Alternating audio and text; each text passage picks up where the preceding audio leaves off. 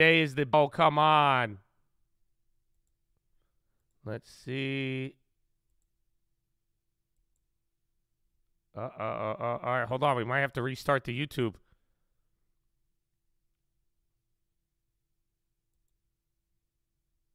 Oh, there it is. Good morning, ladies and gentlemen. I hope you're having a wonderful day. If you're watching this and it does not say live at the bottom of the screen, unfortunately, you are watching the recap. The good news is we are live Monday through Friday, 30 minutes before open. Drop your thumbs up on that video. Make sure you're subscribed. You're on mobile. Press hot chat, X out the chat, hit the thumbs up button. I don't know how long it took you to hear that there. We had a little bit of delays here, but Chatadonia Today is the big day. I hope you guys are all ready for it. You have Jerome Powell at 2:30. It is going to be very important. You actually had a little bit of activity there in China. We are coming off of Snapchat earnings was not good. Had a little bit of an effect, which is kind of good. It didn't bring the market down a lot this time, but AMD was good and now we are waiting. You're even going to be getting a little bit of debt ceiling talk today, which could also be important, but Chatadonia at 2:30 the market may change forever. Not forever, but it might really start to set up now the new month cuz if you didn't know, it's already February, baby. So Chatadonia, I hope you guys are ready. I hope you're locked and loaded. I am glad that you're here and uh Good morning. How are you, baby? What's up, Twitch? Twitch was with me right there early, baby. What's going on, Fed Chair Peach? What's up, Yatana? What's up, Payday Devo? Dr. Sway, Fed Chair Peach again, Triple Three, Charlie. We're built for this. Oh, yes. What's up, C. Jabori? Kobe McGuire. Oh, El Trapado, Clap Chaser. Yee, yee. Wesley O'Neill in the house. Good morning, Chatadonia. Are you ready? What's up, Trevor Vincent? Donkey, SG, baby. Smars, Arturo, Matt, Bubba. Oh, what's up, baby? What's up, Jim Birch? Good morning. Open face sandwich, baby. This is the day. Oh, Tony. Tony Garlinger. Oh, Nazi Wolf. Oh, good morning. Don't let me lose my voice just now. Y'all got me hype. Look at the morning chat. Y'all showed up ready to go. This is the day that you show up, baby. This is the day. Mr. Castillo, Gregory, Kite, uh, I can't say it, Smoke, Manic, Mark, Ports, Danny, Big Ratchy, Riley Mack, Alaskan Assassin, Samuel C, baby, Hameen, James, Taylor, Barry, baby. What's up, Jeremy? What's up, Caesar? What's up, Judah? What's up, Malcolm? In Birch King. Cody White, baby. What's up, Chatadonia? Good morning. I love to see it. I love to see y'all bright in the early. Let's go. Bright in the early. Bright and early. Let's go. Hit that like button. Show me you awake. Show me where that you're awake. Say good morning. Hit the like button. What's going on? Jay up, baby, in the house. Let's do it, man. Let's do it. Andre, Queen City, baby. Oh, it's here, baby. This is the big day. I hope you know that. It is the big day. Everybody around the world is watching. You know that. Everybody's getting ready for it. If you did not check out yesterday's watch list, I have a good play by play, okay? You get a play by play, minute by minute. I even got a couple of theories. I have to still go over a little bit more information with you guys. We got to go over the written statement. So I have a little bit more there. It's going to be very, very simple, but. Oh man, Chad, this one is going to be a wild one. So I hope you're ready. I hope you're feeling good. I hope you smashed that like button. I hope you're subscribed so you don't get left behind this year in the market. You know, we here for you, baby. But let's get it. What do we got for the news? What do we got for the news? It's here, man. It was the day of Powell. Whew. So, brace for a Fed pushback. Uh, Jerome Powell will probably be rebuffing the pivot narrative that he sees a halt of tightening soon and he starts easing by year end. Jeffrey Gundlach said after hiking by 25 basis points today, the FOMC is set to keep further increases on the table. At least it doesn't have to worry about the recent surge in borrowing in the Fed's fund market. Bank of America said funding pressures are mild. Uh, the Adani crisis deepened with the sell-off in group shares triggered by Hindenburg's fraud schemes or fraud claims, turning into a $92 billion rout. Even after key share sales, Bloomberg reported that Credit Suisse has stopped accepting bonds as Gautam Adani, a group of companies, as collateral for margins to pri- private clients. Adani Enterprises, which pulled off a 2.5 billion follow-on yesterday, lost 28 percent. Uh, futures tick lower. Treasury yields in the dollar fell. PIMCO sees further dollar weakness this year as slowing inflation limits its haven appeal. Oil was higher. OPEC will hold output steady next month as expected. Delegates said as the market awaits clarity on demand in China and supplies from Russia uh, the debt debate. House Speaker Kevin McCarthy and Joe Biden will meet today to discuss raising the debt ceiling, cutting spending, and avoiding a default. The Treasury on Monday ramped up their estimates for borrowing this quarter, implying that the government may bump up against the ceiling earlier than forecast, according to Barclays.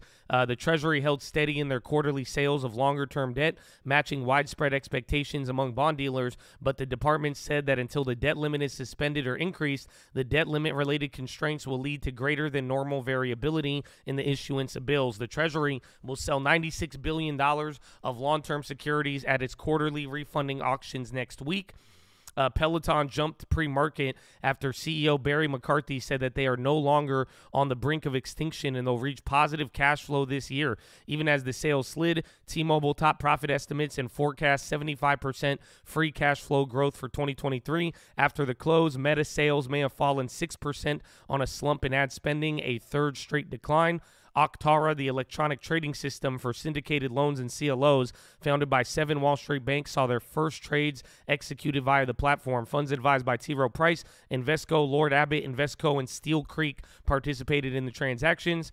Uh, Euro area inflation slowed more than expected at 8.5 last month from 9.2. The core reading was steady at 5.25 month on month. Consumer prices fell 0.4 as they did in December. The figures suggest a heated debate to come at the ECB over how many more rate hikes uh, must occur. The bank is expected to hike by 50 basis points tomorrow. And then crypto, some users of bankrupt Celsius custody program will be able to pull out 94% of their eligible assets, while the fate of the other 6% will be decided later. A court filing shows, as for FTX, a filing showed that companies had 1.43 billion in cash as of December 31st, up from 1.24 billion on November 20th. Just after their bankruptcy, the figure for Alameda Research was 876 million versus 401 million. Hmm. Hmm. that was weird. What's up, real fried rice? Uh, chart of the day is another U.S. crude build. Uh, nationwide stockpiles swelled to 6.3 million barrels last week, the API is said to have reported, which would be the sixth gain in a row if confirmed by the EIA later. There was also increases at Cushing and for gasoline and distillate inventories. So 945, you're going to get January manufacturing. You already had a very weak ADP, so weak jobs data today came in uh, at 5.30 that was this little pop right there uh, 10 a.m. You're going to get January ISM manufacturing and December JOLTS jobs openings. 10:30 EIA U.S. crude oil inventories. 11:30 36 billion of 17 week bills. 2 p.m. for the Fed rate decision. 2:30 for Powell, and then 3:15 Biden is meeting with Kevin McCarthy, and 4:30 Brazil rate decision, and then January wards vehicle sales. Earnings include Meta, Corteva, MetLife, Align Technology, Allstate, McKesson, and Hologic. Ooh. He's going to be a good one. Uh, Brazil Central Bank is expected to keep their benchmark Selic rate at 13.75 today. Uh, Jair Bolsonaro reemerged from the self imposed exile in Florida to tell supporters that he intends to remain active in Brazilian politics. Uh, Peru's outlook was cut to negative from stable by Moody's, which cited mass protests.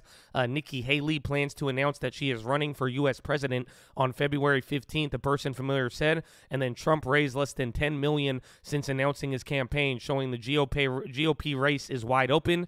And then the ADP jobs report today added 106,000 in January, well short of expectations of 180,000. Uh, December's figure was revised up to 253,000. Uh, coming up, available positions may have dropped to 10.3 million from 10.5, according to December jobs report. Uh, European equity capital markets faced the slowest start to a year since 2019. Proceeds from IPO, share, uh, IPO sales in listed companies fetched 1.43 billion, a 79% drop. Uh, UK house prices posted the longest string of decline since the great financial crisis.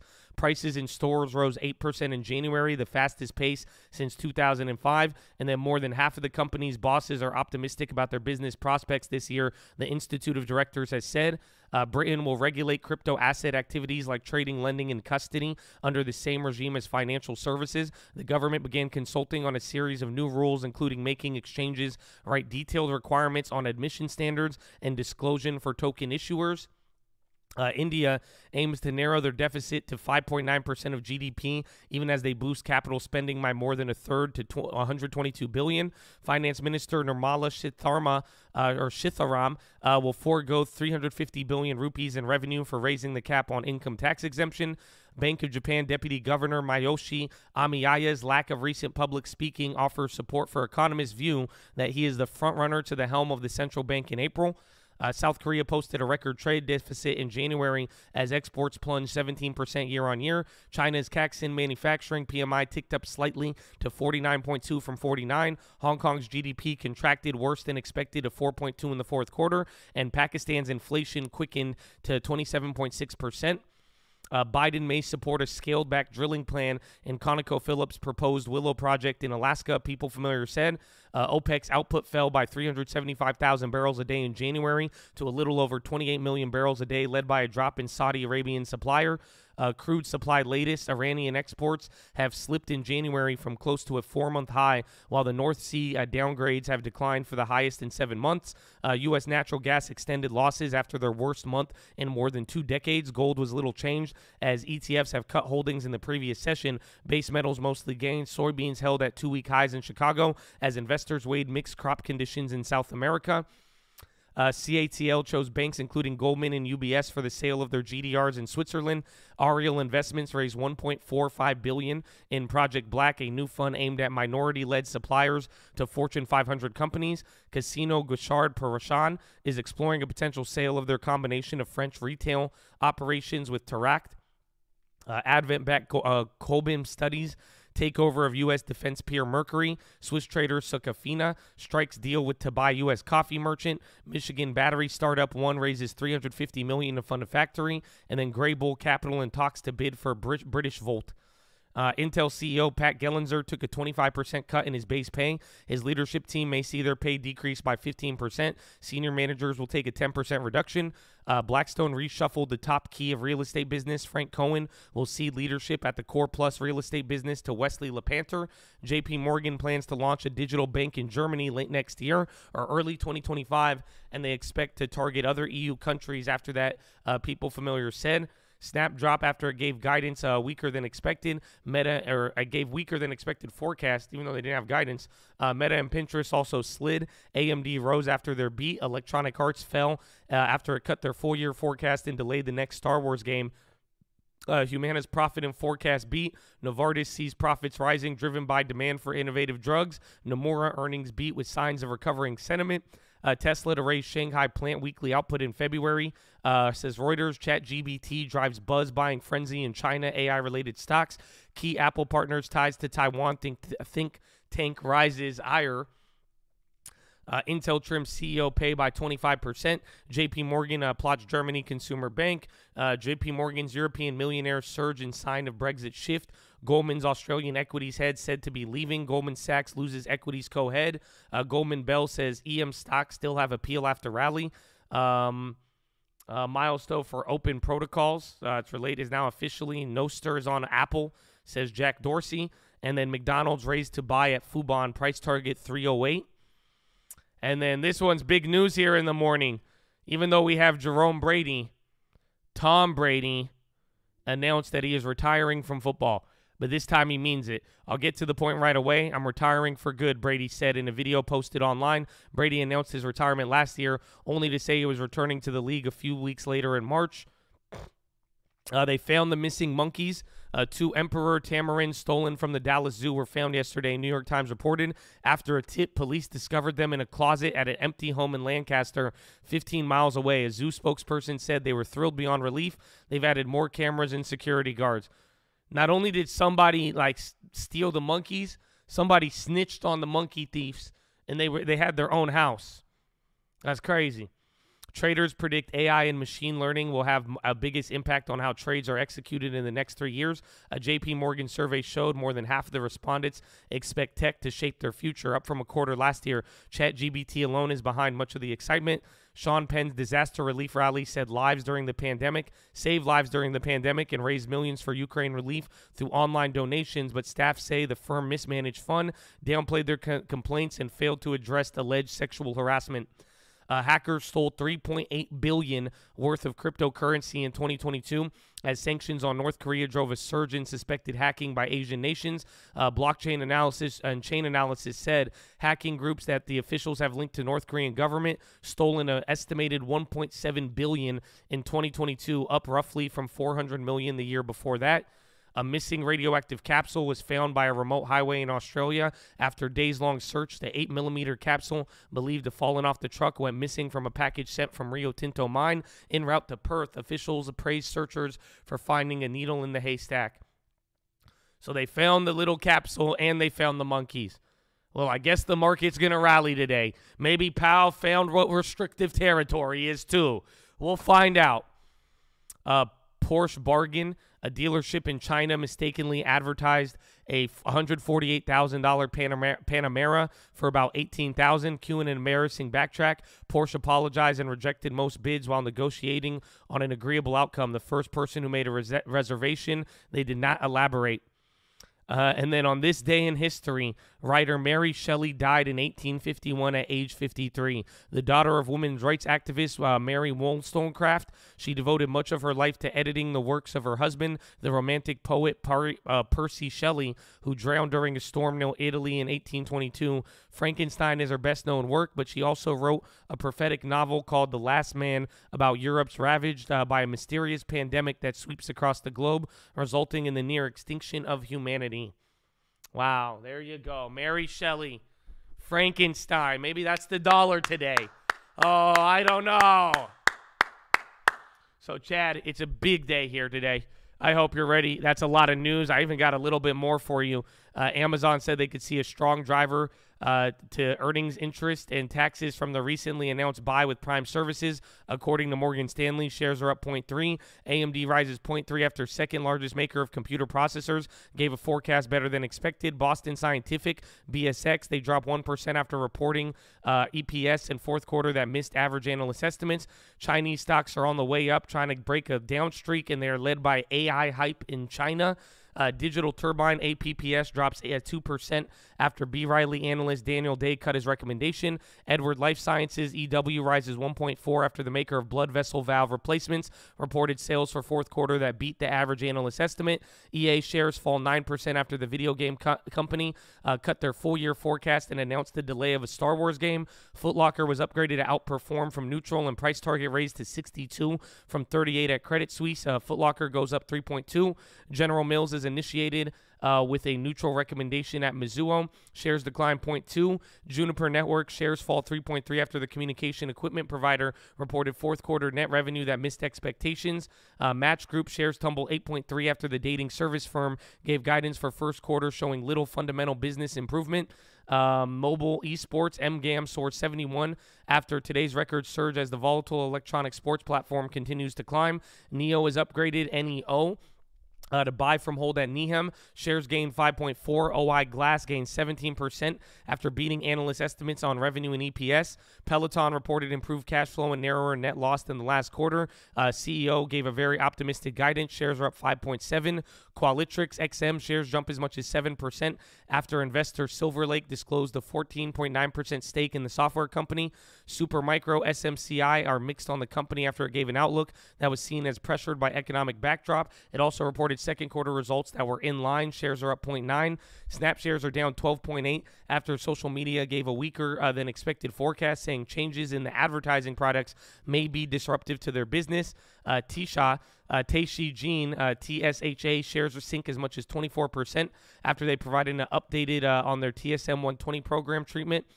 Uh, T-Mobile shares are down 1.9 after the company gave a forecast for 2023 postpaid net consumers that was weaker than forecast. Waste Management WM shares are down 2.6 after the company reported fourth quarter results that missed expectations on key metrics. And then Western Digital slides 2.3 after the revenue forecast for the third quarter fell short of estimates. Wow, a lot of plays, baby, a lot of plays.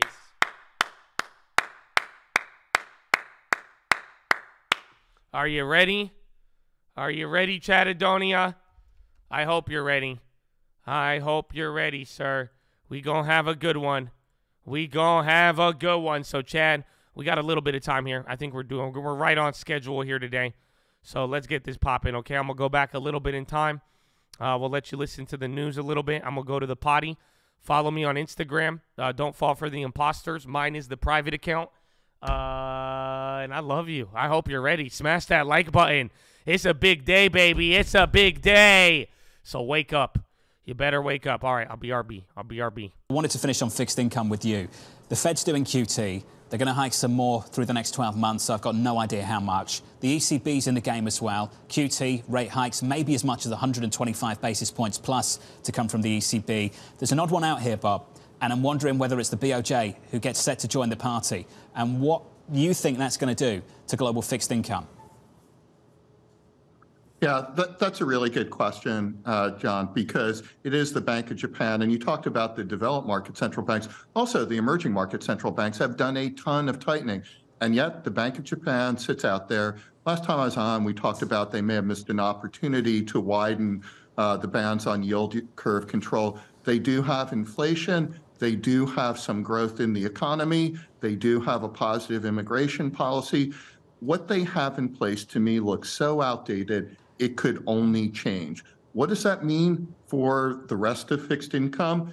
It means that markets outside of Japan are less attractive. Right now, if you buy US uh, government bonds and hedge them back to yen, you're coming out with a negative yield, not like negative relative to where JGBs are, but outright negative. I think if you return to something that looks normal in the Japanese bond market, where the central bank just guides policy around growth and inflation and lets the market price the bond market, that makes that market very attractive. And, and my concern is if it's done clumsily, it could lead to a generation of repatriation of all those flows we've seen in the last 20 years come out of Japan into the U.S., European, hey, and emerging markets. You guys should know what that so, means. final question then. You guys should know what that means. We had a nice little lesson today. Some repatriation, some economics. Oh, yes. Oh, yes. So, Chatadonia, I hope you guys are feeling good. It's going to be amazing today. You know, God willing, let's have a good one. But, Chatadonia, you hear what they say. You hear everybody. They be like, oh, my gosh, 50 basis point. Everybody has something to say today. But, you know, it's your turn. It's your turn. Chad, what's your first play of the day? You killed it. Uh, mods, feel free to ban anybody. If it's not serious, I take this moment very seriously in my life. So I need a play right now. Tell me your first play of the day. Mods, just feel free. Let it fly today. Let it fly, baby.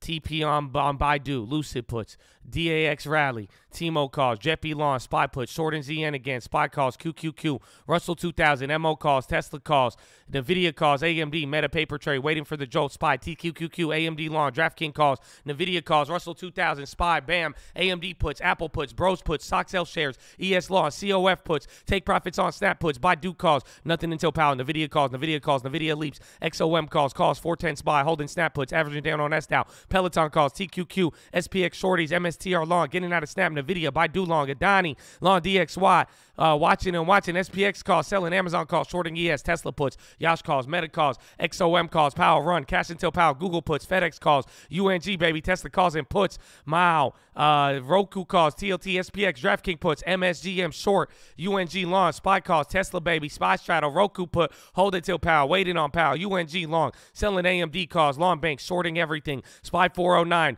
23andMe, NVIDIA shares, AI, Intel puts, set handle, maybe try Boyle flip, SPY calls, then Intel calls, CCL calls, Powell will show the way, maybe GM calls, first live trading day, MES, SPY puts, says QQ at 39 and we ride, QQQ, Bear put sped, Pinterest calls, SPX, long everything, selling everything, Tesla puts, Powell puts, AAL puts, being patient, chilling, and VIX calls, and then Lucid puts. Let's go, Chatadonia. Wow, you did it again.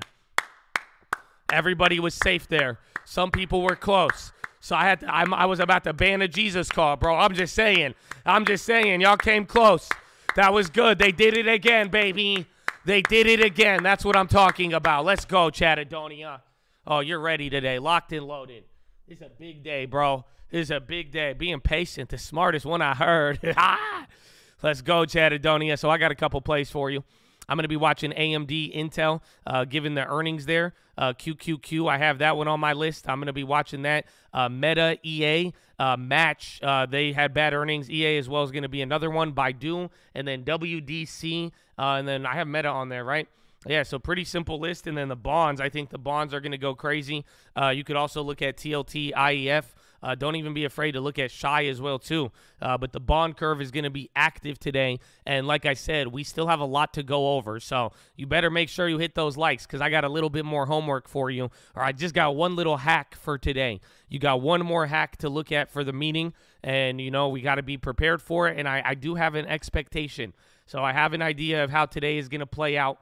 I look forward to sharing it with you. I look forward to having y'all locked and loaded and liking the video and Chattadonia is game time. So, ladies and gentlemen, boys and girls, I hope you're ready. I'm glad you made it here in the morning. It is a very important day. It is the first day of February. But with all that aside, we do something very special here, and that is paying homage to the people who have sacrificed more than most of us ever have and ever will, man. And that is the veterans of the United States of America. So, on behalf of the cult, the people here, the people not here, we want to give a huge special shout out. All the active servicemen, past servicemen, anybody who has served this country for real. Shout out to the veterans, baby, even down to their families as well, because they made their sacrifice. We love you and appreciate you, and thank you, thank you, thank you. And. All the people out there serving their local community, all the firefighters, doctors, nurses, teachers, police officers, anybody volunteering, my nonprofit people out there. You know you helping out your community, you being a light. We love and appreciate you as well too, man, and keep up the race, okay? Keep it up. Keep it up. Don't ever be discouraged, my friend, and get a long term. But ladies and gentlemen, uh, please rise. Place your right hand over your heart. Say it with me. I pledge allegiance to the flag of the United States of America and to the republic for which it stands, one nation, under God, indivisible, with liberty and justice for all, baby. Senator Jets!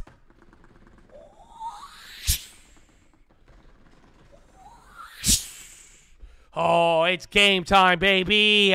Or nah, let's go. Welcome to Power. Oh, it's game time. It's game time. Do you feel it? Do you feel it? Are you ready? We're going to have a couple of hours of waiting too. You're going to have a lot of post earnings plays, so there might be some opportunities. You know what I'm saying? I'm going to get up EA here. They were the bad one. Uh, who did really good? I think Peloton, actually. That was a growth name that held up. Uh, we're going to see here. Uh, WDC did bad, but they were able to bounce.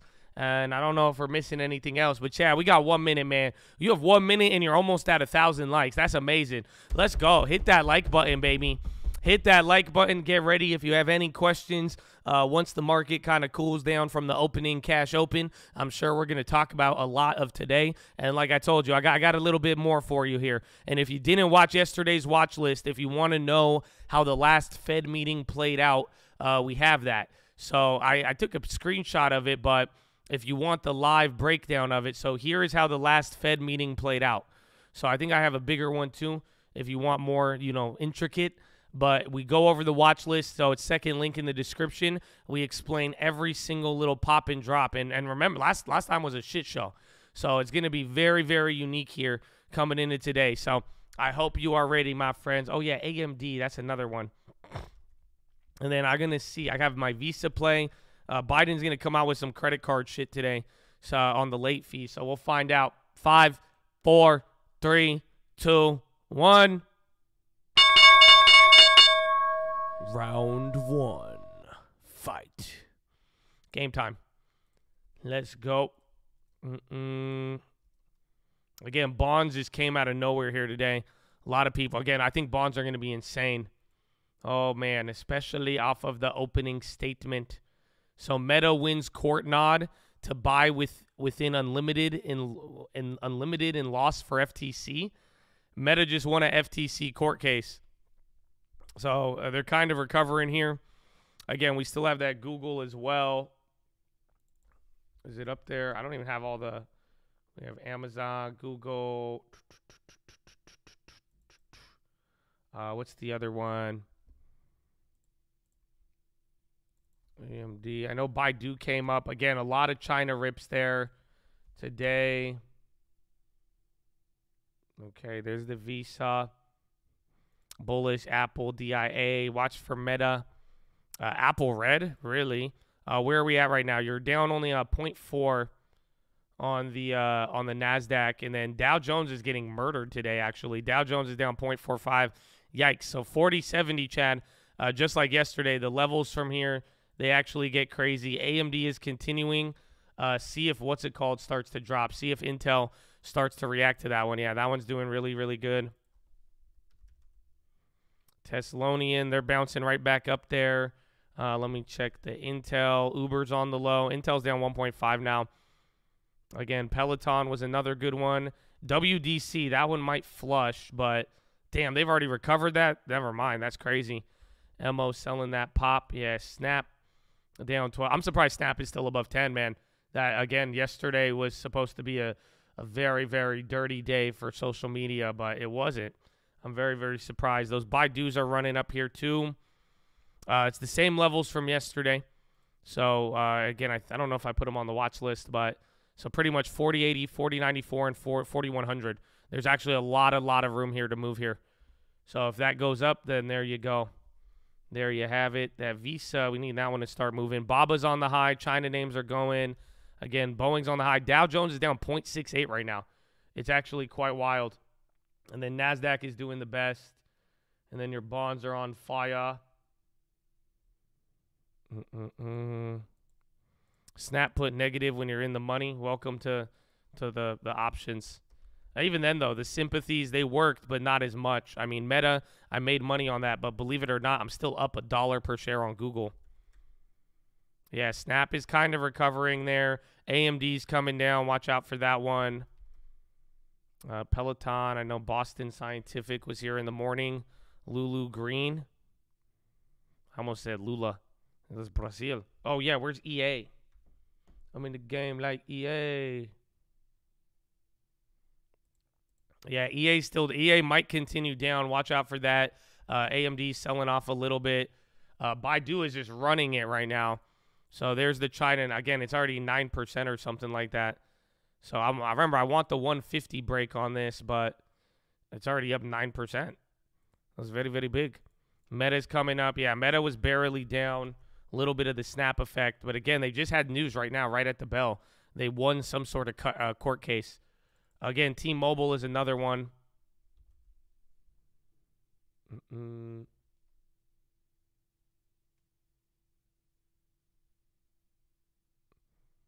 All right.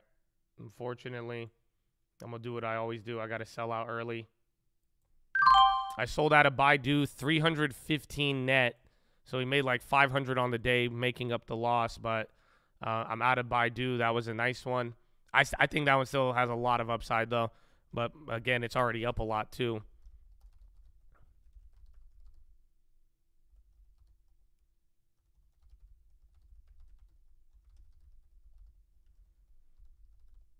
Mm-hmm. I'm hoping if I have the opportunity to clear a lot of stuff, I know because again I have a lot of just random plays I want to be able to go through here uh, and then we want to clear up some things.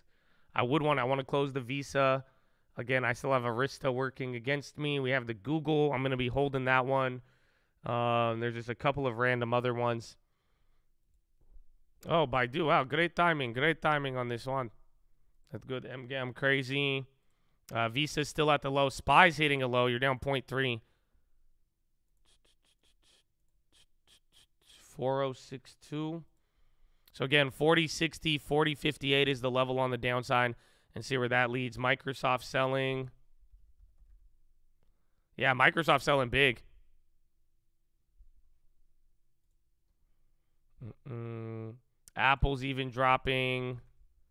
Boeing is just going straight up. Actually, so is LMT though. Some defensives. I think WDC.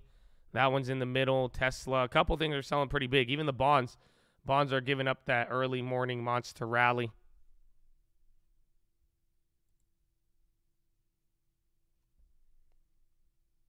Mm-mm. Bro, why Visa be staying so pinned? What do you think? Google, I mean, Google, they had troubles last time. So again, that's the that was the problem. You see the report on January trifecta. I did, man. Uh, we went over it at like eight in the morning. Where where you at, bro? Where you where you posted me a seeking alpha? Where do you think they got it from? But yeah, we already went over that, and it was on the watch list yesterday. Come on, bro. Come on. You lag it, bro. You lag it. I'm. I'm I don't know. That's not. That's not wrench activity, sir. That's not wrench activity, sir. We're gonna. I don't know how I feel about that, sir. That's that's behind. That's behind. Uh, what is that? XOM on the high? I thought they were just selling off right there. Meta after hours. I I think they're gonna miss. Mm-mm.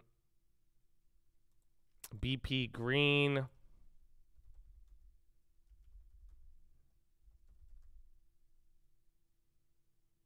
Oh, where's EA?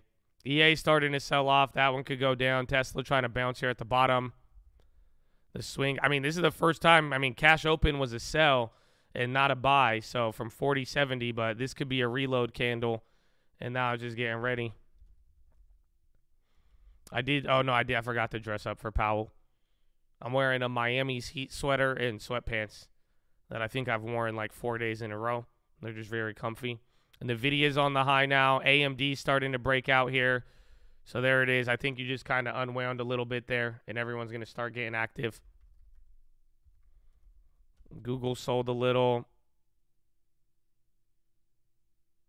Mm-mm.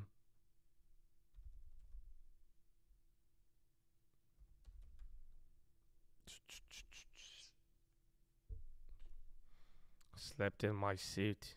It's good, man. It's good. Always good. Intel, I think Intel should go down, but they actually ended up holding up here, so they're they're around the same price we would have shorted it at yesterday. Mm-mm. Where else was there's EA? That one's still drop dropping. There's Caterpillar. What was the other one from yesterday? Was it UPS? Baidu back on the high. Oh man, big drop in pop on there. So again, China AI stocks very very hype today. Very very hype.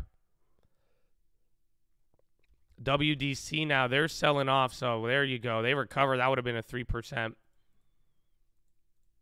Uh-uh-uh. Four zero six two. We got out of that one. I still got the Whirlpool, still got the Google. Everything else we're going to be chilling on. What a beautiful, glorious day. I forgot we have the Amazon as well. Amazon's down one. Plug pop in 90s.com AI. We'll see. We'll see. We'll see. We'll see. WDC Ford starting to run. Yeah, Ford is in the green by 1.3. Yeah, Baidu is killing it now. Again, I sold out at 9%. I think you got an extra dollar off of that. Mm, everyone locked in, man. Make sure you like the video. That's don't play me. Don't play me on that, you know? 1500 likes. We'll go over the homework. I'll get I'll give you a second secondary. I'm going to just give you the basic. I'm going to say it a lot though today. But we need 1500 minimum. And y'all are y'all are holding it down anyways though. It's game time. I don't even care. Just like the video. We got to play, baby. We got to play. MO dumping. Good. Inshallah, Habibi. Inshallah. MO. Go negative. MO is not the dumping. Why you lied to me? Oh, oh no. I've read TLT dumping with MO ripping. Never mind. Dang it. All right. That was the reload candle. You're already right back up there. Ford is coming up. You sold off early. Now we're what? 10 minutes in. First five minutes down, second five minutes up. I believe we have data uh, right around the corner here, actually. In what, 20 minutes, you're going to get uh, manufacturing PMIs, and then construction spending, and then JOLTS jobs opening. So 20 minutes, we have more data coming. Bonds have just sold off a third. Quite fascinating. Mm, Tesla to the dirt. That sounds so aggressive. Google's at the low. AMD's now still hitting a high. EA's flushing there. So bad earnings has its price, it looks like. Where's Peloton? Peloton, why you no load? T-Mobile too. Yeah, EA's really, really starting to dump. Then bonds are red now. That's crazy. A lot, a lot of bond movement here. Whew. This Fed day is gonna be fun. Uh, Visa kind of bounced a little bit. AMD one more time. Boeing is just stupid, man. Boeing's actually getting a shit ton of volume there at the high. Uh, Talenom decided on direct share issues. It's not important. Again, Peloton on the cash flow, positive cash flow comments. They're still holding, but they're kind of coming down to the lows. Financials, uh, they are the worst on the day, down 0.49. Then communications at 0.47. Then materials at 0.46. And then health healthcare is actually the only thing green right now. Consumer staples and industrials and energy, they're barely red, but the only thing green right now is healthcare. AM Diesel. Mm, uh, JP Morgan, I thought they were doing good. They're holding up though.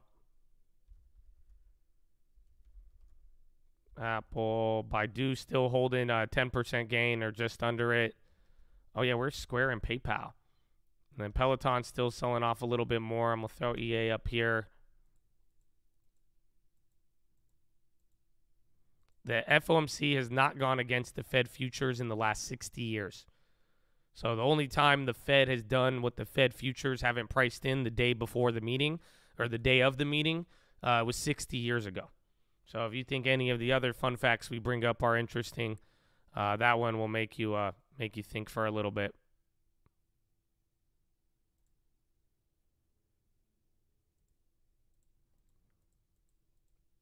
Lebanon devalues official exchange by 90%. I know Boeing's on fire right now. Boeing is insane.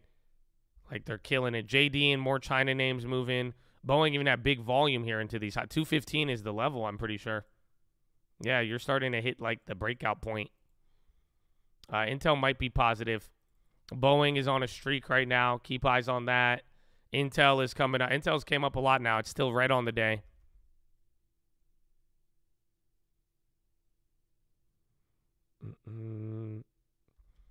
GE, it does kind of move with it.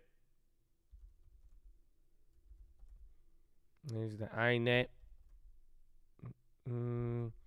AMD AMD's doing decent, but most of the gains are are constrained to the pre-market. XOM is starting to run up now. Powell, what time does he speak? That's one. Uh, 2:30 p.m. Eastern. Brought to you by Stock Market Live. Like the video. We love you. Tom Brady is retiring. What does that mean for Powell?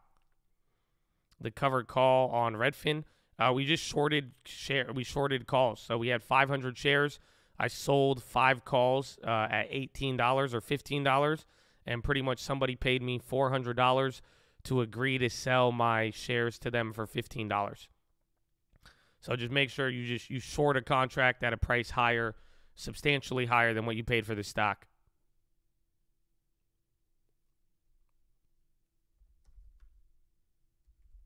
McDonald's on the high. They had a nice upgrade in the morning. It's so weird. I feel like I see a lot of down names on the high here. I feel like it's like Johnson and Johnson and PG kind of keeping things down. Even Pfizer. Yeah, because the Dow is only the Dow is the worst on the day right now. But Spy and Nasdaq have matched up on this. FBI searching Biden's home in Rehoboth, Delaware.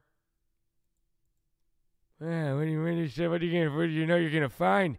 Nothing. What do you mean? Gotta search your home. What's, wrong with you? Come on, we got we got to figure out a di- we got to see the ceiling. We got to make a debt roof. Stop it. Come on. It's a bull waste of time.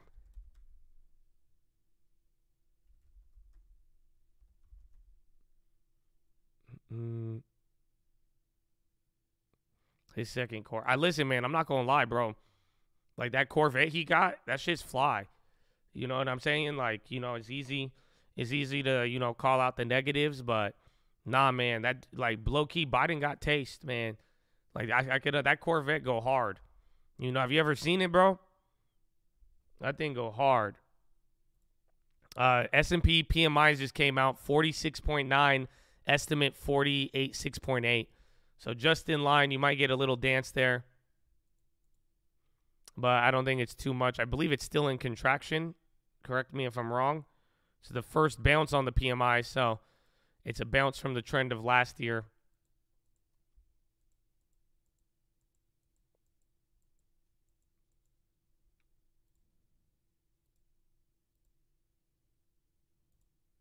Liddy, everything, Liddy, I love it hot.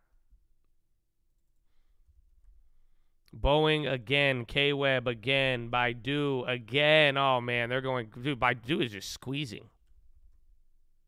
Apple still at the bottom. Amazon still at the bottom. Again, I think it's a lot of uh, middle names. Um, Google selling off, and so is Meta now. Snapchat's probably going to sell off. Snap below ten dollars once again. Meta is starting to dump a little harder there. We're losing some of the game. I'm still up on the Google shares. AI's on the low.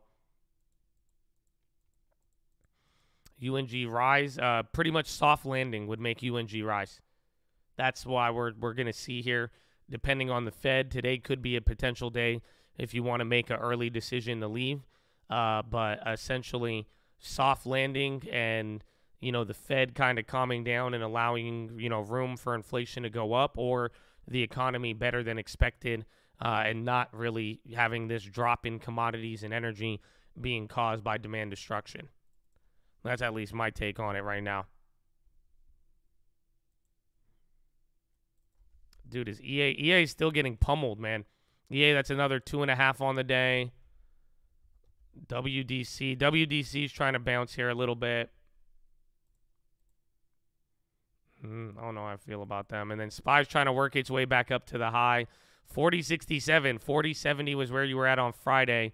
And then anything above 47, again, uh, really takes you to 4080. I would even ignore 4094. I think 4080 goes straight to 4100. So we're going to find out. AMD's pumping right now. Meta, they're trying to bounce. Baidu, again, I top ticked again. I sold out too early. Baidu's killing it. All the China names keep moving. There you go. Amazon with the candle. Boeing is still killing as well. Mm-mm, PG selling off. Tesla, I think Baba's up even too, 2.8.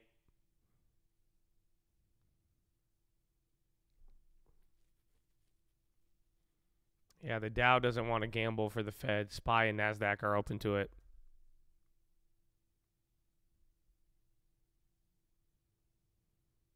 Mm, yeah, waste management. That's earning. They're selling off. If that one keeps coming down, you might get an earnings flush. There's AMD. AMD at 80.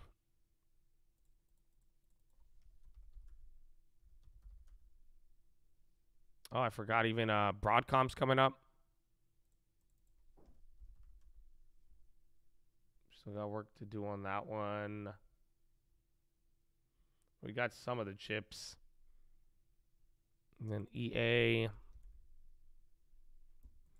I still in HKD, yeah. I think it's down like 30%, like 100, 200 bucks. Kept it small. Yeah, Intel's even doing really good too. That's why I wanted to short it. I was like, I don't know. Everything just keeps getting eaten up. Intel's doing very good. So now you actually got a nice little uptrend there from that bounce until it changes. Apple on the low, though. Apple's starting to hit a new low as a lot of things are hitting highs here. Uber. Qualcomm. Qualcomm's up on the high too. EA. EA just keeps dumping. Snap below 10. Yeah, he's fighting. But Meta, watch Meta and Google, and they're all kind of moving together. We still have some gains on the Google shares. There's Amazonian. Capital One on the high. COF. Oh, uh, it looked like a way bigger rally.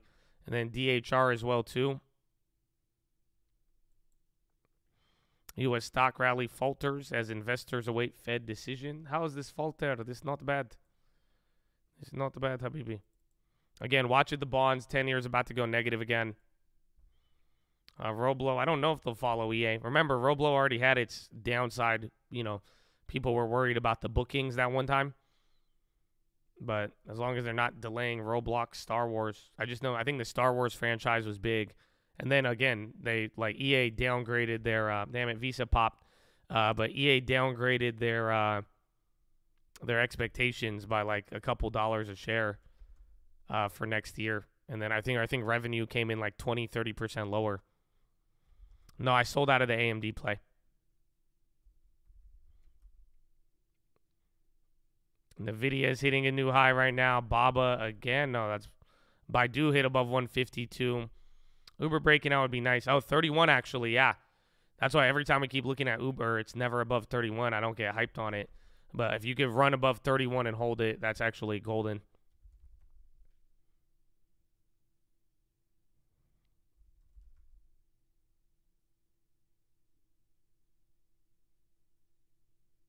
Hmm. Mo wants 47. I don't know if is that real? Oh, I just saw a big bond order. I don't know if that was actually there. Yeah, bro. What is what is Mo? I don't know how. How do you feel about this Mo move, Chad? I like it that it's going up. It's a big position, but I'm like, man, I really wanted it cheaper. I really wanted them high yields. I didn't even see how did they do. Nobody even believe it or. Mo wasn't even up on any of our movers. Oh, they announced a billion dollar share buyback, and then they see full year guidance 498 to 513. Consensus was 504. Uh, revenue was uh 6.1 billion, uh, down 2.3 on the year, but the estimate was 5.1 billion. Damn, they killed it. And then adjusted EPS beat by one cent. And then the four, so they guided up and they killed it on revenue for the quarter, and they lowered capex on the year. And again, they had the uh, uh, what's it called? They lowered their uh, their they raised their buybacks. They actually did very good, very good on very very good guys. So it makes damn it. so they did very good with that and a one billion dollar buyback. One cent, Bob. One cent.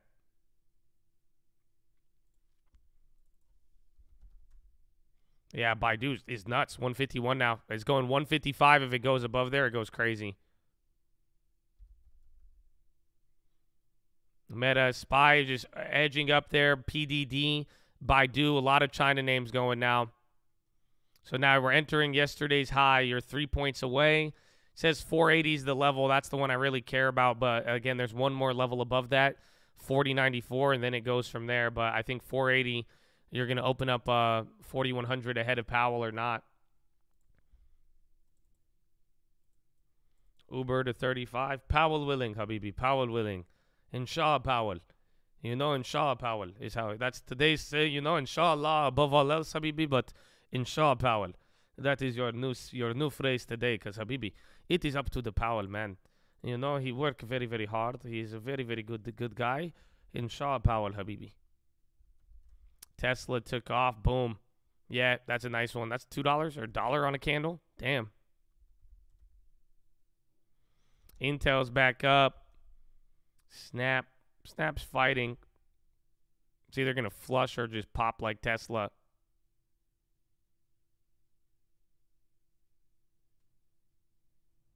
Mm-mm. AEMD. And Ultra is up four. I don't know. That one might be able to just slowly edge up. When's their X divvy? Damn it. I opened it again.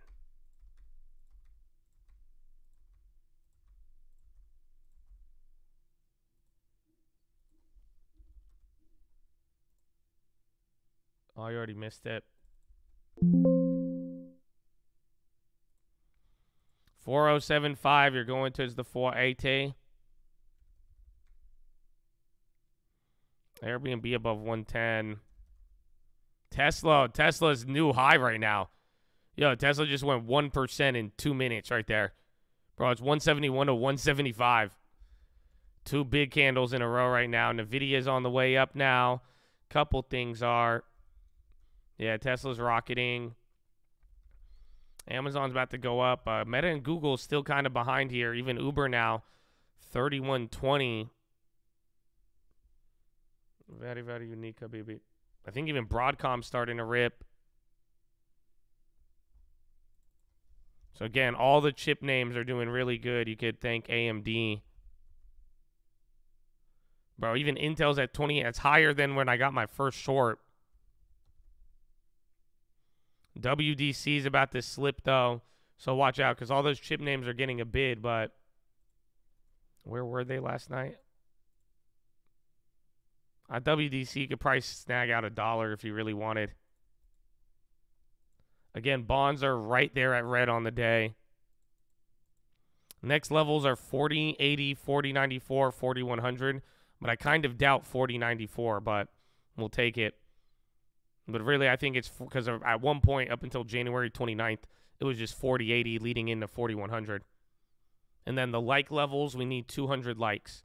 So if you hear my voice right now and you have a beautiful soul and you you know you don't have a, a ounce of hate hatred in your bones right now, I, you, so you could have maybe an ounce. It's fine. But I just need you to like the video and say what's up, man. Good morning. Good morning. We sold out of Baidu too. Uh, that was a nice 10 percenter. Uh, I sold out. I, I left like five more dollars on the table.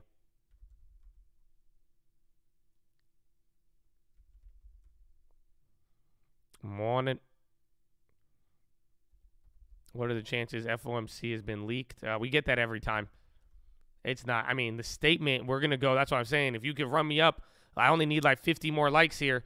You know, if we get 50 more likes, you know, we could talk about the statement and I'm going to bring it up here. But the statement is going to have one reaction, but there's no way to, you can't leak what Jerome Powell is going to say uh, because that's what we're going to have there. You know, Jerome Powell's comments will be the key, but uh, a part of today will be at the release. But even if it was leaked, it, it per se wouldn't matter. And I do have a theory for today of what I am expecting. Damn, but the ES is still down on the day. That's kind of crazy to think about. So right now, you're literally like you're back to where we were at yesterday. So you're actually you're in a pretty interesting spot. AMD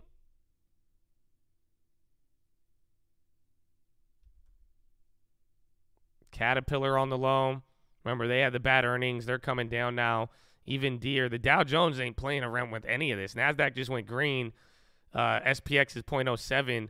But, dude, they don't, they don't want anything to do with it. All right, so I'm to go over this more in depth. But since y'all have shown so much love and y'all have liked the video so efficiently this morning, uh, I'm to tell you, here's the hack for today. There's two things that's, uh, again, the press conference is the big one – but right when the statement comes out, this I don't know the probability of this. A lot of people have brought it up and they're talking about it. But if you have been watching me with the Fed here lately, we brought this up last time. There's something very important. If they change the language in the statement, the phrase they see continuing or ongoing rate hikes, if they change that one little statement, I believe the market is going to run bullish off of it. So there's a couple of variations that they might change it to. They may say from ongoing, or they may see small changes, or they're going to say, ah, I forgot there's another there's another line there, but the idea would be just on the statement right at 2 p.m. Not not when Powell speaks, but the initial statement. If they change the language of ongoing rate hikes and they change it to any variation of you know slowing down or you know being more gradual they could change it to gradual. That could be another way to do it but rpd halted for volatility. Rpd explores possible sale uh, reuters. Rpd rapids they're halted there possible sale. So but that right there is going to be the key. So I, I have my my theory here and we'll go into this more in depth uh, don't worry uh, if you don't understand this now, I'm, I'm later in the day. I'm gonna pull up the uh, uh, what's it called? I'm gonna pull up the the actual FOMC thing, and we're gonna talk about it. But it's quite simple. I think we're gonna get the statement. I think the statement is gonna read bullish, and I think we're gonna pop on the statement, and then as the oh whoa whoa whoa whoa whoa whoa what just happened there? ISM jobs row. Oh my gosh. What the fuck? Bro, jobs just rose to 11 million. 11.0 million from 10.4 and then ISM manufacturing 47.4. This is a, finally a reaction to the jobs. No, bro, that's a super hot. Dude, people were expecting uh, a 700,000 drop in jobs. This is that's the first that's your first uh, miss between the data and what has came out, like the analyst in the data. So take a look. Oh, that's huge. That's very bearish. Or at least it means Powell has some. Look at, bro, they were expecting jobs were going to be at 10 million. The jobs just came in. This is the highest the jobs have been in July. or or October of 2021. That's a that's that I wasn't even expecting that. That's a that's a big one. That's a that's a little bit of a flip. So it's going to make today a little more difficult. Oh, RPD is unhalted. They're already up 16%.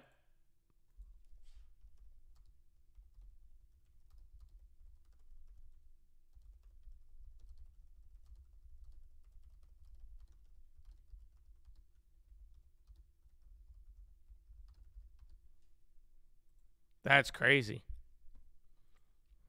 I don't know what it is. It don't matter. It just this is uh like you know again, it's one of those things we always debate how delayed, how accurate the data is, but in general, that was just a fat miss.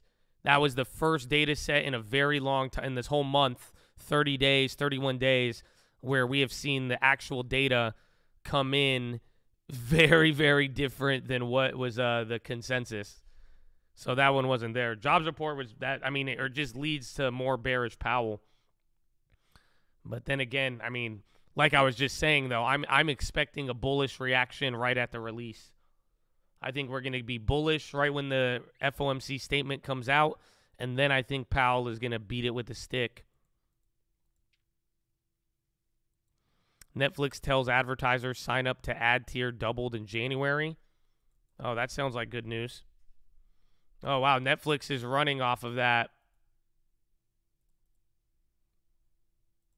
Mm.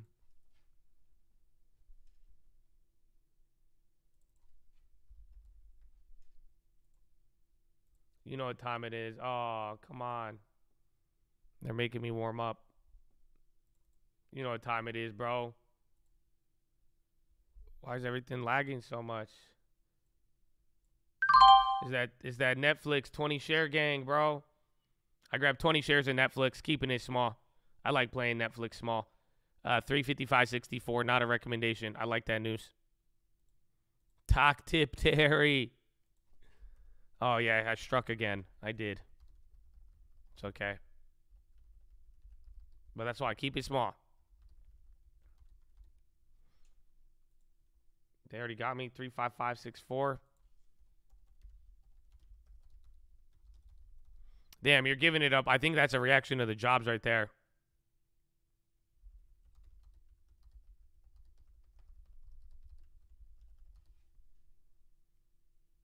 Only 20 shares. Yeah, bro. Just got to keep it 20 shares. It's not that much, believe it or not, uh, especially uh, as compared to some other ones on shares. It's fine.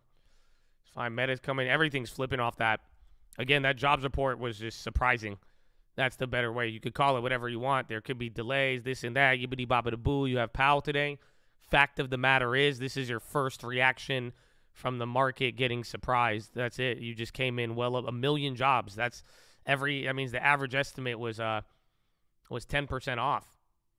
Let me see if I could get you. uh Let me see what the highest estimate was. Yeah, bro. Not one est out of out of uh, 17 estimates, not one person expected it to be high. That was like, dude, that's like that's well above three standard deviations. That was a that was a statistical anomaly. That that is a major outlier.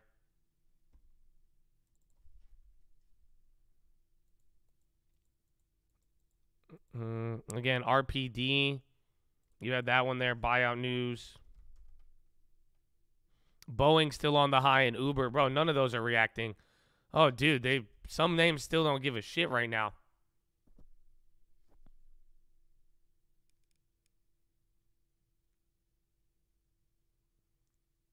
Mm.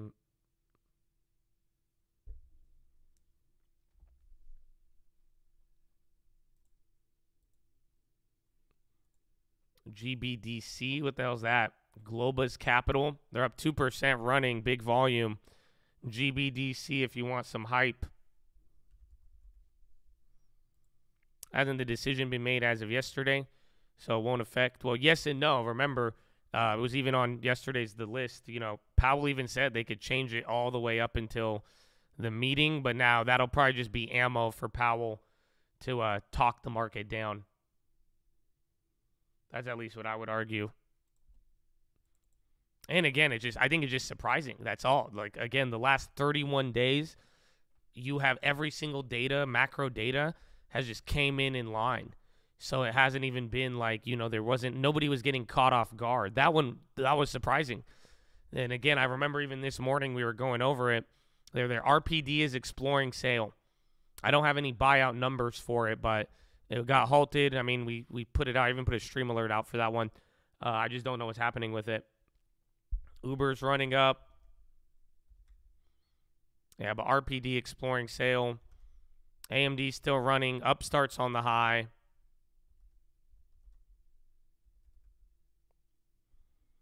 How can you check news as it comes out? I mean, I think your best bet uh, is being here. And if you ever hear something that's intriguing, you go and look it up yourself in that meantime, because we do get it uh, quite quite fast. So it's uh, it's up to you. Otherwise, I, we got some videos on the main channel to learn. Memes there, bro. Little little HBI move in here.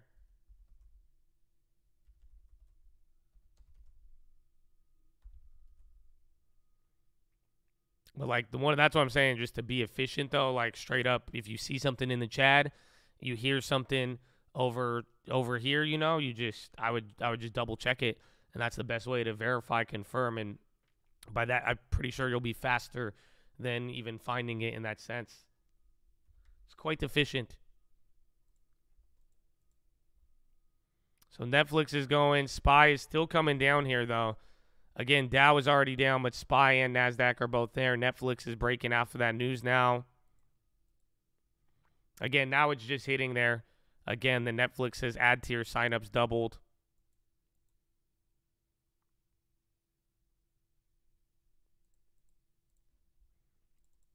Melee. Uranium on the low. Oh, Google's coming down.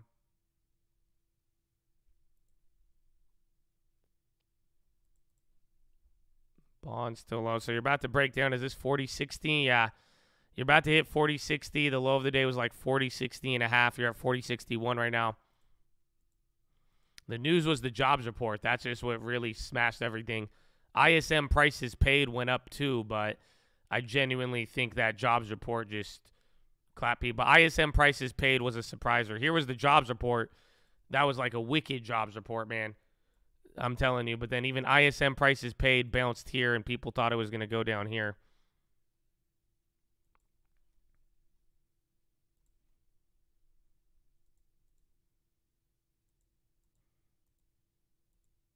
Mm, value didn't get hit as hard. I think they were already down, but they didn't move as much. RPD again, buyout offer. You got that one early here too. But that one's already moving up. I didn't make a play on that one. Are financials green right now? The only thing green right now is healthcare. Tech is, believe it or not, trying to go green. Apple's at the low. Meta's trying to bounce. I got about $400 on the Redfin covered call. You could get a little bit more now. I think you could even you could go higher than what I sold it for, a higher strike price, and get the same amount. It's solid. But we pretty much got to we got 30% of our initial investment back or 20 something. So SPY hitting a low, trying to come back up here. Again, 30, 60 or whatever is an interesting level.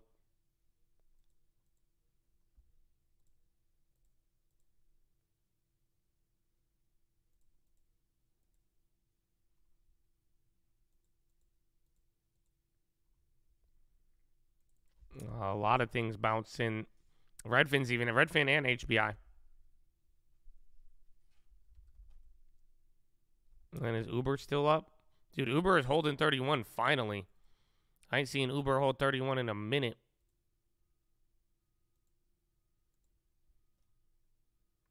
Sprinter S is on the high. Netflix there again. Again, RPD. Buy a dude. Damn, maybe we should have played that one. I hope you guys benefit off of that. That one's going crazy.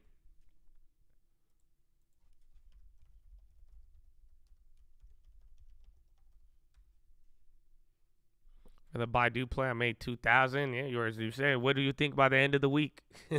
I don't know, but I like the idea. You know, 150 like we talk. Very, very good, Habibi. Yeah, Elmo's carrying a little bit today. Redfin 2. Again, the covered calls, our net total on Redfin now is 150% because of the covered calls. Good for you. Good for you. Get a little Uber playing along. Oh yeah, we're almost break even on Uber Uber now too. Excellent. Excellent. Yeah, there's Netflix now.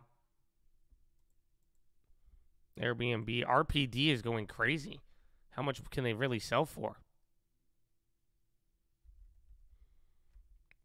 So again, the market dropped there, but not everything went down with it. So even AMD is trying to make its way up again. It's just a lot of big tech and Apple ain't moving. And there's Netflix again on the high, 3960.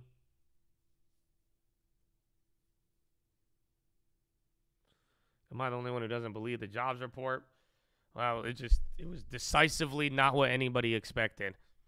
So I don't even know, but we'll find out.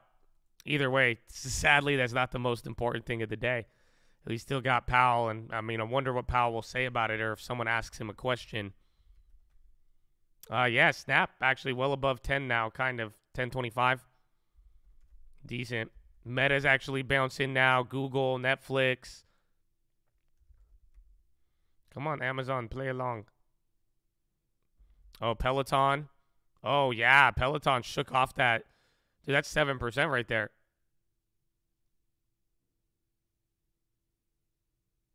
Mm. Meta high of the day. How do you feel about Gap? I think Gap is the scum of the earth. Same with Adidas. I'm actually glad. I think we sold out at a good price too. You didn't see that answer coming, huh? I know. Welcome. Good morning. Like the video. I love you.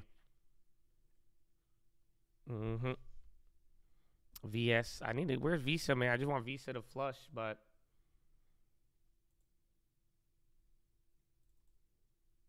I wait for that that uh credit card news. Meta's on the high though. Again, Netflix as well. Damn, bro, I got four, but I should have won 100 shares on Netflix. Again, the 20 share strategy this month has done good. On no more than ever 20 shares this month, I think we've done at least like seven, 700, 800 bucks on Netflix. He's a dickhead. Small Baidu at 153.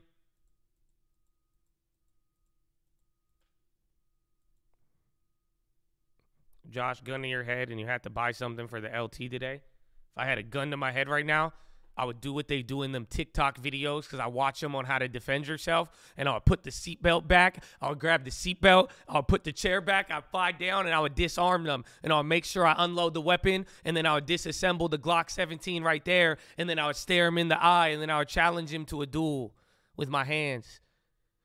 And then I would start to throw diversification at him and I would balance it out. You know what I'm saying? And I was sorry, I, was, I would hit him with patience. He was he would keep swinging at me, but I, I wouldn't hit him back, and I would wait till the right moment, mm-hmm, and then I would kick him in the shins, and then I would run. Mm-hmm. Mm-hmm. That's exactly what I would do if that situation was to occur. I think it makes a lot of sense. It's a great answer. Mm-hmm.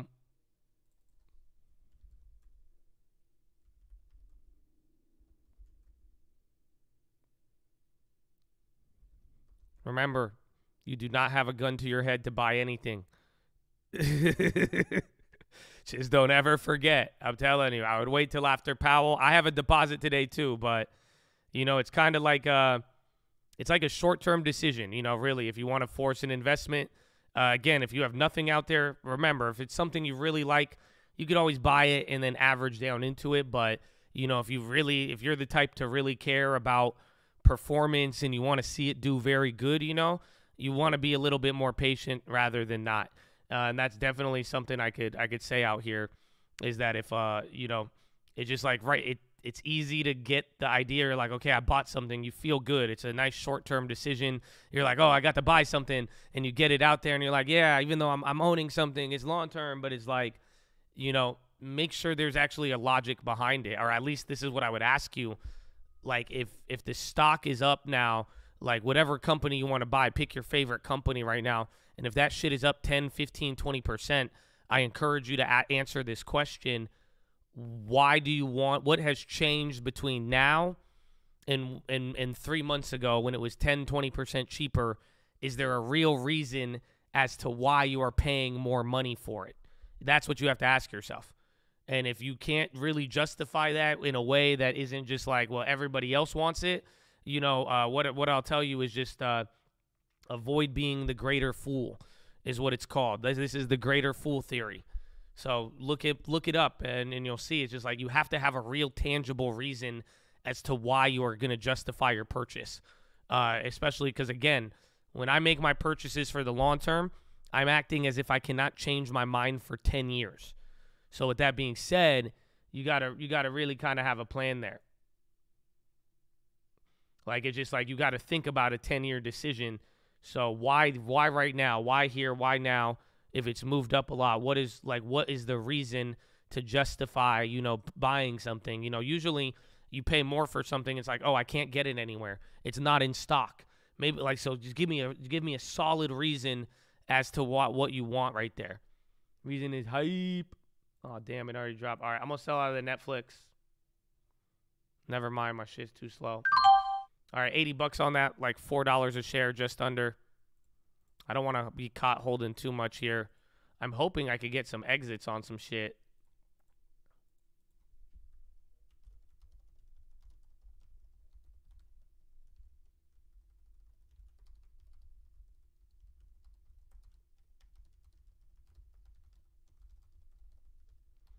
Think about it.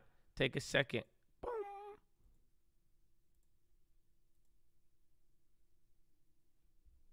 And then AMD, the chips are still holding up good.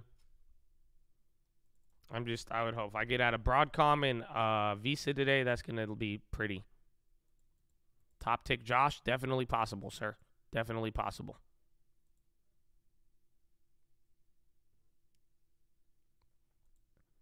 Is that RPD still up?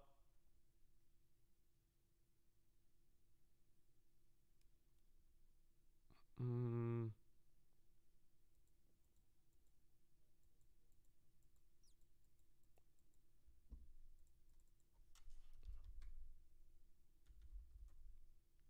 AMD still, Baidu again. Now they're just slapping me in the face with that one.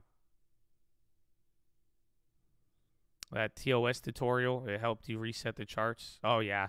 That changed my life, bro. I'm telling you, my TOS, even then, like now, like in the morning, sometimes my TOS, I have to like warm it up like my old Honda.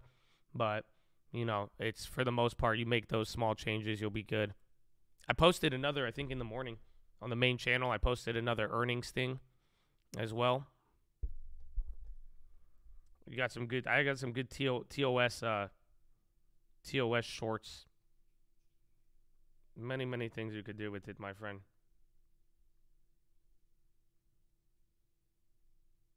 TOS keeps you humble.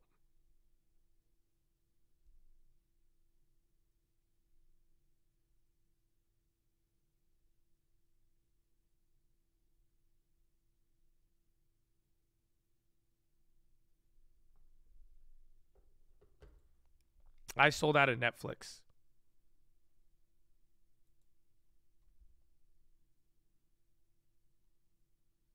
All right, I don't want to wait for these.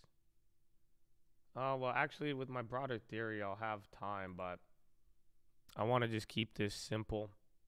No, I'm to wait. I want to just clear out a bunch of shit right before, but again, I'm expecting a pop on the release, so I guess I could be a little bit more patient. Bro, Baidu now, I thought I was like, oh, I only left a couple dollars off the table. That's just almost up 10, 10 more dollars now. What is that, like 15%? 12%? 15%, yeah. Bro, Baidu is crazy now. The release is going to be at 2 p.m.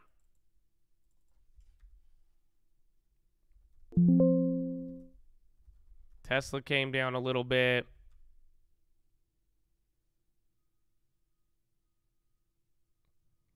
I do get a deposit today, or it may come in tomorrow, but I think it came in today. No, it hasn't hit yet. It should be coming in today or tomorrow.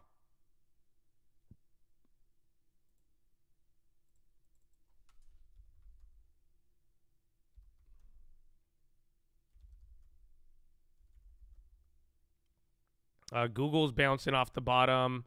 Snap is actually coming into the highs. Trip on the high.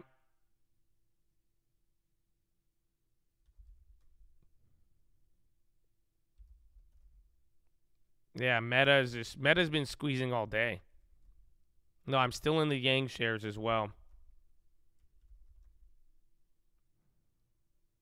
By 2 p.m. it is. Market closes at one. I mean, depends if if you trade after hours and futures.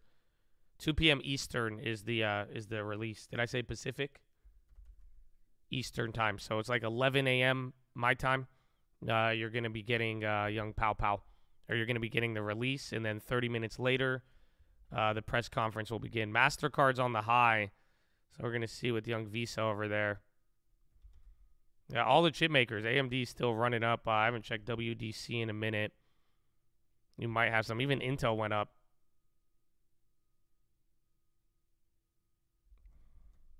Peloton. Peloton, they pump, bro. CEO was pumping it. He was just saying we're gonna have positive free cash flow we are no longer going extinct. No. No, it's real, bro. Chattadonia. Oh, on Powell Day. How do you feel, ladies and gentlemen, boys and girls? You better get your ass up. Bradley Frizzle and the Peaches here. We waited for it. Oh my gosh. Happy Powell Day. Happy February 1st. Like the video. Horna. Oh my gosh, stand up. Peach Nation, stand up right now. Are you kidding me? I'm up right now. I'm standing up. This is amazing. Oh my gosh. Wow. Wow. You thought the jobs report was surprising? That caught me off guard. Oh my gosh, Peach Nation. Wow, okay. Okay, you can be seated. If you feel feel free to continue the standing ovation. Oh my gosh. Oh my gosh, that's amazing. Oh, that's crazy. Spy coming down one more time. Mm.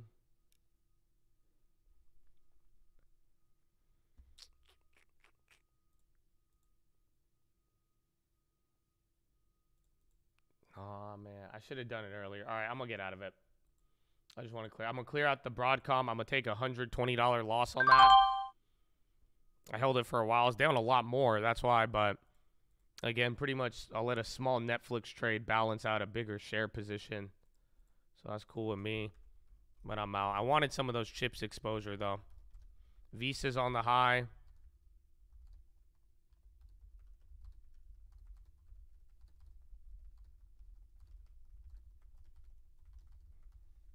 Maybe I bottom ticked it there for you. I hope I sell out in a rips if you hold so that you could get it because it was close to going green there. Yes, Tom Brady. Tom Brady is uh is retired.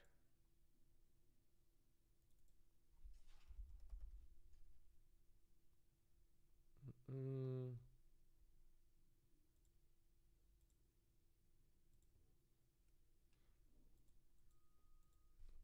Are you interested in shorting the market? I I have like a fucking NQ. I, I am interested in shorting the market. Uh, I just there's gonna be timing. So I plan to drop off the ES. I might hold the ES till after the release, because again, if if my theory is right, uh, we get popped off of the statement We've run up, and then Powell comes in and then destroys everybody. So if I pull this off, it could end up being uh, extremely profitable. And then I have a couple of other plays, but then I'm making sure uh, I don't have too much, and then we're just gonna start dancing around. Get the Baidu out the way. Still got the yen. How much time we have? 40 days on the yen. Got out of Broadcom with a loss, but make sure we uh, limited that one. Uh, ANET's down. I got that Dolby Digital. And then I need to get out of the Visa.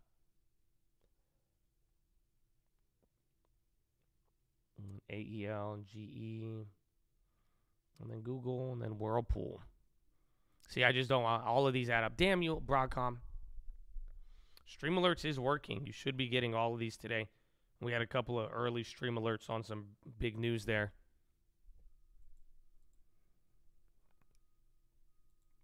Mm.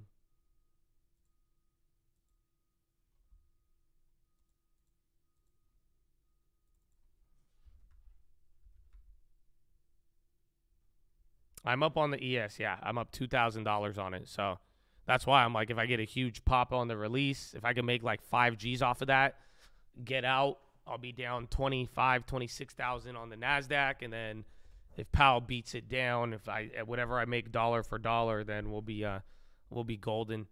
And then too, depending on what he says with the bonds, but the bonds are going to be at risk today uh, after Powell as well too.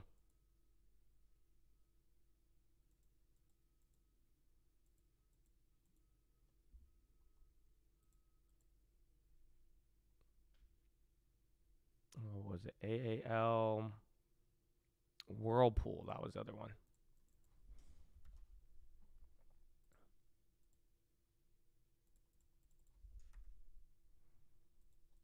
Timiraos tweet. Uh, uh, hot dog. I think we're gonna go if again if they change the language, if they change the language on the uh, on the statement, it's gonna be bullish. But it just all depends on Powell. But like like we said yesterday on the watch list, there's gonna be a couple of things uh, that are there. So yeah, Timiraos uh, commented on the jobs report. He said job openings rose to 11 million in December, sending the ratio of vacancies to unemployed to 1.92 from 1.74 and 1.81 a year ago. That's huge. That just that was the strongest job market indicator in a while, or at least it was way off from what people expected. But essentially, if Powell brings, if Powell addresses the odds of a soft landing that's going to be extremely bullish. But if Powell doubles down on housing and core services being bad, or he uses today's jobs report, anything of that nature could be very bearish. Or in a weird way, if they don't change the language at all, that could be bearish as well too. But it, it really just depends on kind of his attitude, more or less. Because like last time he was pretty sanguine. I don't know if you if you like. I listened to it yesterday, uh, but like Powell was very. Uh, he was very nice last time. The last couple of meetings, Powell was kind of like giddy. He really wasn't a, as a, as aggressive at all. So, in a weird way, you know, his tone and the in the choice of hawkish language, uh, that could really really decide it. So bullish till Powell. If if they change the statement, if the statement doesn't change, that's going to limit some of the bull after the release. But if they change the written statement and they change the, the literal all ongoing increases, if they change those three words and alter them in any way, it's going to be a fat bull candle. Uh, and then we're going to go from there. And then when once Powell talks, nine minutes, it'll take him nine to 10 minutes uh, to go through pre written statements. And then give it another five minutes till the first couple candles. And then then we'll, we'll see which question sparks it off. But then again, if he brings up employment, he could bring up employment negatively, but if he discusses wages not going up, the market's going to love it.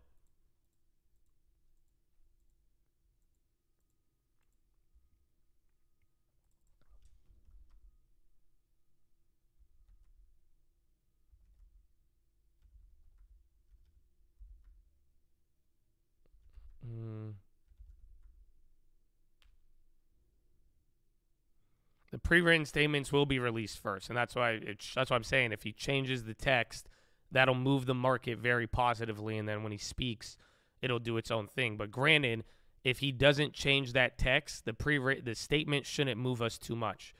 Uh, only time we moved uh, huge on the statement was because there was the summary of economic projections.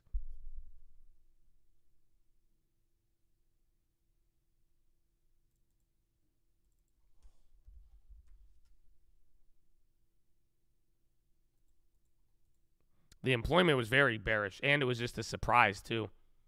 I don't think any nobody again. It was it was multiple standard deviations above what anybody expected.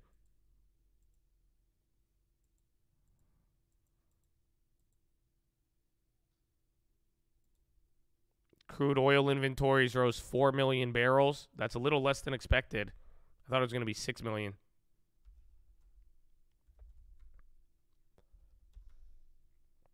Oh yeah, Humana's in meltdown mode. Did they report this morning or did they do they have earnings tonight?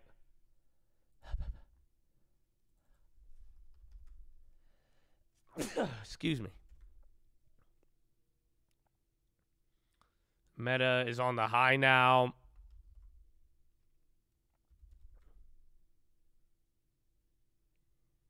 Why is there no employment news on CNBC? Because they hate you.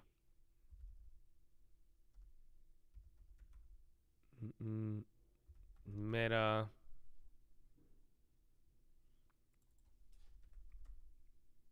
Nvidia.com.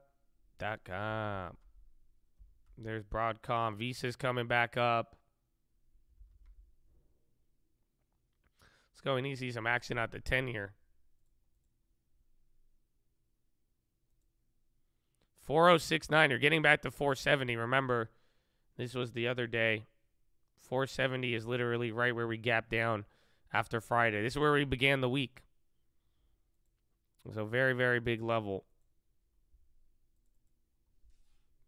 I know buy two is crazy. GG if you got that one though. I'm glad. That was nice. It moves a lot, so to walk away with a nice profit, not too bad.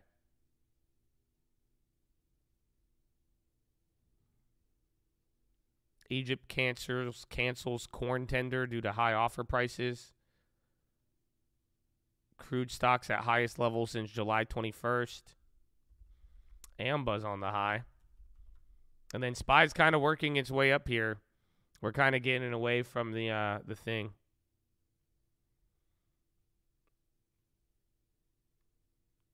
Uber try don't give up 31. It needs 31, bro. That's a golden level for him. Tesla pop again, yeah. Right at the same level. Meta man. He's going. Even googly. Mm, Snap's holding 10 bucks. Oil moving. AMD and Nvidia still, they're killing it. Revenge trade Rob is averaging down on 103 TLTs. I like that one. Revenge trade Ron. Rob.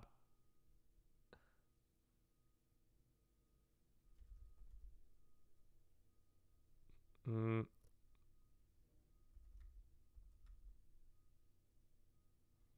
Cardinal Health on the high.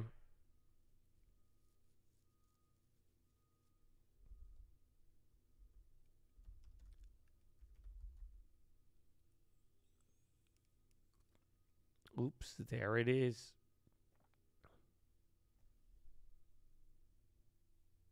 Eric, welcome, my friend. Yes, Intel is still climbing. All of them, man. All the chip makers. That's why it's like I wanted to hold the Broadcom. I probably should have there. I could have at least went positive. But yeah, all the chip makers are just running. Again, even Intel. Intel's back above earnings. I shorted it at like 28.30 or something. Yeah, the yen is doing very, very well here. That's what I was looking at. I wanted again. That's going to be very, very critical here uh, during today. Yen, yen, and bonds and dollar. Just don't forget their importance. And uh, you know, Powell might remind us of that. Good morning, stock trader. How you feeling, man? You feeling good? Even Snap, bro. I feel, you know, Snap could have been a lot worse. Well, it was, it was good. That was the smallest one. Hmm. Qualcomm. I think with all these chip earnings, though, I mean, we should be able to get one one bad one, but I'm gonna I'm gonna average down at 150 on Qualcomm.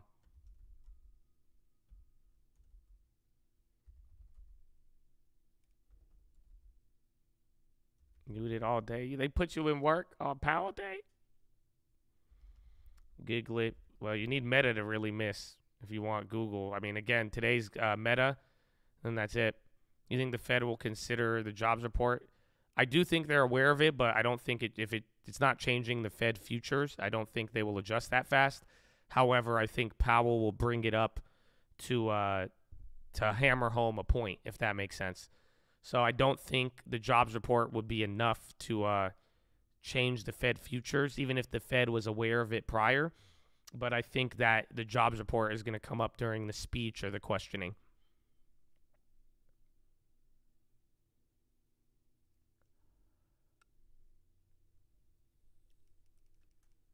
AMD again. AMD.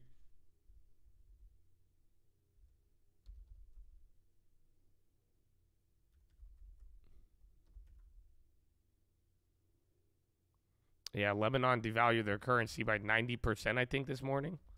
It's always a good sign.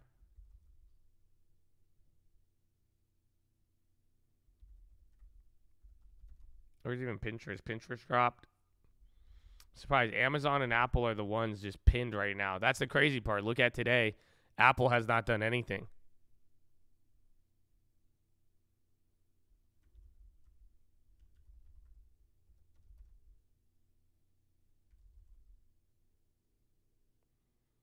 AMD 8%. Some Lebanon fool.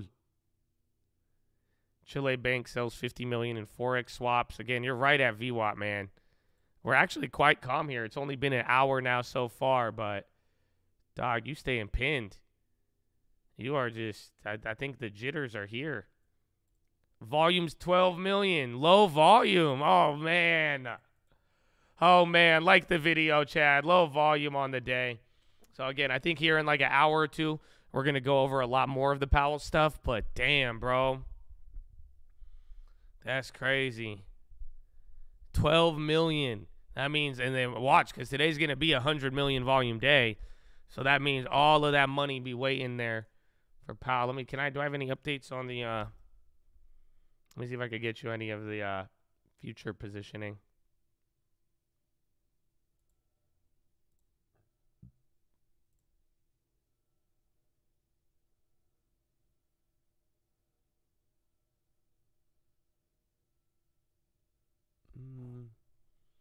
I didn't save. I don't know if this is updated or not, but it looks like again more short covering today. This could be delayed.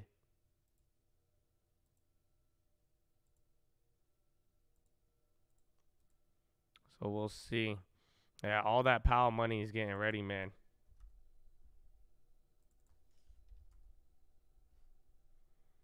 Neutral moves on low volume. We are going to see again. It just there's there's a little there's a couple of uncertainties you know, just be careful not to make up your mind too soon. You know, like I have an idea and I have a theory, but just like last time too, uh, you know, like last I brought up them changing the language at the last meeting, they didn't. So we're really, really to see here. You know, people might get surprised or disappointed, and then we're we're to find out. But even like last meeting, a lot is up there. Microsoft to include Chat GPT and Bing in the coming weeks.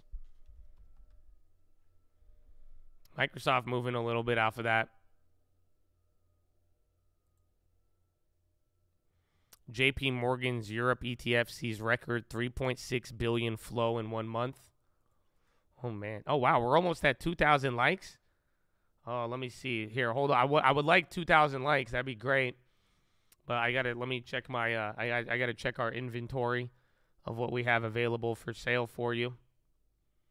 Mm-mm-mm. Let me see what I got. Uh, I had one thing. I'm blanking on it though.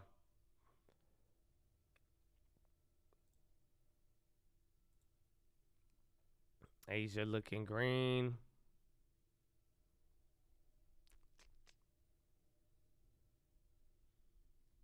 Yeah, man. I I really I don't I don't really have anything here today all the inventory. I mean, unless you're interested in like China missing growth targets, which I doubt you. It's not. It's not as exciting. Microsoft's popping off of that Bing news. Chat GPT Bing news again, a couple minutes ago.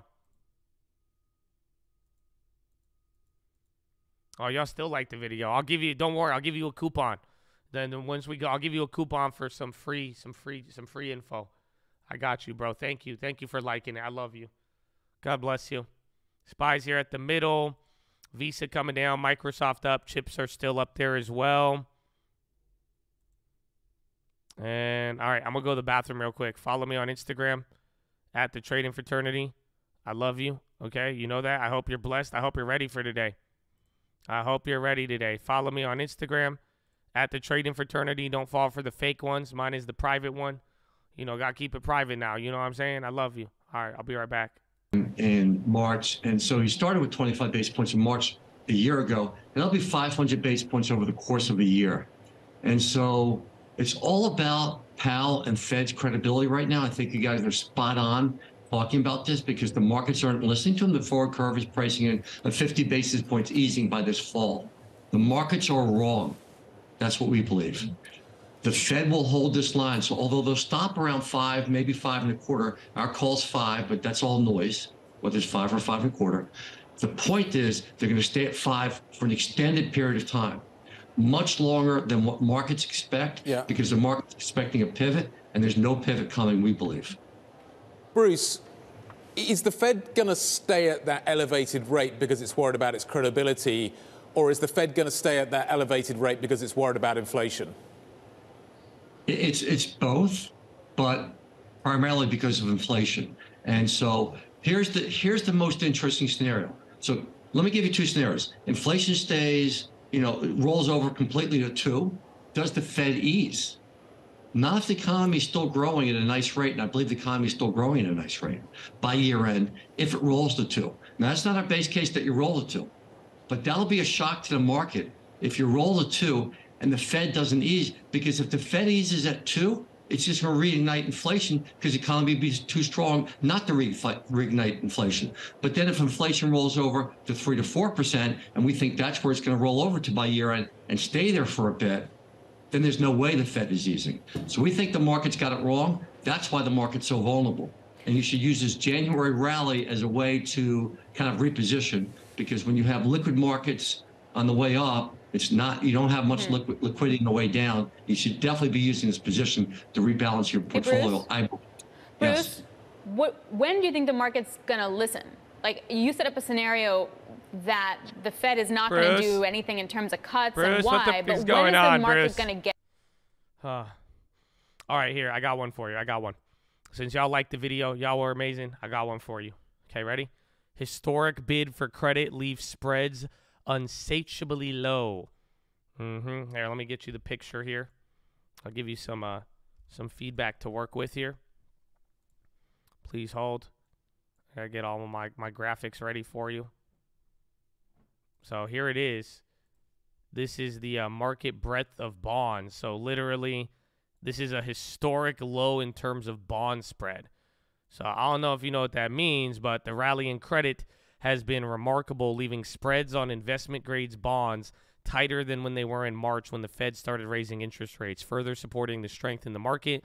U.S. high grade bond sales surged to a record on Tuesday, and data going back to 2005. IG total spreads uh, totaled 4%. It's the best start to the year since 1975. Junk bonds have also fared impressively, with returns increasing, uh, exceeding 3.8.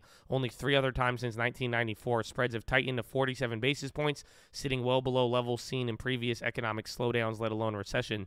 As the Fed nears the end of tightening later this year, the bid for investment grade made sense, particularly in earnings trade deteriorate as the economy is poised to slow, something that makes junk bonds less appealing. Nonetheless, the moves have been front run aggressively and have been confounding in the junk space. Uh, the Fed will likely have say things to say about the market's confidence about easier policy ahead. Credit is the one that will be riskier today, aka bonds might move more than stocks today. Believe it or not. Bruce, Bruce. Gold should be if they cut rates. Uh, I don't know about 3K, but gold will have a nice rally. It may take it some time. I don't think it's a bad idea uh, for bonds. Oh, whoa, whoa, whoa, whoa! You're moving now. Hold up. No news on this one, but we are still dealing. Again, you're getting to the lows of the uh, the jobs data there. A lot of things are dropping now. See if big tech starts to go down. All you really need is the chips. If the chips start dropping, then there you go. Yeah, Microsoft had the. I mean, it makes sense on the Chat GPT. I was thinking about it there. I guess now because if you could use Bing and you don't have to like sign up for OpenAI and all of that, it could be quite interesting. Boeing, I think, is going to come down eventually, but right now it's looking like he's partnered up with Ronald McDonald's to beat beat beat my face off. That sounds kind of weird, but yeah, I'm I'm just I'm traumatized. My dog's name is Bruce. What a human name for a dog. My dog's name is Bruce. He files his taxes every year. Uh, he just got a job recently, and Bruce is also saving for his 401k. That's a human ass dog you got there, sir. Bruce. Bruce. What a name. My dog's name is Leonard. What is he, your butler? That's crazy. Your dog's name is Justin. That's a very human name. I've never met a dog named Justin. I feel like your dog has a Tinder profile or something.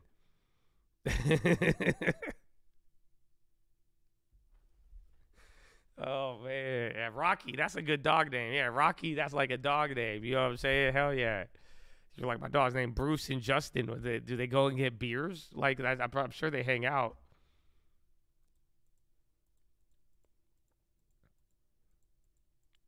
Cornelius.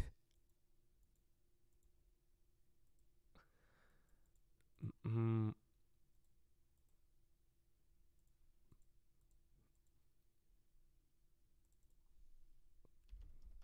You want to name your kids that? I'm gonna just name my kids something ridiculous so that they, so that they have to work hard in life. You know, I'm gonna name my kid like Ashwagandha or something. Ashwagandha. I'm gonna name him after just some random shit. I'm gonna name him like chorizo. They're like, your dad names you chorizo. I say, yeah. I'm a great breakfast alternative in the morning. You know, make him work hard.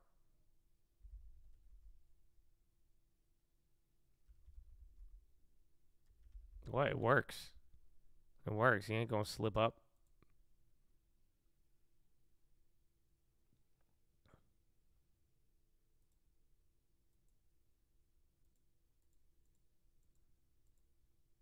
we'll name him Huevos Rancheros. If Fed stays aggressive, do you think stocks are overvalued? It depends how aggressive for how long if they have the ability to. That's the problem here because a lot of this is also in the future. You know, again, that's where it's like, bro, they're they're doing it. China and Hong Kong to scrap COVID testing and quota system for border. So you think that would be good news? That just hit a couple minutes ago or a couple seconds ago.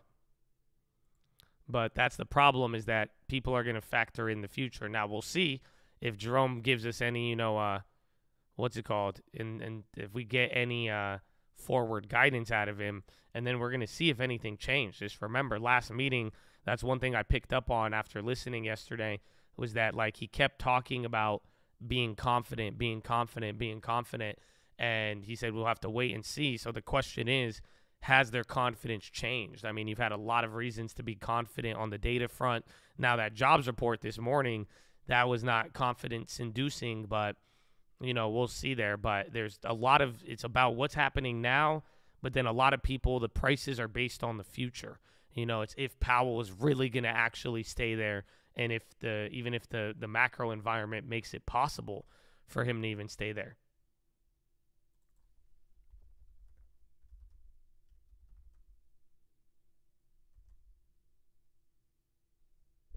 Mm.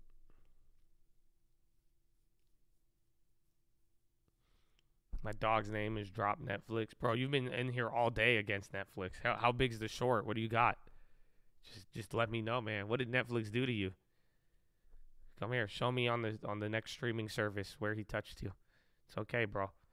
Just tell him what's the short, bro. Just let me know, man. That's crazy. I thought I thought it was a funny joke. I was like, if you named your kid Netflix, that'd be funny.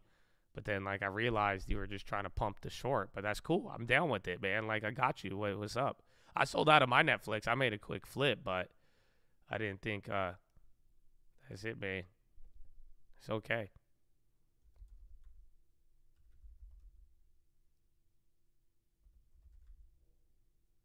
Another Chicle there, brand new low. 40 60 now. So new low of the day. Watch 40 58, but I mean, technically speaking, you go all the way down to 40 49. No one's going to even panic. So you could drop a lot here uh, without any, any real reaction. So it might just widen up the range for Pow Pow.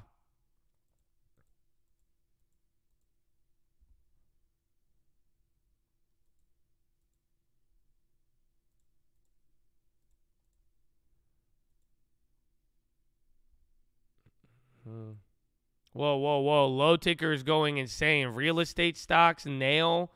Hold on. You're not seeing it on this spy, but the low ticker is moving fast. Yo, something, something's hitting right now. I don't know if it'll be news more so than emotion, but you got some, bro. The low ticker just spazzed out there. A little Dumpington. So 40 58, literally, you've already dropped like what, five, six points here in the last minute or two, but the low ticker is getting pretty, pretty nuts there. PayPal flipped.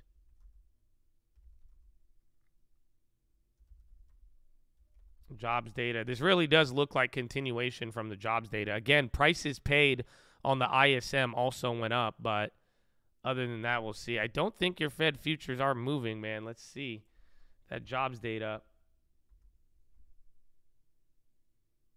No, Fed futures are solid though. So that would be like the only anomaly if that actually moved it, but you haven't really got anything. 40, 50, yeah, there, dude. The dump's getting bigger there again. I saw it on the on the on the what's it called? I saw it on the low ticker before the equities. A lot of things just took individual dumps right there. Even Apple now, Amazon, and the rest of the club. Netflix is still holding. Again, if those chip makers give up, that's going to hurt a lot. Is it oil? I saw nail and real estate stocks also getting dumped on. Again, lowest on the day right now is energy, consumer discretionary materials, and then uh, real estate. Healthcare is the best, and tech is number two, believe it or not.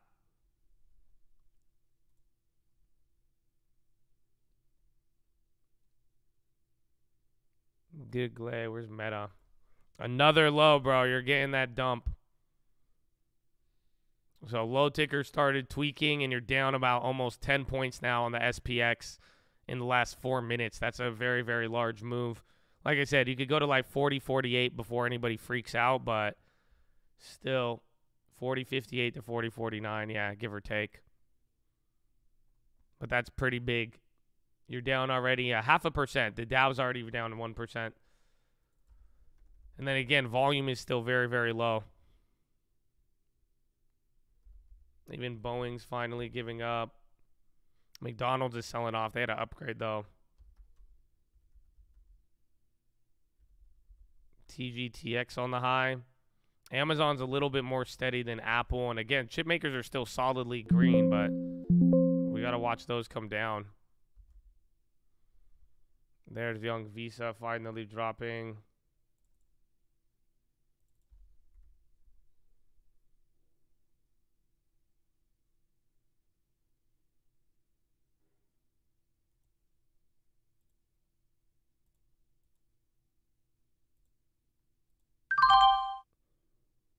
All right, I closed out a Visa, fifteen dollar profit.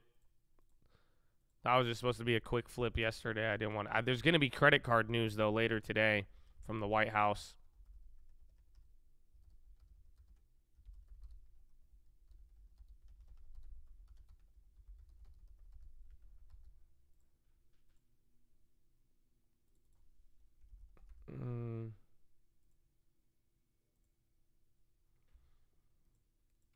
Yeah, young Visa man, he's out.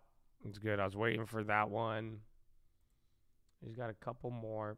I already closed Broadcom. No more Baidus. No more Visas. Be.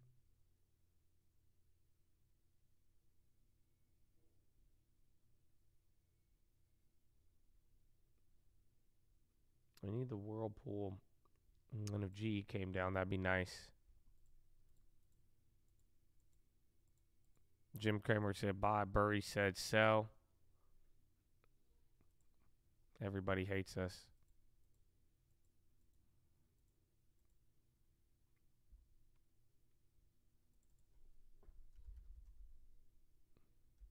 The White House, they announced, they said plans of it, but they didn't announce it, announce it, if that makes sense. So they said there's talks of it, but we're going to get the official breakdown of it all. So you got a little mini bounce there, though. This could continue quite the violent downtrend. That was almost 10 points there, just under in about four minutes. Little bounce here. Again, you're near the highs of yesterday. You would really neutralize yesterday at like 40, 44.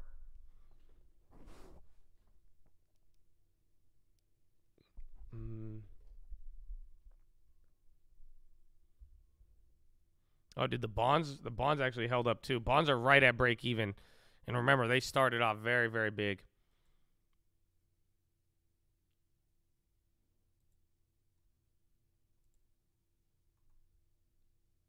Uh, talks about the they're gonna like lower the amount credit card companies can charge on late fees.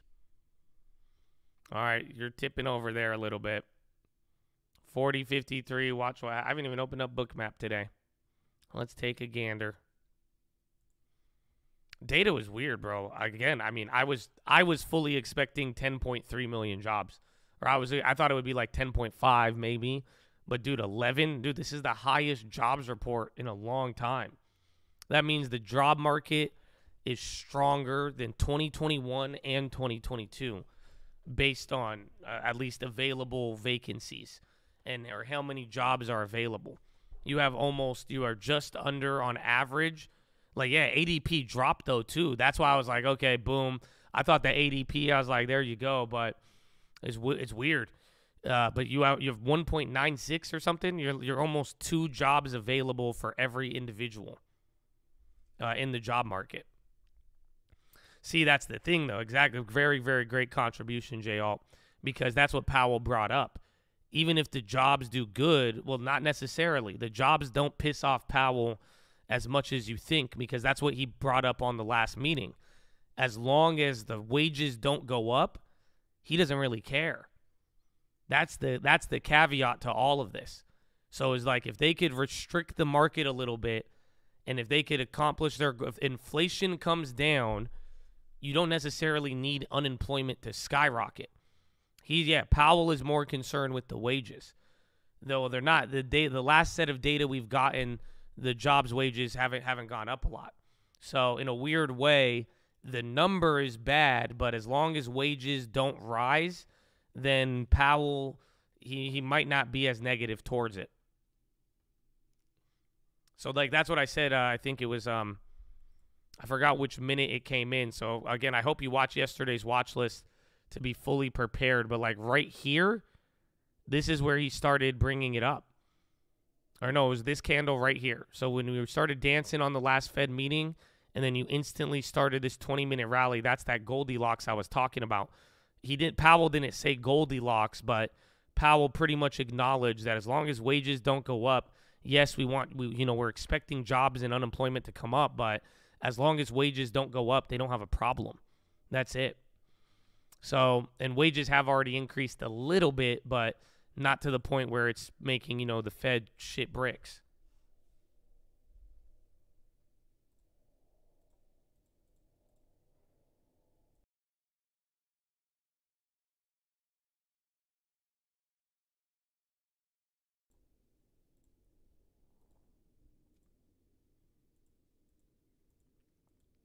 Mm.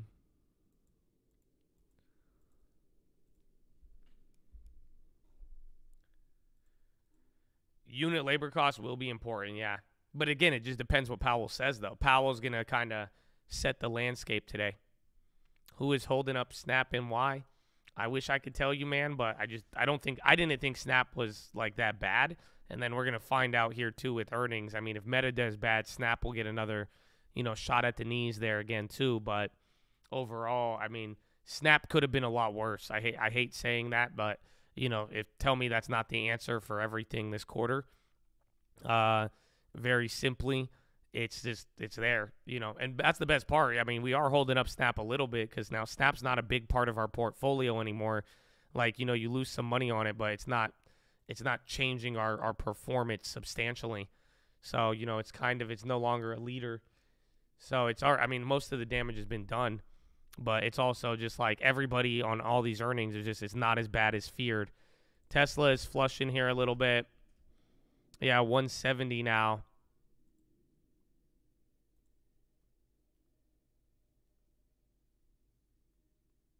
Google's coming down here.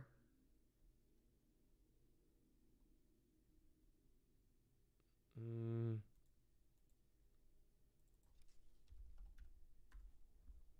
Where's the meta? Now, meta's barely down, though.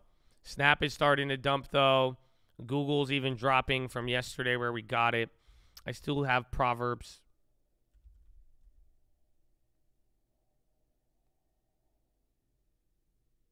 The Jolts was super bearish, I would say. It was, and it was both the data itself and the fact that it surprised. That was your first real analyst miss in a while or expectational miss in a while. I would I would buy more Snap if it went down to like six or seven dollars. I, I wouldn't, you know, again if it assuming these earnings and that growth where pretty much if they could cut expensive expenses and still make a billion dollars, I'll buy Snapchat at five bucks, six bucks, seven dollars, anything really below. But it's not. It also depends on what is up though. So, like if Meta and all these other names come down, if Amazon comes down to eighty bucks and Snap is at six dollars, I'm gonna buy Amazon instead of Snap. Uh, you know what I'm saying? So it's just like that's really uh what what what matters there. It's all about its relative value, uh, more or less. So Snap, I you know again, it's it's just not it's not as important as it once was. It's not as even important in our portfolio, uh, given the size of it. But it's just like it really depends where everything is at. Redfin's dropping. A lot of names are starting to come down now. HBI holding. Good guy. Good guy. Amazon started to slip there. Is it better to clap the market for future economy? I, I would argue it is, but also it just kind of safer. Uh, you could limit damage because, like, let's let's say things are good, right? Let's say things actually got better, that the market rallies up another 10, 15 percent, and then something else bad happens. People will be very vulnerable in that sense. So it just it just depends. Uh, it's hard to say, but for the most part, I, I do think Powell is doing a good job at biding his time. Because in a weird way, the longer you could keep this shit chugging along, I mean, the better. You know, it's like if you know your car's about to break down, if you could get as far as you can without, you know, blowing a gasket, I mean, you want to go as far as you can. you know what I'm saying? So it's like running out of gas pretty much, like push it till it really turns empty. And I think Powell's doing a good job at that, but you know, just hopefully people don't add too much weight in the vehicle.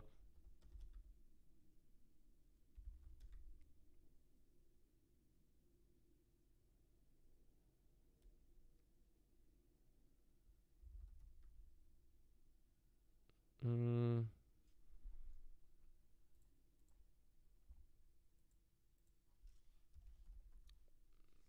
ETH is relatively stable today. Bonds are tweaking. The yen. The yen could be leading the bond market, though. That's the thing. If after the Fed meeting, bro, if, if after the Fed meeting, if it somehow creates a bullish reaction for the bonds there, they're going to rip.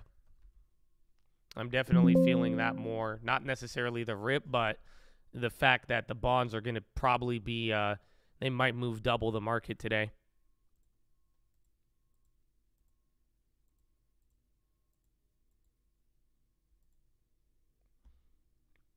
I have a bunch of shorts on like random companies. I also have a couple of upside on value plays that are underperforming. Uh, I got the yen long, ES long, uh, very negative on an NQ short, and then bonds long.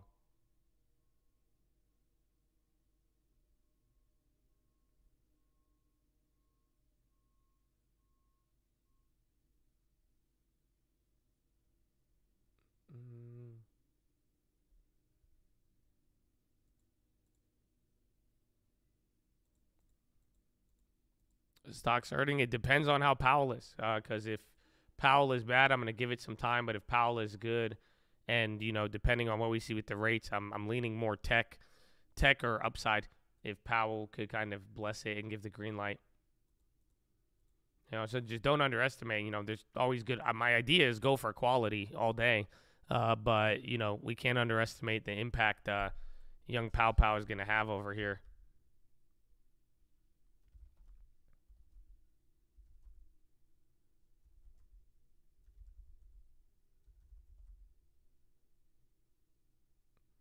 Look for the magenta dot. My thoughts on Cathie Wood. Uh, just, I mean, I've never, I was never a fan. I mean, it's cool that she prays and all. Uh, that's like, that's, I don't know, like, that's the part I like about her. But other than that, even in 2020, 2021, everybody was like, should I go buy ARK? I had people asking me to put ARK in a 401k and to put it into their IRAs. And I just said, that's not really a good idea. Uh, that's it. Does she? Yeah, she pray. Apparently, her and Billy Hwang would have Bible meetings in the morning. I don't. I don't say that proudly, but you know. Then, but then again, I've I've often been you know very aware of the hypocrisy. So you know, hence my my individual kind of different beliefs that I hold. Uh, but yeah, her and Billy Hwang, the guy who blew up like fifty billion dollars.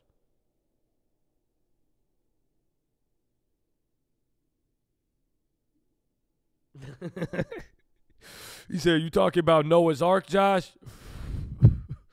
That's about you talking Noah's Ark, right? that was a good one. Deepak, let's go, baby. One stock market live membership. Hey man, Billy, I think he's living out in New Jersey now. He's living out in New Jersey now. He's living life.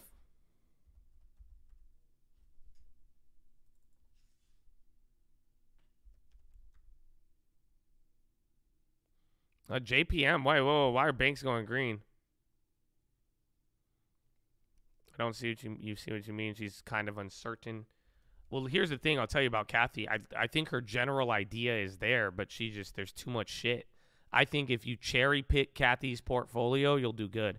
I think you should go like there's some deve- like there's some quote unquote disruptive names that she is invested in, and I think if you pick those out, you'll be great. Those are great additions for a small portion of your portfolio, but I wouldn't rely on all of those, and I wouldn't buy that many unprofitable names that are just you know hit or miss. Like she's like a, a private equity investor more or less. So like you know just like a PE fund where they're trying to you know throw out a hundred bets if one of them hits in a thousand X's, you know that's where they make their money on it. So, but I think if you if you cherry pick her portfolio, I, I think she has some good hits in there. But all of it as one and putting that much money and all that, I'm not I'm not a fan of that.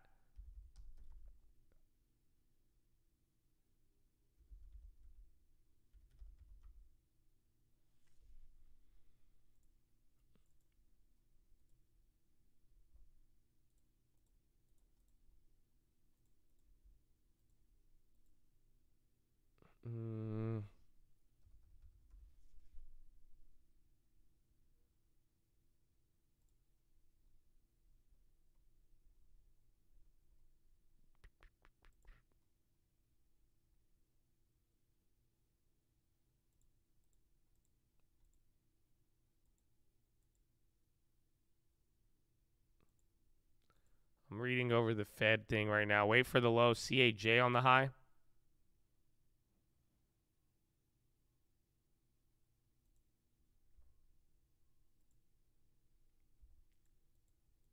Did I hear a thousand X? Yeah.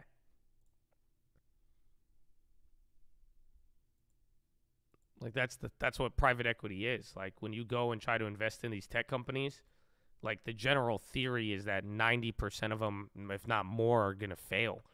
That's it. You're just giving money away to these disruptive technologies. You're you're assuming they're going to lose, but the one that hits, you're going to get the sickest return of your life. That's why SoftBank is still around. Like SoftBank, again, like they just threw their money out. You know, SoftBank invests in hundreds and thousands of companies. They only got like 20 or so that have hit really, really big, but the ones that hit have made billions of dollars. Oh, yeah, I'm thinking venture capital, excuse me. Yeah, venture capital, not necessarily private equity. But there is some PE firms are are like that.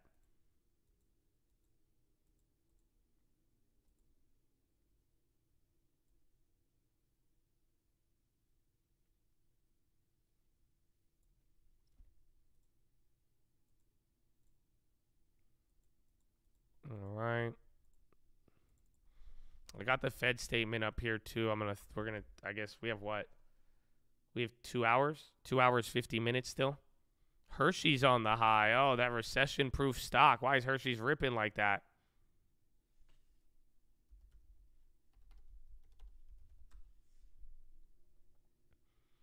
I don't see any news, but Hershey's is going up. That's a value name, surprisingly. I mean, Dow's the one leading the way down.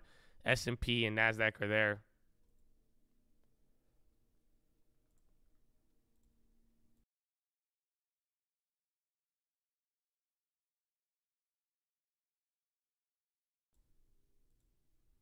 Tiger Cub Bible Club.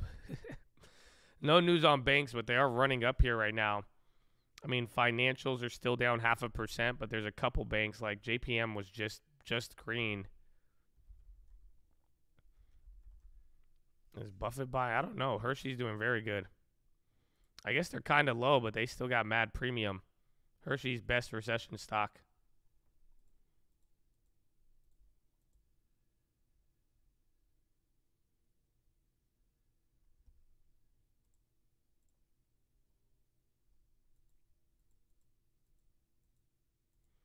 AMD raised to buy a New Street Research price target 38. What? Hold on, they've raised their price target, but it's $38. Okay. Mondelez reported good numbers. $38, yes. That's, I read that right. OPEC decides to keep output levels unchanged. Iraq oil ministry.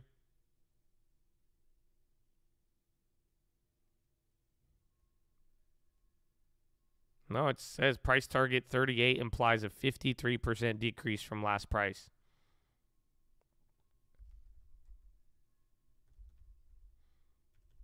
Yeah, but I mean, again, I've that's that one's weird because usually the analysts just bandwagon the move.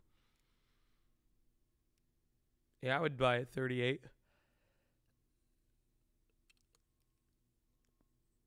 People stuff their faces when chocolates when they're depressed. Well, that's part of it. It's like kind of like, you know, people will buy $1 chocolate, you know what I'm saying? But the real thing why Hershey's is such a great uh, recession company is because they actually return capital.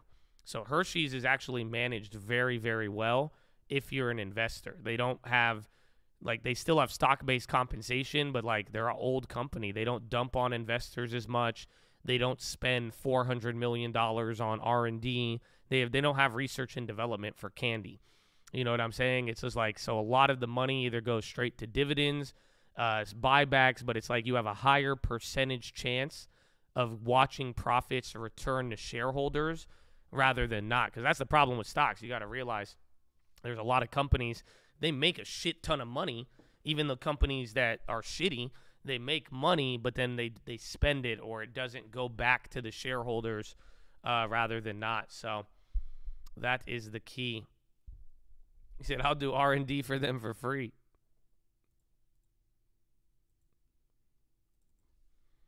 Google it. Google it at the low.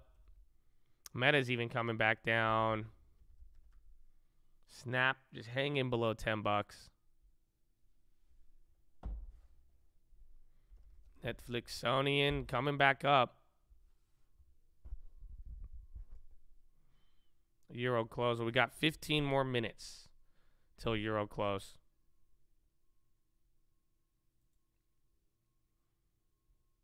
Thomas Greenfield working with partners to provide food amid war.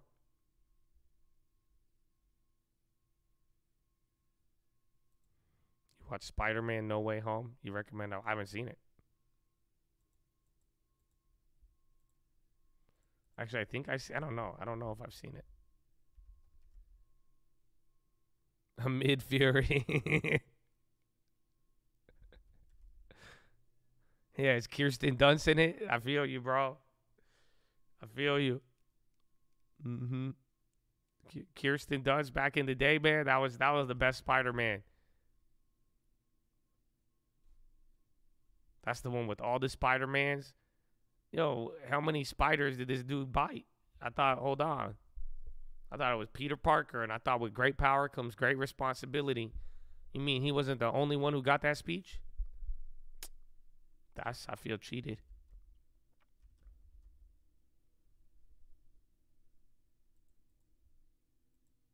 Mm.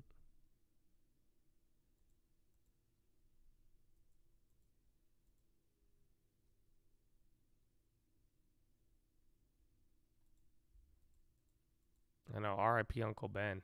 Good guy, man. Good guy.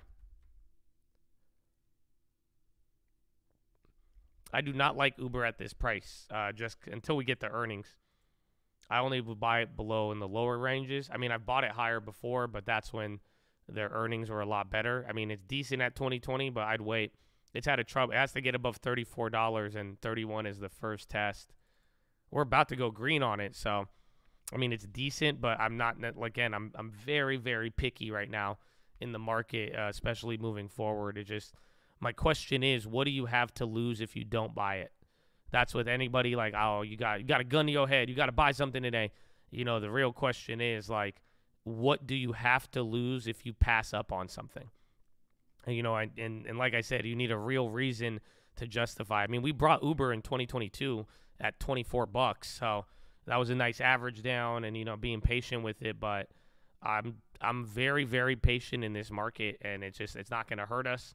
And if you use patience and you get all it takes is one era of being patient, scooping up, you know, some nice one or two nice pickups, and then that will balance out everything for you, and, and you can't wait. But you have to really ask yourself what has changed to justify paying a higher price than just uh, a couple days or, or weeks ago.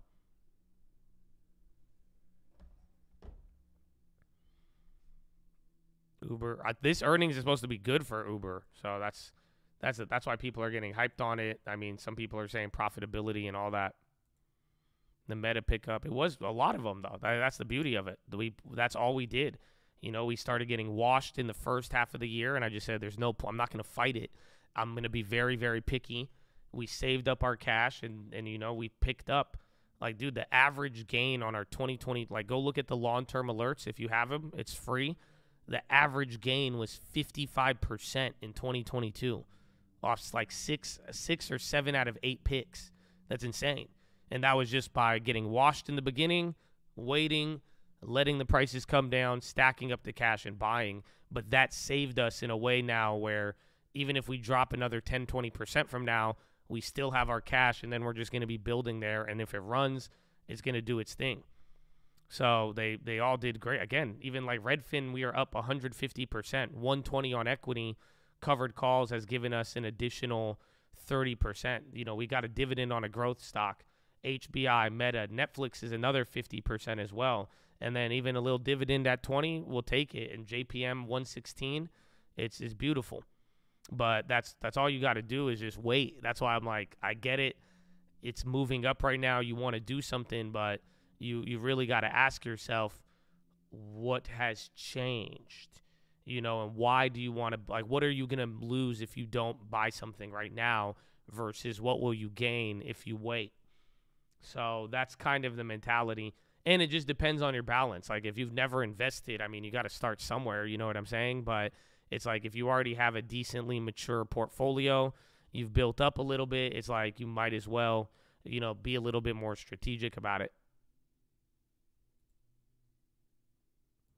Cognizant reports today. I like cash secure puts, but I, I like I'm I'm a bigger fan of my my flexibility, uh, freedom. You see what I'm saying? So that's like whether it's covered calls, cash secured puts. I just I like the ability to be free, you know, and that's like that's what because I would have sold covered, I would have sold cash secured puts on Netflix, and I wouldn't have gotten the, the price that I got on it. Or Meta, I would have probably sold, you know, when Meta first came down to 130. You know what I'm saying? I probably would have sold cash secure puts at like 100 or 110, made a couple bucks, but then I wouldn't have had the freedom to really like scoop it up and watch the situation play out and then really, really get it at a deep discount. So I like the freedom more than the yield. If anything, I'm, I'm, I'm more of a fan of selling covered calls than than selling covered or cash secured puts. Uh, just because, like, even with Redfin, you know, we made 30% of our money on one covered call. That that's phenomenal. And then even Snapchat, we've made most of our money back on that. We've made half of our current market value off of a covered call on it. So, and then you get to own the equity, you get to wait, you burn enough time, you could keep doing it over and over again. But it does require some patience.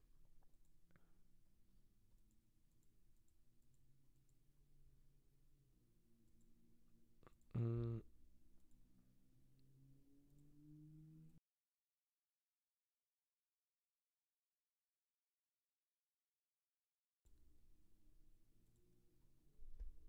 The FOMO is embedded deep. Well, that's why I tell you the best way to get rid of FOMO is have your balance and making sure you actually get little exposure, but do it at the right time. But that's the whole point. Like, that's it. FOMO is very controllable when you have the long term in the background. It's very controllable when all you if you make just one good purchase, that you're you're not going to feel like you're missing out as much. But you definitely, you know, the biggest mistake people have is they sell when it's low and they buy when it's high. That's that's it. It's just the age old age old stock market shit. You know, sounds easy, right? But that that is the real question.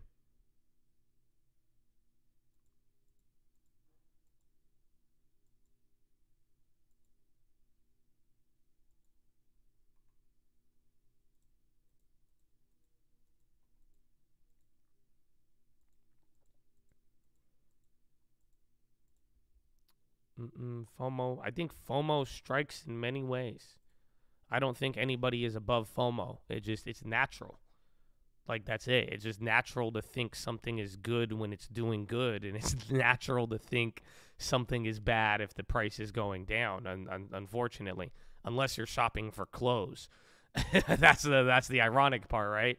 You see a jacket, you're like, oh wow, four hundred dollars for a jacket.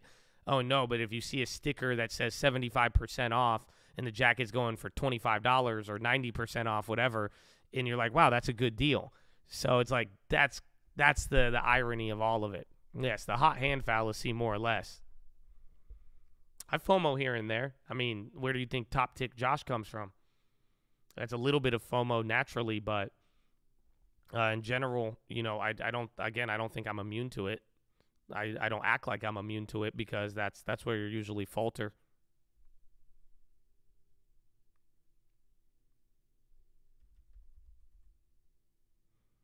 Longer you're in the game, the more you realize what's cheap and what's overpriced. And the longer you plan to be in the game, you know it'll come down eventually. That's the irony of all of it. It's just like I always, you know, eventually, you know, meta was going to come down, but you know you'll be able to get it at a certain price, but it may take one month, it may take five years. That that's all it comes down to.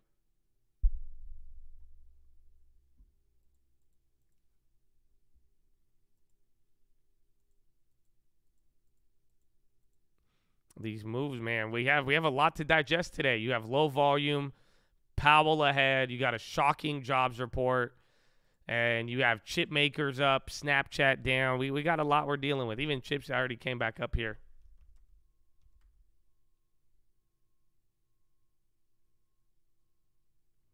You buy back any stocks? No, since they all went up. That's why I'm like, I'm not gonna take the tax loss and then buy back in at a higher price, and then if it comes back down, it'll it'll kind of erase any benefit. It sucks because if it keeps shooting up, I'll miss out. But I'm not gonna. It just doesn't. It doesn't seem logical to me. Uh, it seems at that point, like I'm like, why would I like why would I do that?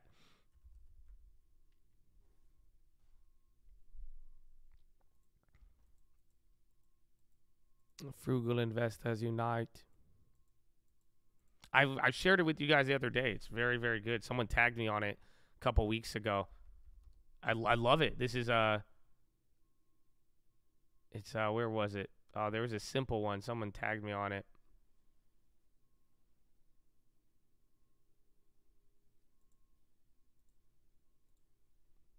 Let me see if I can find it. There it is. Shout out Be Like Mike. He tweeted me this. How can you be sure you are not the greater fool? Number one, do not blindly follow the herd, paying higher and higher prices for something without any good reason. Two, do your research and follow a plan. I think a lot of people underestimate this one because a plan goes a very, very long way. A very, very, very long way. Like part of it. Three, adopt a long term strategy for investments to avoid bubbles. And four, diversify your portfolio. I love this one. Which is very, very simple. You have a plan, you have a longer term strategy, the up you get to benefit off of bubbles, and then you don't break your plan to chase it and you diversify, you get a little bit of everything. When one does good, some will do bad. When the others do bad, some will do good. And that's it. Just logged in. Shout out Baidu. GG, baby. GG.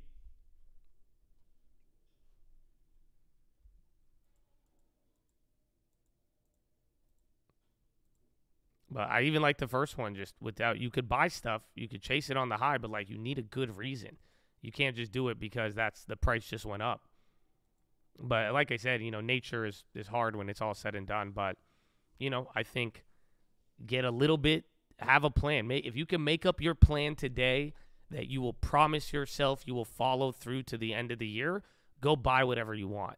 You know what I'm saying? But like you need a plan of a plan to purchase, a plan to deposit, a plan of the names you want and follow through with it because that no matter what, if you have a plan, that's what I'm saying, you got to start somewhere. But let's say you have a plan, even if you want to buy anything now, even if it's up 10, 20% on the last month, fact of the matter is if you have a plan to be purchasing it or whatever you're going to be, you, you got to follow through with it.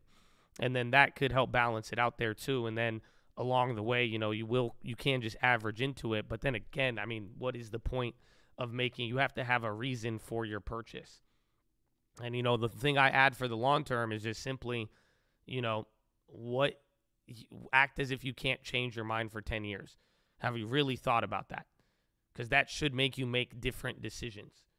If I told you every decision in your life, you couldn't change your mind for 10 years.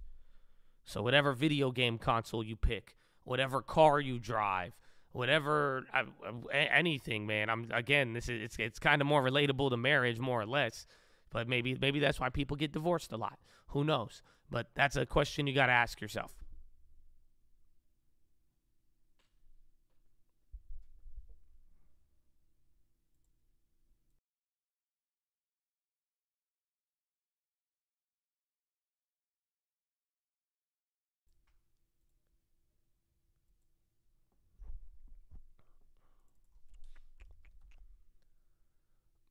Off the end. Yalla on the high.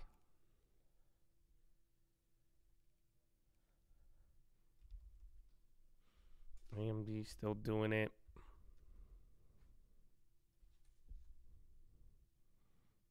see.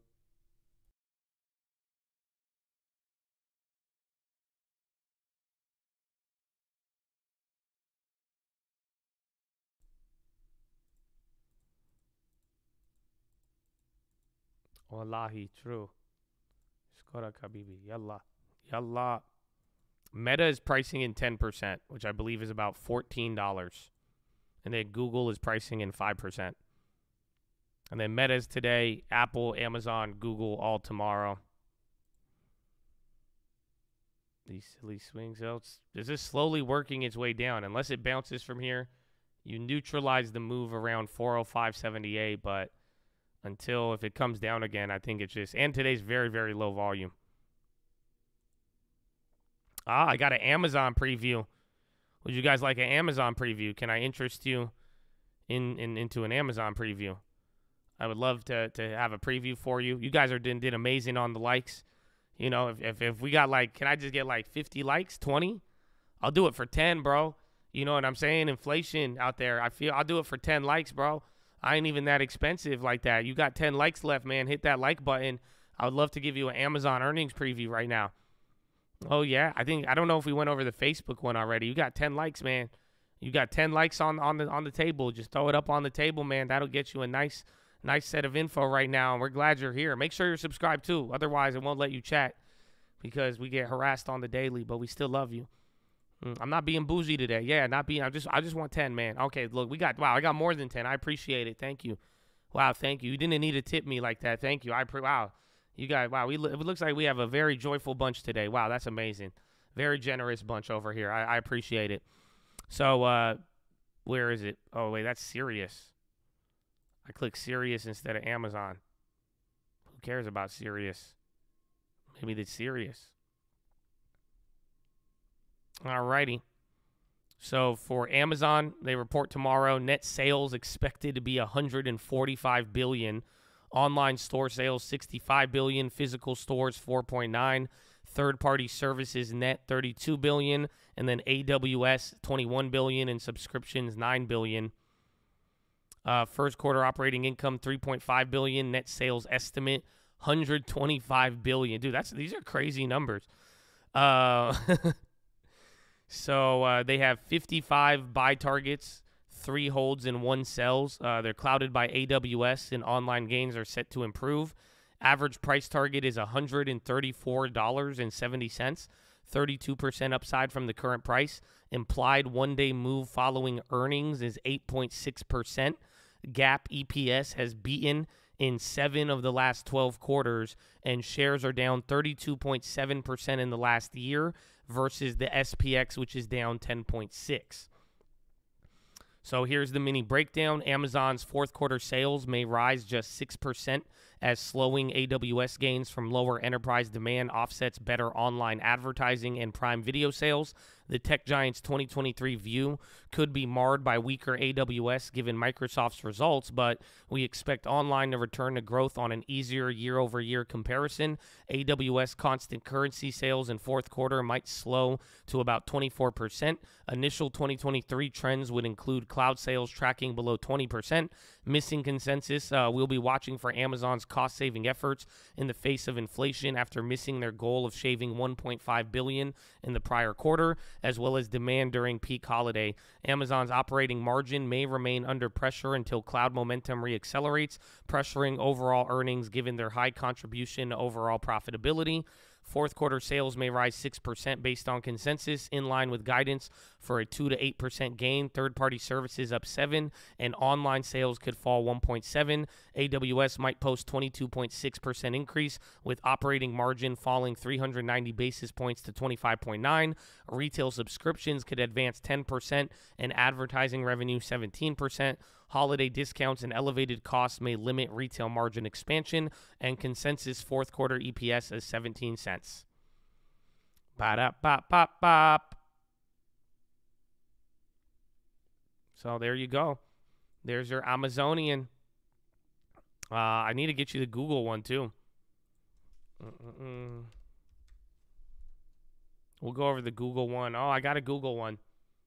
You know, since I've been I've been charging them cheap here, even though you tip me. Uh, it's company policy. I have to charge for these. Uh, but if you got if you got ten more likes, you know, if we we got ten lone likers out there, I could give you the Google report as well. The one we just covered was Amazon, which is tomorrow. Uh, Meta is today. I think we already went over Meta, uh, but we could do it again. If anything, so if you got ten more just sitting there, you know, 10, 10 likes. You know, again, it's company policy. Even though your generous tips there, uh, it was always accepted. So. So we appreciate your guys' business here at the Stock Market Live. Thank you for participating. I hope you're ready for Jerome Powell. We're going to have all of that ready for you. Mm-hmm. Yeah, get it moving. They're getting it moving there. I, I really appreciate it. It's good. It's very, very good. Thank you. Thank you so much. All right, we got it. We got it just like that. FedEx. I saw it on the high ticker. I didn't click on it though. Oh yeah. FedEx going crazy. FedEx eliminating number of positions across across global enterprises. They're reducing size of officer and director team by more than 10%. That's pretty big. And then remember, you're coming off of UPS uh, earnings.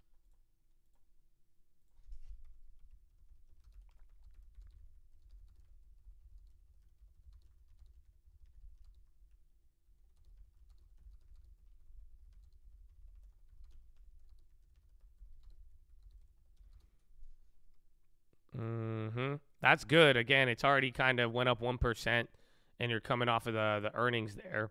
Again, they don't report till March, so keep that in mind. FedEx has already had earnings. You're just feeding off of UPS there. Let's see. I don't know the total size. Some segments look to be 10%. So they're cutting jobs by more than 10%. Subramaniam staff cuts in employee memo, eliminating number of positions.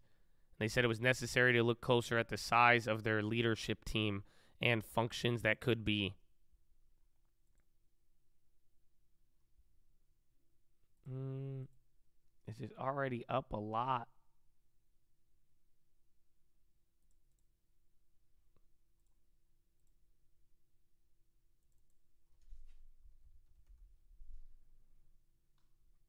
Yeah, another set of news is hitting on it. Mm. Damn it. I'm going to try to do it quick. Top tick Josh back in full effect.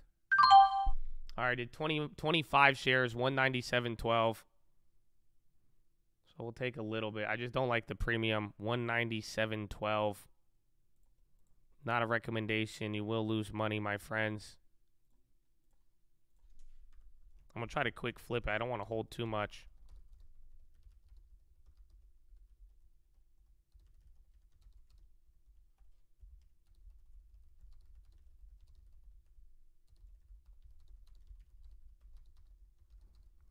Yeah, it's hitting a couple other places again, and 10% is huge for a company like FedEx. That's why I'm hoping it has a little bit more juice, but we did miss out three bucks right there. Uh, FedEx, FDX. Susquehanna raises uh, UPS's price target.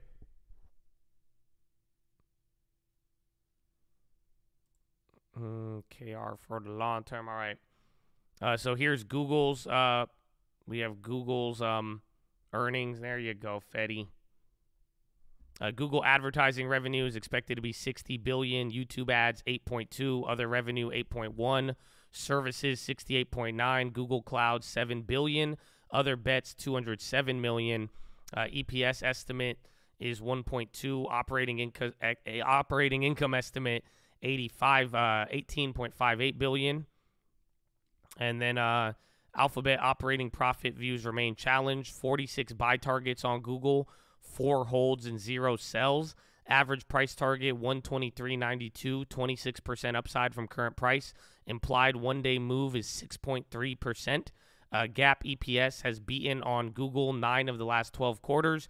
Shares are down 28% in the past year versus SPX, which is down 10.6. And here is the breakdown. Alphabet's ad pricing likely held up better than digital ad rivals, but operating profit may remain pressured amid decelerating top line growth. Cloud segment profitability could reach an inflection point in 2023, with the company likely to show improved cost discipline. YouTube sales gains may improve with new exclusive rights to live sports, including the recent addition of NFL Sunday Ticket Package. An uptick in YouTube Premium and TV subscribers could top expectations in Google's other segment, and even as growth may decline to low single digits in YouTube's ad segment. Uh, consensus may come down for Alphabet's core search ad business in first half. Uh, the company may reduce capital spending intensity to about the mid to high single digits from 12 to 15 percent the past three years to bolster free cash flow. Core ad business deceleration could pressure operating margin. YouTube sales may grow with NFL Sunday Ticket. Cloud segment could reach inflection point, and then capital spending intensity may decrease, bolster to free cash flow. Mm-mm-mm. Oh, God bless you, Grizzly. Thank you, my friend.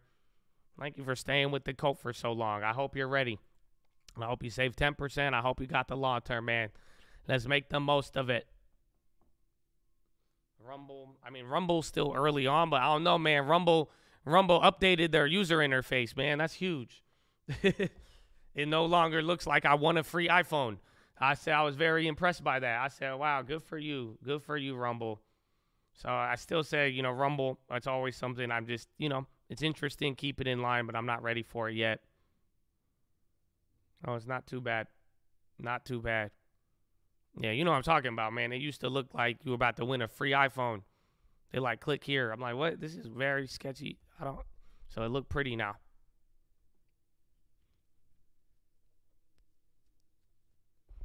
Who's winning the Super Bowl? Word on the street, it's the Eagles. I'm not even an Eagles fan, but I think it's going to be the Eagles based on some time traveler.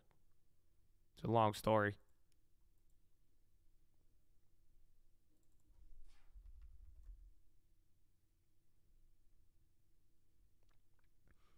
Rum is where it at. I, I think it has potential, but I just we should definitely learn from the last couple of years. You don't want to invest in these companies too early until they prove themselves. And if, even if there's a lot of hype behind it and everything else, you know, you just gotta you, you just gotta be wise about it. You could put a little bit in, but it's just like remember, it's your money. So I think they're definitely a compelling concept, and I see the value. But uh, like I said, it, it just I think it still has a long way to go to confirm that it's going to have that upside and safety that that really you want in an investment.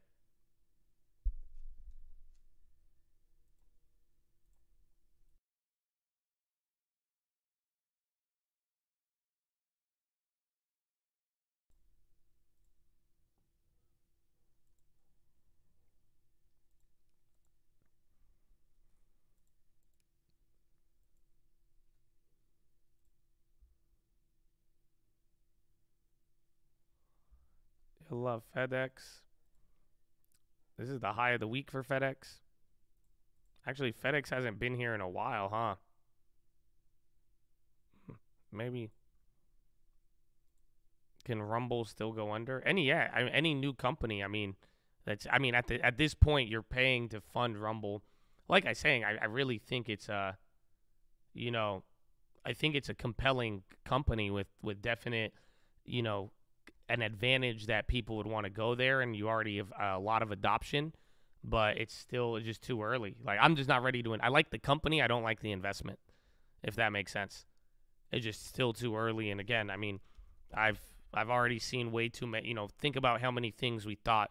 You know, just don't pull a Mark Zuckerberg is what I'm trying to tell you. Don't throw your money into an idea until it proves itself. That's that's all it's going to come down to. I'd rather buy Rumble at fifty dollars after confirmation than six dollars with no confirmation. That's that's the way I look at it.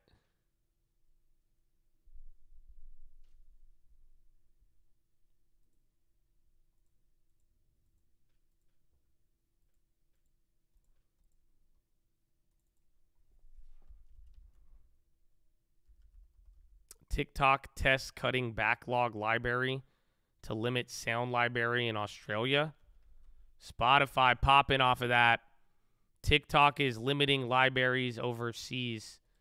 Australia there again. And then Spotify's coming off good earnings.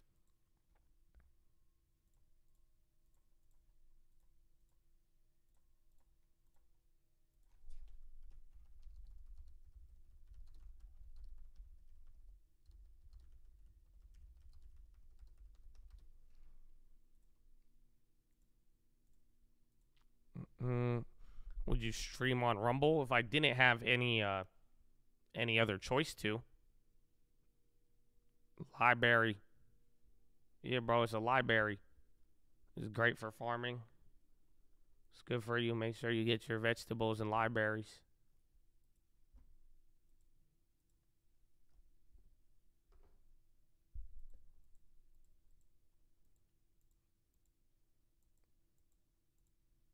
Does Rumble pay? I don't know. I don't know. I just the only benefit of Rumble is that you could just say whatever you want and not get, you know, there whereas like YouTube you have a lot of constraints and then, you know, just other stuff with algorithms and all of that. So there's a reason for Rumble to be around, but and I'm surprised they got their own web hosting and they've they've survived as long as they have, but there's just there's a lot to it.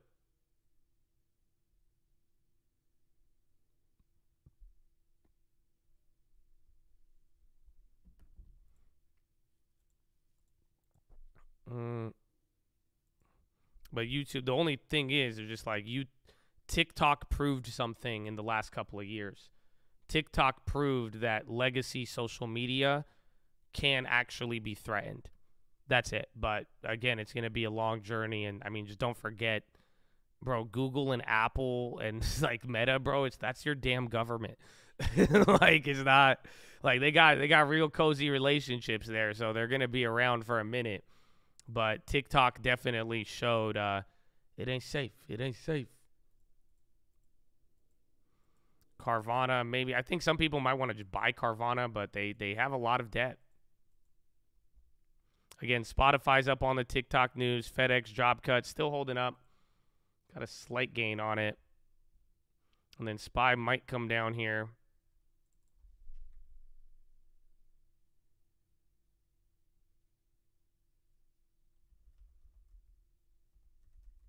Twitter will buy Rumble? No. I think Elon will just make Rumble Twitter in the sense of all he has to do is just make a video side and then not ban people. I mean, you see what Elon posts, so that's actually Twitter's a threat to Rumble, believe it or not.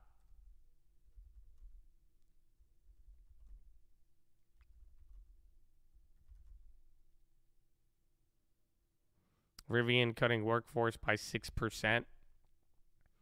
Rivian, Bob? No. Rivian's down a lot, 4.9. Again, 40, 65, right below the 40, 70, man. That's crazy. We've stayed here all day. What time is it? You're, oh, yeah, we're past Euro close, too. Dude, 21, bro, volume is nothing.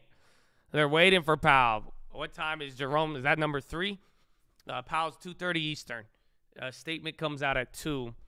Is it too early? We have two, we have what, two hours, 15 minutes till the release. Yeah, Rivian cutting workforce by six, not including hourly jobs. Boston Scientific coronary stents infringed patent. BTX patent infringement. Or wait, was it BSX? Yo, watch Boston Scientific again. They're coming off earnings. They said that there's coronary coronary stents infringe a patent jury says.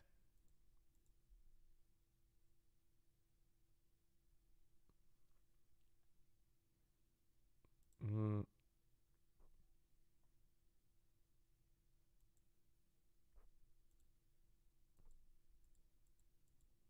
Rivian has not reduced prices, I don't think so. Actually, they did a couple months ago. Remember after they raised it, but then people got mad.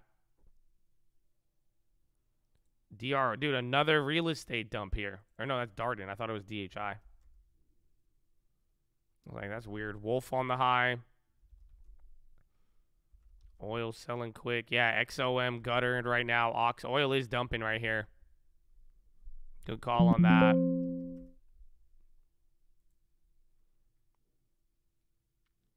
Mm, GoodRx doesn't agree with FTC's allegation. Apparently, there's a problem with them. Spy coming down a little bit. Dude, Chipmaker's still holding.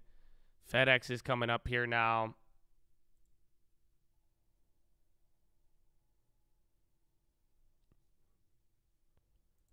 Airbus, Qatar Airways reach agreement on paint dispute.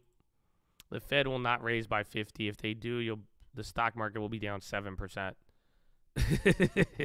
I I think you'll get a circuit breaker if they go by 50.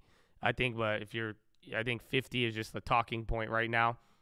Uh, if you want to like if you want to feel dramatic, but there's there's no way. I, I guess I'm just going off of Fed futures and, and the history of it. They could do 50 at the next meeting. That's something I think where Powell gets bearish is that if Powell uh, if Powell doesn't say if he kind of leaves the door open for 50 at the next meeting, I think that will uh will will scare some people. Airbus mutually agreeable settlement with Qatar. They says they'll repair project underway for A350s. No Boeing, no reaction. Today is a announcement and press conference. Today's the day. Today is the big one. This is the this pro. I don't want to say it's the biggest one, but it's the first one of the year. And you know, honestly, I think March is going to be the biggest Fed meeting of the year because that will include summary of economic projections. But this is going to be important uh, just for the, I guess, the health of the rally and really the rest of the trajectory uh, moving into March and the and the end of the first quarter. But I'd say March is probably going to be the most important Fed meeting uh, this year, um, March and June. But this one is definitely uh, this is a it's a powder keg here. You know, bonds can move a lot. There's a lot of expectations. You're you're to get your your 25 basis point rate hike. You know, uh, which is remember 25 is this is a normal rate hike for the last year. You've borderline had uh, outsized rate hikes, 50 basis points, 75 all of that. So this will be the first quarter rate hike. I would argue in a year. I think. I think this is the first 25 basis points. This is another step down, and now you know a lot of some the the you know here's the real thing, because some people are talking about 50 basis points. You know, get 50 basis points out of your mind for today. But if you believe like the next thing to keep in mind, like the crazy thing that people are thinking of today, is that this could be the final rate hike. So Goldman has talked about it, a couple of other analysts and banks. So that's kind of the more important part about today. Uh, if there's any signals that this could be the last rate hike, people are going to eat that up. So until then, we're going to see. But this is our, our, first quarter. I mean, we already know a quarter is going to happen. That's why I'm telling you. It's already priced in. Most people are expecting it. So it's really, there's a couple things I'm going to show you. We've already talked about it. There's a couple of things that could change that will be important uh, that could really make us bullish or bearish. But at the end of the day, it's it's what Powell is going to be saying. The final rate hike, yeah, that's what's that's that's the like that's the edgy comment here. That's like the contrarian move, right? If you want to be a contrarian and borderline bullish right now, you're you're saying this is the final rate hike.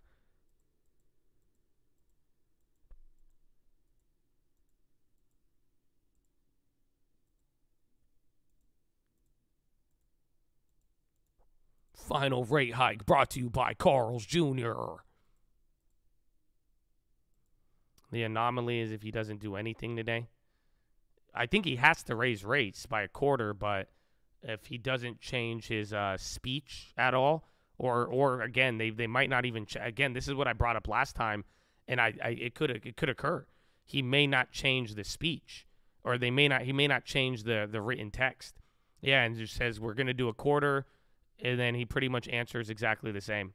I did. Fed futures are still pricing in the same, I believe. They're still pricing in 99% uh, for today. At least that's what ZQ. Yeah, you're there's a 0.3% chance they do 50 basis points. And that's probably just the remaining hedges that, that are on the board right now.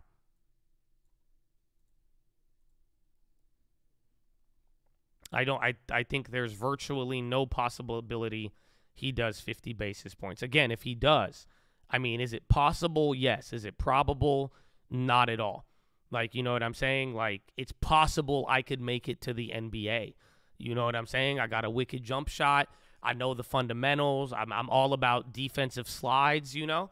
It's possible I could make it to the NBA. You know, I, am a, I'm a very positive individual. I might be five foot six and I may be old with a receding hairline, but shit, LeBron did it. But it's possible. But how probable is that? It's it's virtually not probable at all. It's possible, but it's it's not probable. You know, maybe if I teamed up with Air Bud, you know what I'm saying? So there, but that's that's how 50 basis points can happen. If Powell really just wants to beat everybody with the stick and says, "Fuck this, man. This is not how financial conditions should be," and he comes out and he breaks 60 years of Fed history, then yeah, it's that's. But I doubt it. I I don't think this would be the moment to do it. So we're coming back down here. Young Fetty is still holding. Young Fetty swap.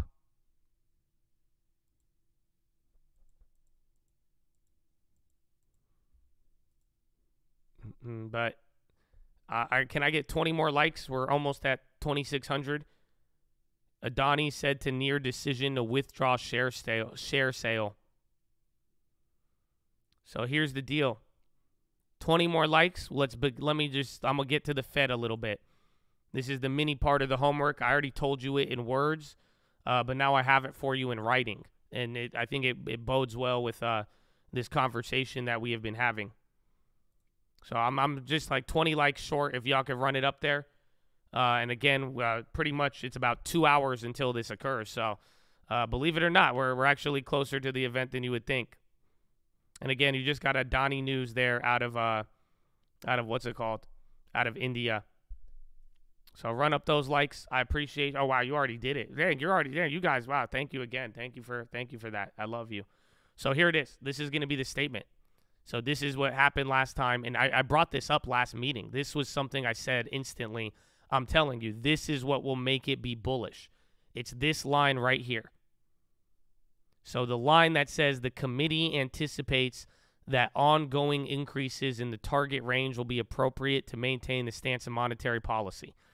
If this line changes, that is going to be immediately read as bullish. So here's something they could change it to. Eh, the committee anticipates gradual increases in the target range moving forward. That right there, that wording, that language, the, the algos are going to read that as bullish because that right there is saying Powell is going to begin to slow the rate hikes. That means they are confident enough and they have some confidence to change the language. No, that change is not priced in. Not at all, because Powell could uphold a lot of flexibility. This is where we're saying if Powell wants to do nothing, just lower it to a quarter and still kind of keep the market guessing and not be boxed into a corner, they're going to keep this the same. Because realistically, some people were thinking he was going to change that at the last meeting and he didn't. But that is the real, that's the money, that's the money shot on this one right here. If that hits, you're it's going to rip. It is going to rip until Powell brings it down. So that is really what you want to be looking at here is that just the committee anticipates ongoing increases. Any changes to that, it's going to be great uh, for the market or the bulls out there. Uh, if not, that would actually, in a weird way, I would argue it's going to be kind of bearish just because it's going to kind of highlight that Powell is most likely going to be be saying stuff there. Now, if they say anything about being confident, I want to see what he says about uh, unemployment, and we're going to see what he says about elevated risks and all of that. But that's really going to be the the main change that that we're going to be looking at. Everything else should be the same, but that right there will be a simple release comes out if your your money on that one. They're still going to pester him, but uh, right off the bat, though, if if they say if they change ongoing rate increases to gradual rate hikes, uh, that will it would definitely be a, a big big change. Total energy. Mm.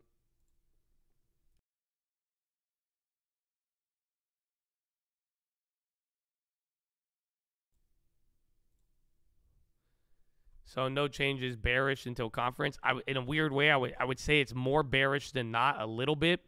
I would just say neutral, but then you got to factor in the bullish factor will be 25 basis points. So if we're gonna get that, it's already priced in. How are people gonna take it? But it's it's gonna be weird if he doesn't change it. I definitely think if he doesn't change it, it's gonna ca- cause a little bit more hesitancy. Whereas if he changes it, it's gonna be a green light. But then I think it's so that's my plan. My plan is bullish statement, let it rip up, and then sell out as we get into the press conference on my ES and then hold the NQ. But then I'll be naked. I, I might I might hesitate.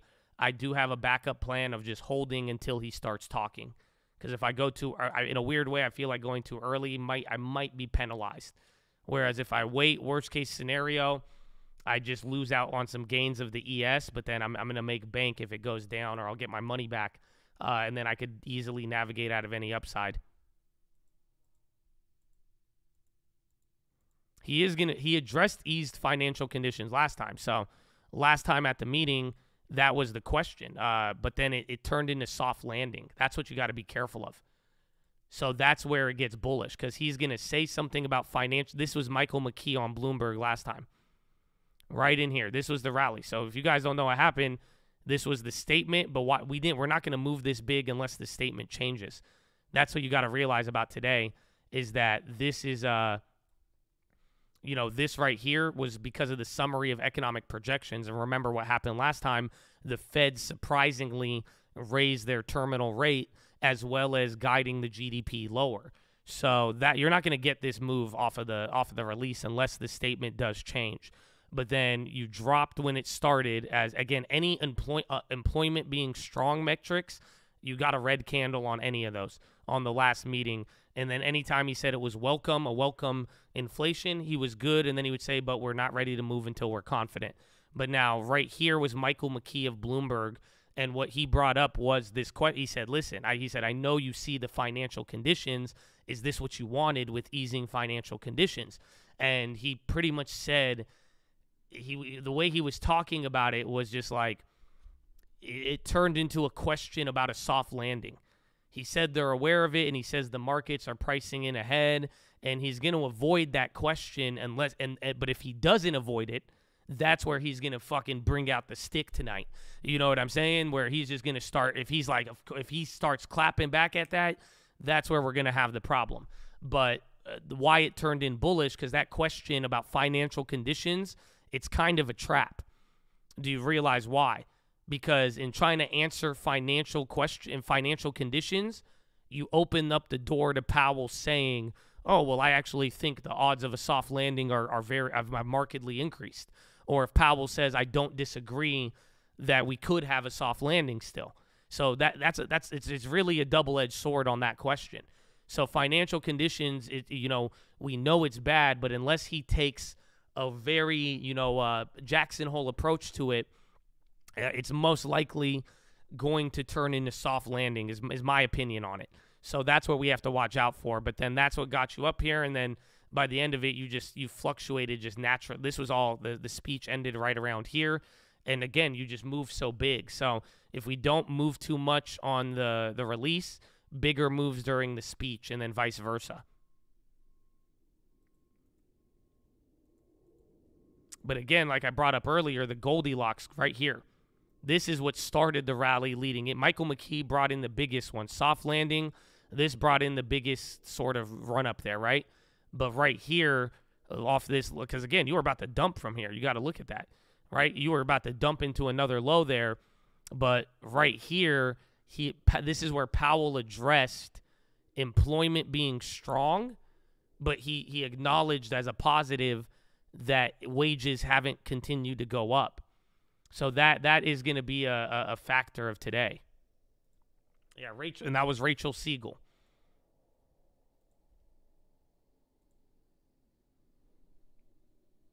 Timiraos, he says the Fed is getting more of the data they've wanted, but wants to ensure disinflationary isn't transitory. That's why their outlook for the labor market and the role they think it plays in sustaining could be the big focus. So Timiraos is already leaking it. Powell's going to be bearish on on employment. But I don't know if the market will take will, will the market could ignore it. He has to bring out something big.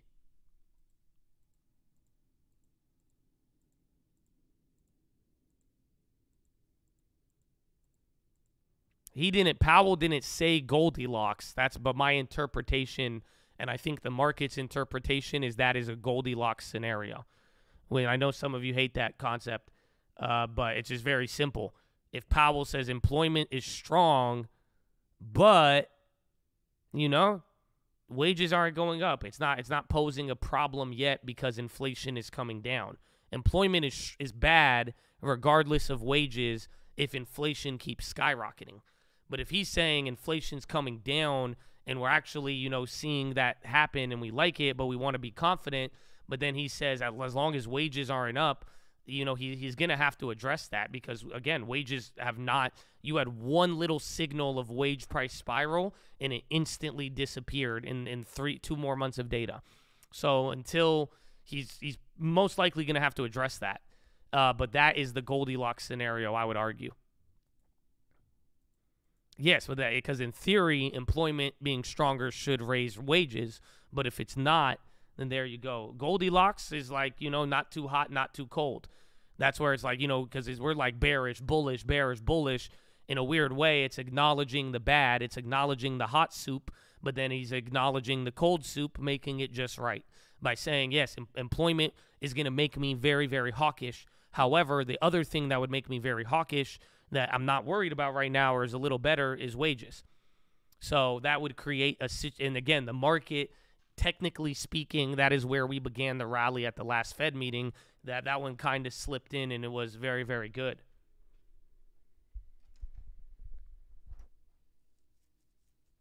So Timmy tweet little bounce and drop right here. Tim Timiraos pretty much I, I'm telling you Timiraos saying that right before the meeting. He's telling you what's going to happen. Powell is going to be extremely bearish on unemployment, it looks like. And he's going to keep the whole confident confident speech.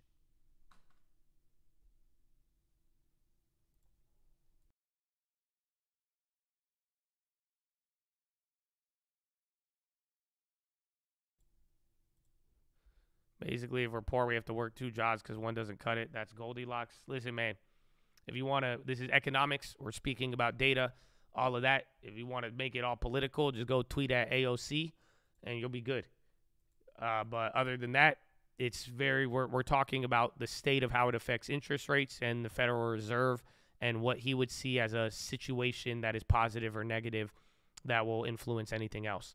Tim Timmy's very credible, especially coming down to giving you something right before. The the theory on Wall Street is that the Fed uses Timiraos to give an early leak of what they want to happen.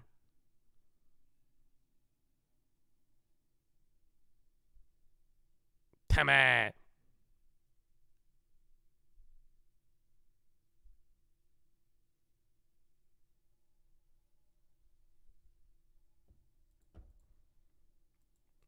Mm. But for real, if there are more people than jobs working two jobs, that would reflect the statement that wages are not enough. We're not. We're not. What we're discussing is if the wages go up or down to influence policy, or unemployment going up or down to influence policy, right? So even if you're like you're saying, even if people are getting two jobs in economic theory, if there is that much employment, the higher the demand of employment, the price should go up, right? the regardless, even if supply stays the same. If there's massive amount of, of employment, the more employment, whether it's one job, 10 jobs, how many jobs people want to get, the fact is it should make wages go up. And that is what Powell is worried about. So if those wages do not go up, that is not panicking them as much because inflation is coming down. Because now, if the price of your goods come down and they continue to stay down, then those wages that have already moved up a little bit but are not increasing rapidly, it should make the situation better. But it's this is all in terms of looking at economics of what should happen. That's why Powell is saying if unemployment is this low, the Fed is expecting that wages are going to skyrocket, and then if inflation is very high, is very high, then that that will cause stagflation or wage price spiral, which would be a very big problem for them. So that's where they're kind of balancing this out. That's why he's the Goldilocks scenario, or AKA the problem has not materialized, is simply the problem of employment not going down, where it could help f- bring down inflation. You know, it's not, this isn't about people's lives in that sense, and it's not meant to be targeted like that. It's just saying if employment keeps staying, unemployment stays low, it's going to make inflation skyrocket. But if that's not occurring, then that means the wages should go up. So what Powell is pretty much acknowledging would be saying, listen, unemployment's still very low and that's good. We don't we want people to have jobs, but that's not a good sign for inflation. But then the good part is that wages aren't going up because of this low level of unemployment that is making, you know, further gains on inflation. So that that's the whole concept. And that's what makes it Goldilocks, bearish, bullish or not. But, you know, anything reading deeper, everybody has their own political views, all of that. But it's just, you know, we're, we're here for the economy and how it's going to influence influence policy so we can make some money. And we're all trading here, I assume. Otherwise, so that means we all fall into the greedy capitalistic bastard section. So, you know, we're all in the same boat.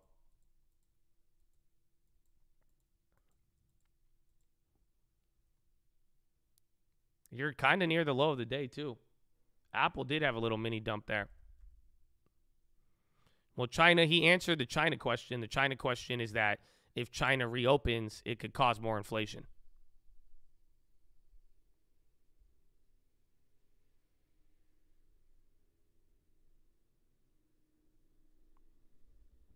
BZ.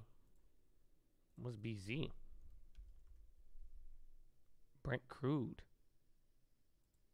Yeah, oil has been dumping earlier.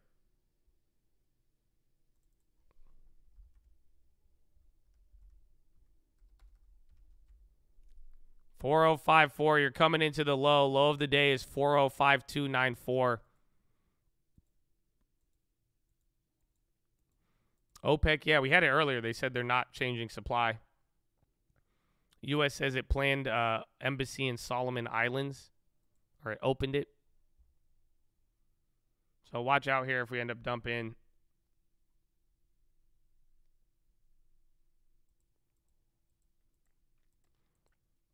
I don't know if the other countries. I mean, most countries are at 20 or at 50. So in a weird way, America will be the only one at 25 in the last week or so.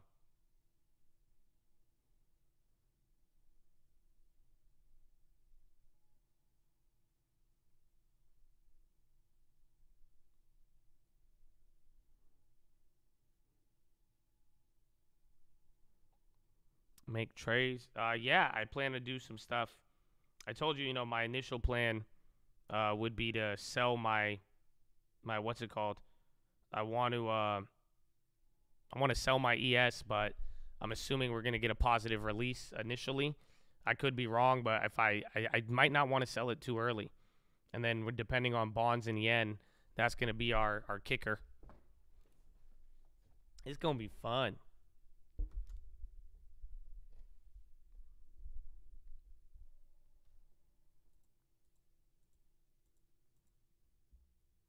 Remember, Apple has earnings tomorrow. Natural gas, we're going to get a little bit more insight here today. Uh, but that depends on the whole demand destruction, recession, or not. All those other factors there will be very, very key.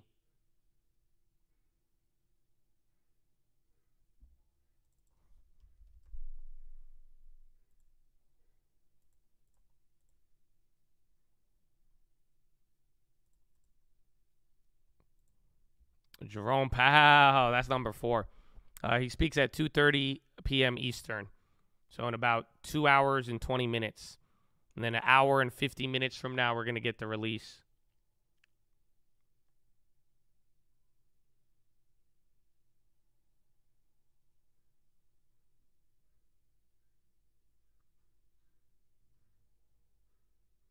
Mm, the other one?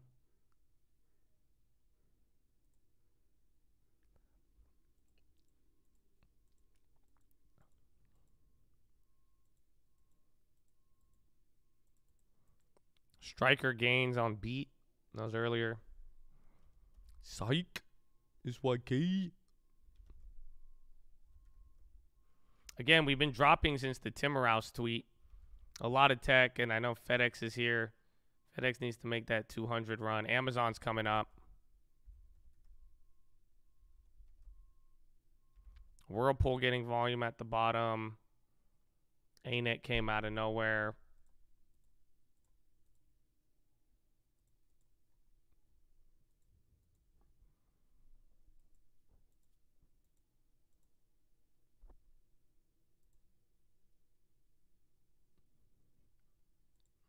Okay, so SPY making a move towards the low of the day. Oil is getting smashed.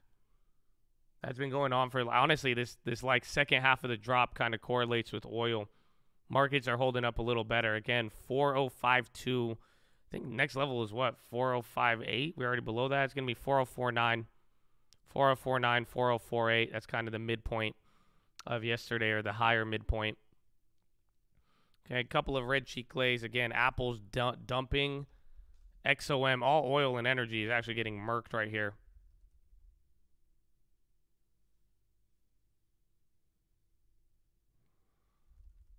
Mm. SMCI's on the high. They're running. Super Micro. Intel. I haven't checked the other ones. AM, dude, AMD still holding up. They're doing great.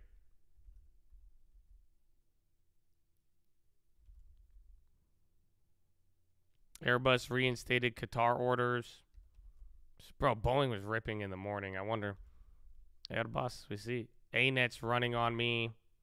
That's going into the highs. So not everything's coming down, but a lot of energy, I believe, is affecting that. So Energy's down 3.1 right now. Shit. Energy materials are just actually hurting everything. So, like, not everything's that down. Tech is actually up right now coming into the Fed meeting.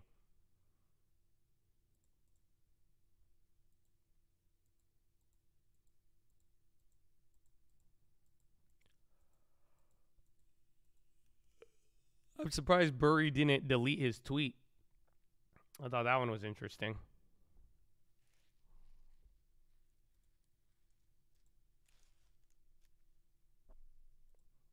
ETX Divi 26.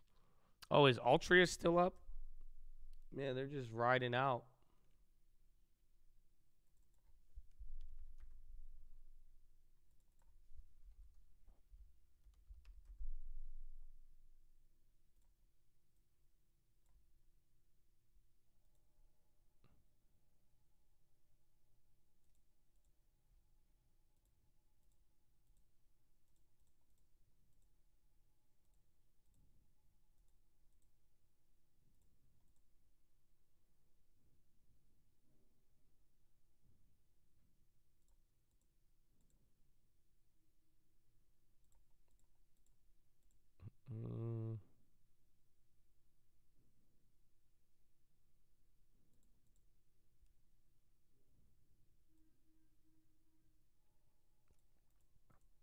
He said sell. I know he usually uh he deletes it.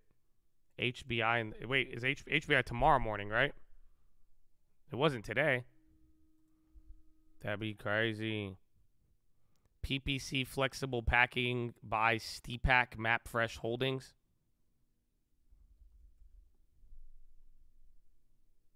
The oil to tech, we'll find out. Bonds are even climbing back up here too on part of this sell-off. Remember they sold they sold off earlier.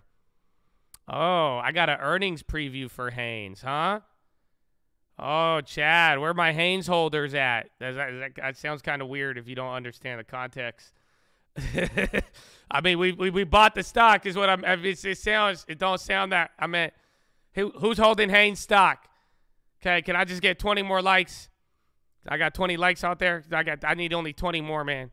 20 more. We're gonna be at 28, baby. I, I don't, you know what I'm saying? I didn't mean to call you a Hanes holder. That that sounds like you grab underwear. You know what I'm saying? I meant like the the stock is just is just getting weird. I mean, we're up 50%. Okay, stop it. Okay. Okay, okay. Wow, thank you for the likes. All right, here it is. Uh, so Hanes brand, they're expecting uh, operating profit from operations 86.8 million, adjusted gross margin 34.4 percent, net sales from continuing estimate 1.46 billion billion, innerwear net sales 547 million, activewear 373.8 million, international net sales 450 million, and then other net sales 81, adjusted operating margin 6%. Um, let's see. Do they have one? I don't even think there's a up. They don't even have anything on this. There's not even like a analysts aren't even like crazy on it. Uh, but there's one buy target, eight holds, and two sells. Average price target is 830, 2% downside from current price. Implied one day move following earnings is 7.6%. Adjusted EPS is uh has beaten in 10 of the last 12 quarters. Oh, wow. Are you ready for this statistic, though? This one's crazy. Hanes shares still at this price. They are down 47.4% in the past year versus the S&P down 10%. And then the dividend is expected to stay the same. Wow. Did you hear what I just said? I don't know if you feel me on that. So even in the last 12 months, even after we are up 50% compared to the S&P 500 on the last 12 months, Hanes is still down 47% comparatively.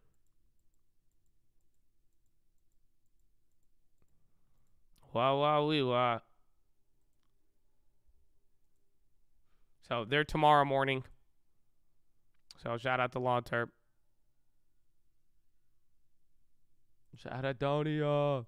Victory. Yeah, where is it? Yeah, we got 47%. We have I wish there was good covered calls to sell on it, but that would be nice. I don't none of the I don't like any of the covered calls. They're all cheap. You can't really get much.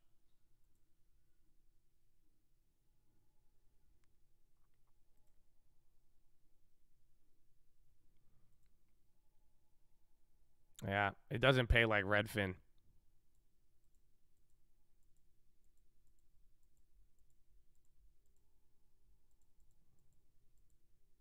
I see the Gundlach tweet. Yeah, he was saying the bonds are going to get crazy. And then SPY coming through another low right now. And the FedEx is still holding up. Where's Apple and all that? Again, I think this is a mix of oil. Unless tech bounces, you might just start, or unless oil bounces. Now that's a new low on the day.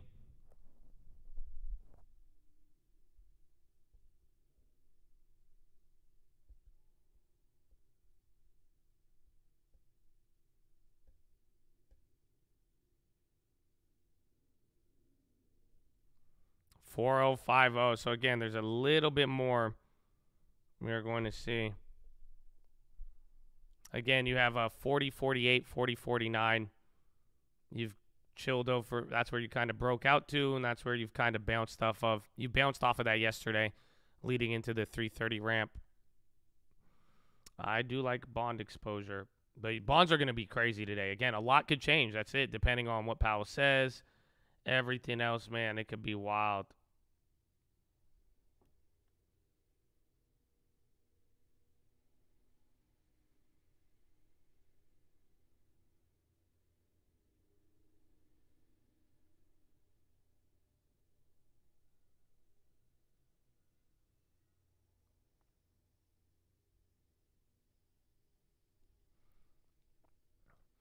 TLT is just a ETF that holds treasury bonds of certain durations.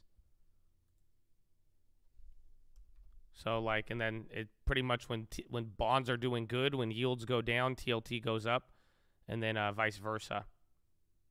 But like I showed you guys this back in the day, it's an ETF, so you have to understand it's designed to hold bonds. Like that's all it does. It automatic it has holdings that should replicate the value. That's what all ETFs are designed for. So here's TLT. So you see this, they have 30 year, that's a third 10% of the, they're holding 10%, 10 year or 30 year bonds, 10% of the fund. Then they have another 30 year bond. Most of them are 30 years. I think the lowest duration is like 20 years right here, maybe. Not even, just under. So it's like that's the whole idea. They just buy the ETF buys bonds and as the bonds move, they own all those bonds so the ETF is supposed to replicate or reflect that value. To a pretty good one. I think uh, I don't know what the difference is between NAV. Let me see. I think it's it should stay within like point point oh eight percent or something.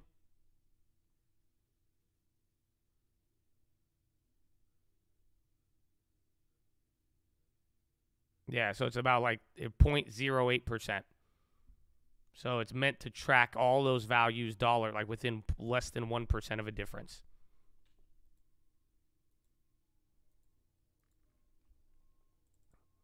Hey, you got a little bounce. Was that off of 49? A little higher, 40, 50. Right at the center point, huh?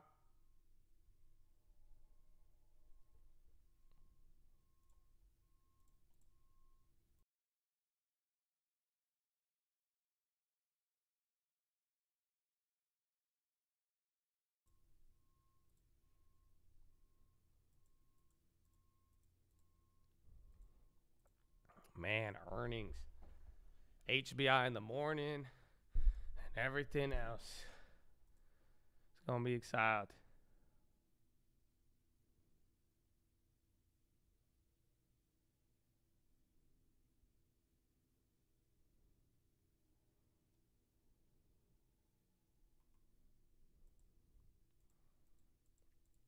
Man, get ready. Dude, we have an hour and a half. That's it, Chad. We're getting close. Bro, I don't know if you feel me on this, man. We are getting close.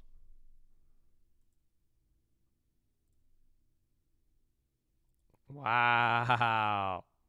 So about 15 minutes ahead, I'm gonna start. We're gonna have analyst comments and everything else. Uh, but get ready, man.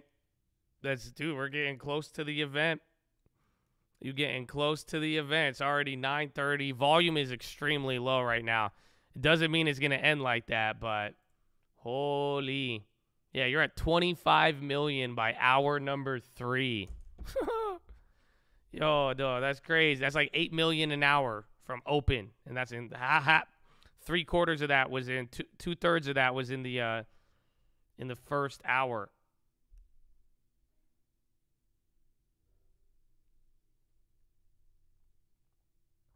Mm.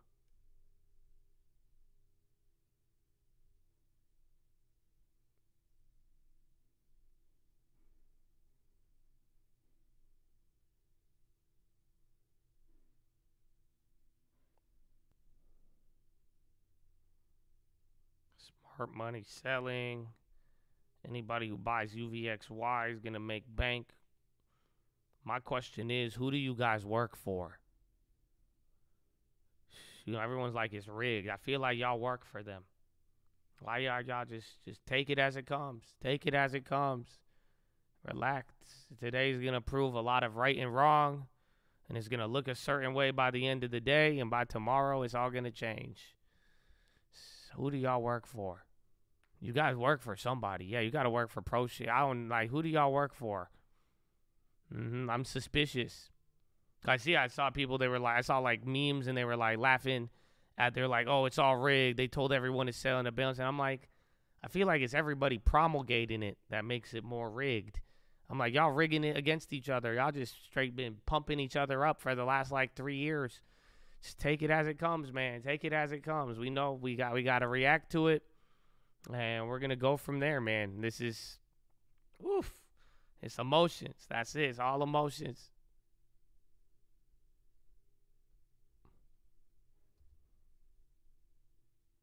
Snap AI product tease. What? Oh no! Don't tell me this shit's gonna be an AI. What if they got Snap GBT, bro? Oh come on, Evan Spiegel. I don't see it. Oh wait, wait, wait. Snap hints at future AR glasses Uh, that's old though. That's old. That came out not too long ago. Why is it just getting picked up now? Snap hints at future AR glasses powered by generative AI. Its years defined itself as a camera despite its failures. Its decision to kill off camera equipment drone, but that hasn't stopped the company from envisioning a future AR that will eventually be powered by AI. Seems like hype.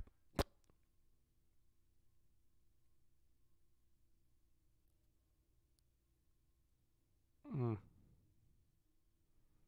Why don't they just make their own AI where you just go into Snapchat and then you talk to it like SmarterChild? no, it's, it's a it's a it's a fluff piece. I thought they were actually about to just drop some AI on us. Like what? They said they're gonna get into like AI glasses and like it could increase engagement if people can make AI images, which I could understand, but I don't think that's not like like give me some real chat GBT, you know what I'm saying?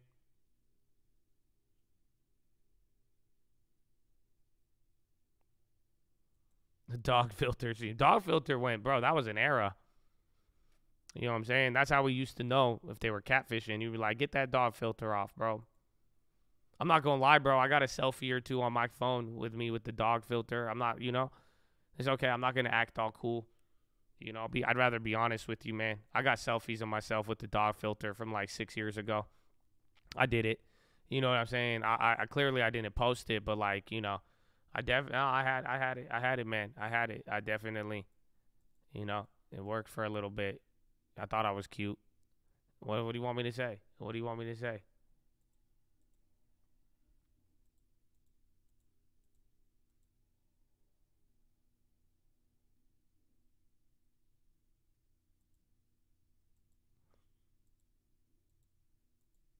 hmm I did, man. I'm not, you know, FTV, Fortive Group, they're kind of dumping.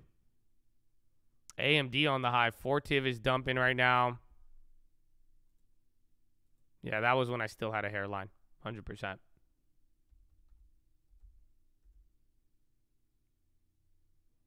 Fortive, it looks, I think it's gaming, right? No?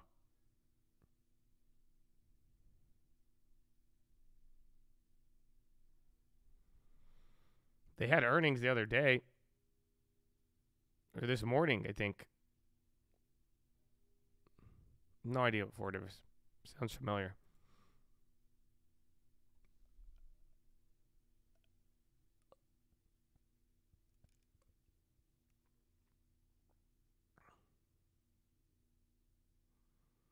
Jerome Powell Day, let's go. Hey man, welcome. Let's go.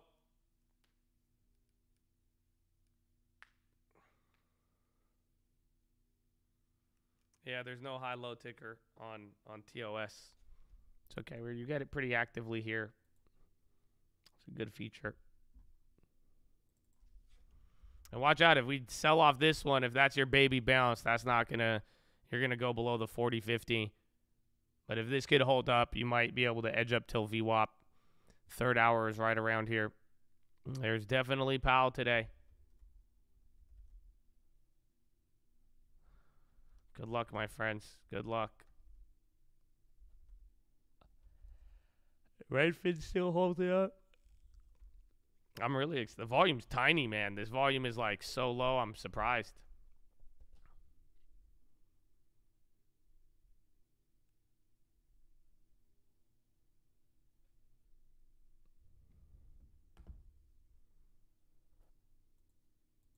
Powell Day. Stock trading's back. Oh, he's ready to go. You can't. Snap couldn't keep a good man down. Oh, nah, let's go. You going uh, just stock trade? You got to chill for me though today. You don't don't let me get too hyped too early. Cause yeah, honestly, I saw that. I just saw your name and I got really hyped, bro. Okay, so don't don't get me too hyped out here, man. You know we are. We still. I think we actually went over everything. I think uh, again, I hope you watch the gameplay for uh, gameplay video on the watch list. If you haven't checked that out, you might want to. But it's it's game time, bro. It's game time. It is game time.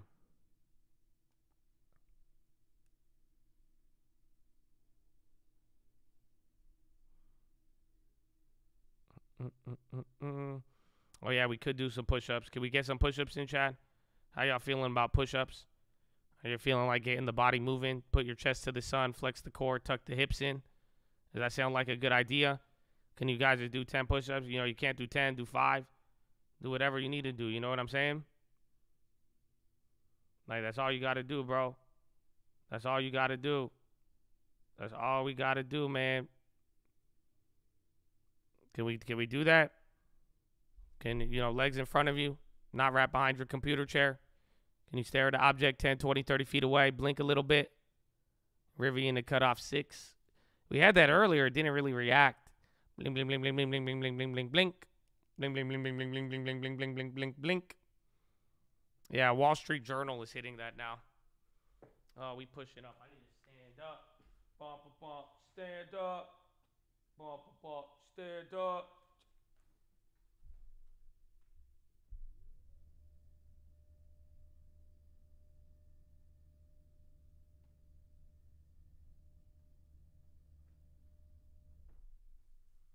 When I move, you move. Just like Power. When I move, you move. Hey, yo, Power, raise them race. Yeah. All right, I'm doing my resistance. Oh. Burpees commence. Bro, FTV is still dumping.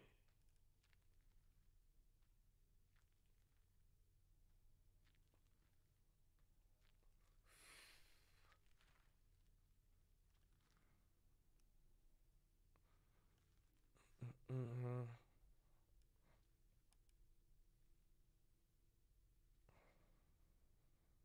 If Powell slingshots us to the moon, I mean, I don't think he would do it purposefully, but he might do it inadvertently. That's the problem. That's the only thing I'm worried about. That's why, because I know if we get any sort of big pop, I'm going to be very tempted to sell that ES, but then assuming he's going to try to bat it down. But you got to realize if Powell, if Powell uses attack and it's not effective, that's it. You lose the, he loses the dojo. I don't know if you understand that reference, but it's very important. And we're doing push-ups right now. I'm doing my resistances. You know, making sure I got a strong back. Got to be ready for all of this.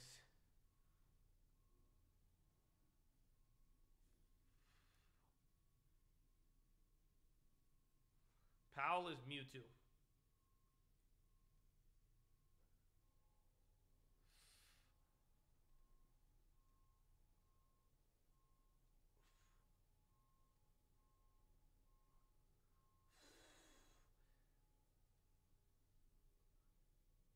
All right. Add some dips and sc- oh, I need to do the uh, the hip stretches. I did that yesterday. Yeah, that's a good one. Once I put the desk down, because I got to stand for a little bit. It's 9:30 again. Volume is very low here. Uh, we've gone over it. We're looking for changes in the statement and soft landing comments versus unemployment. Nick Timiraos, that's when we started dumping here into the second leg. Pretty much told us that we have to be on the lookout for the employment being strong. New York, welcome to the Chad. Hey, New York, what a name. You think Powell watches the chart while talking? I don't think he does. That'd be kind of crazy.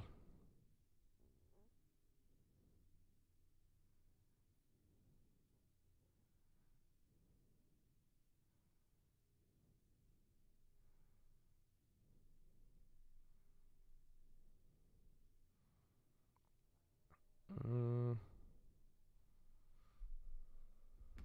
Yellen uses sing. It's super effective. Oh. Oh man. So does the news that matters comes out? Yes, today. So literally in an hour and a half, there's a potential piece of news with their they're going to announce if they raised rates or not, which they most likely will by a quarter percent. And then once that news comes out, depending on if they make any noticeable changes, that can move the market around a lot. Uh, and then 30 minutes following that, we are going to get Jerome Powell, and he will begin his speech, and then that's it. The bond yield inverts now as the chances for recession decreased. Well, the bonds are already inverted. Every actually every single part of the curve is inverted now. So the three, except for maybe the five year and ten year, but the uh, three month is time is the three month is inverted, and then the two year is inverted with the ten year. So if it uninverts, that would be both. It would be kind of bearish and bullish at the same time. It depends how it uninverts, uh, and then we'll go from there.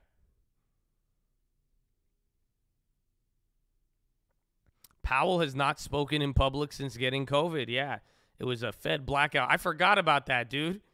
I totally forgot about that. Was that two weeks ago? Wait, hold on. That's crazy. The vol number, the volume, I'm just right here on the SPY, 25 million, and it's hour number three, uh, which is very low, but we're it's going to be 100 million day. I, I know it for a fact. Uh, well, technically, it's not a fact because it hasn't happened yet, but uh, it seems like it will. It depends because like the the yield curve can naturally invert, but if they cut rates by cutting rates and lowering the short end of the curve through policy, that would uninvert the curve, but that would be based off of another reason, aka they want to spur demand. If naturally the interest rates rise up above there, then you could argue that's kind of a natural uninversion and then there you go.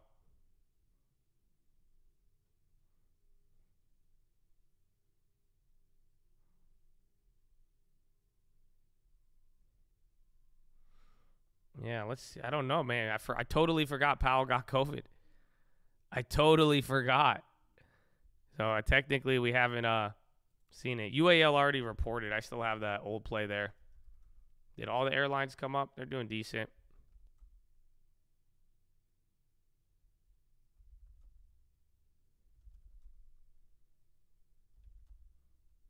AMD still running. I appreciate you too, Andre. God bless you, my friend. I hope you're ready. Uh, there's no project. The projected move is a quarter basis points, but there's no expectation for the market. Uh, you could go to the options chain, and like we'll see the SPX. I mean, right now they're pricing in fifty dollars. Is that right? So that's like one percent for today. Actually, they're not even the options aren't even pricing in a big move, believe it or not. Kind of weird. You're pricing in about 1%, maybe 1.2, which I guess is kind of big, but that's not really uh no, that's 50 bucks on the SPX. I mean, we've done that almost every day. So by the end of the week, maybe that's a better metric. By the end of the week, you're pricing in like two and a half percent, but uh, actually the options seem kind of uh, kind of chill. If they went with 50 if they went with a 50 basis point hike, which is not possible today or it shouldn't be, I th- I think the market would drop 5 to 7% in a day.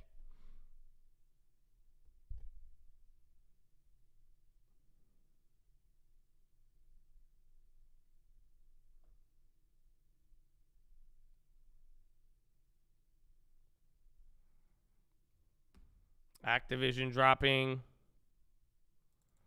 Activision never drops. These guys scam.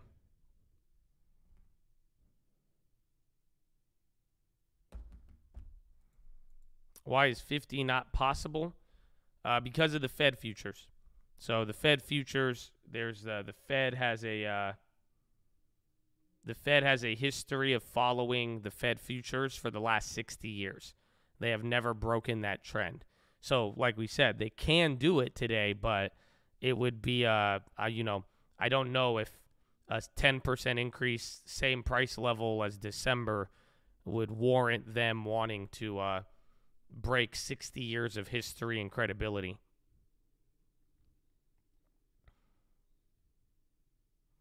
Long time. This is Archon, bro. I've been with the Jettas since 2019. Hey man, in New York. Let's go, man. Stay with it for the long. I hope y'all got the long term, man. I hope as if again, if you just tuning in too, but you've been with the call, man, make sure you get the long term alerts. I don't want y'all missing out on five, six, 50 percenters last year. Let's go. We got big years ahead of us, and the long term is here. And today's gonna be a shit show. Woohoo! FTV still dumping.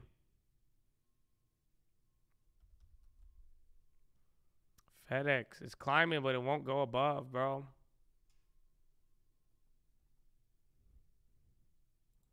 Long term alerts are first link in the description.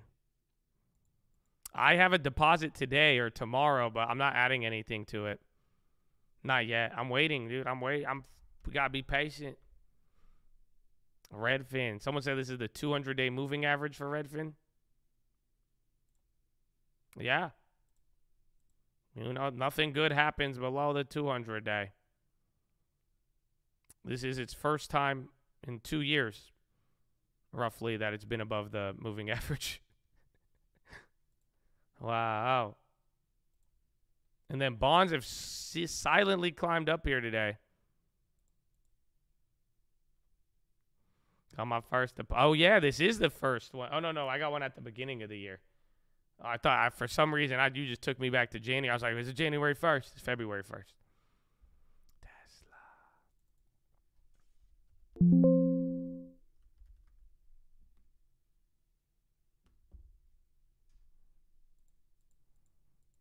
SI. Powell likes to pour cold water. But like I'm saying, Powell, there's a chance today, I definitely believe it, that Powell is going to bring out the guns and then we're just immune to it. And, you know, Powell tries to cold, pour cold water and they're like, you can't do anything more to me. I've already been having water cold poured on me. I don't even know what I'm saying now.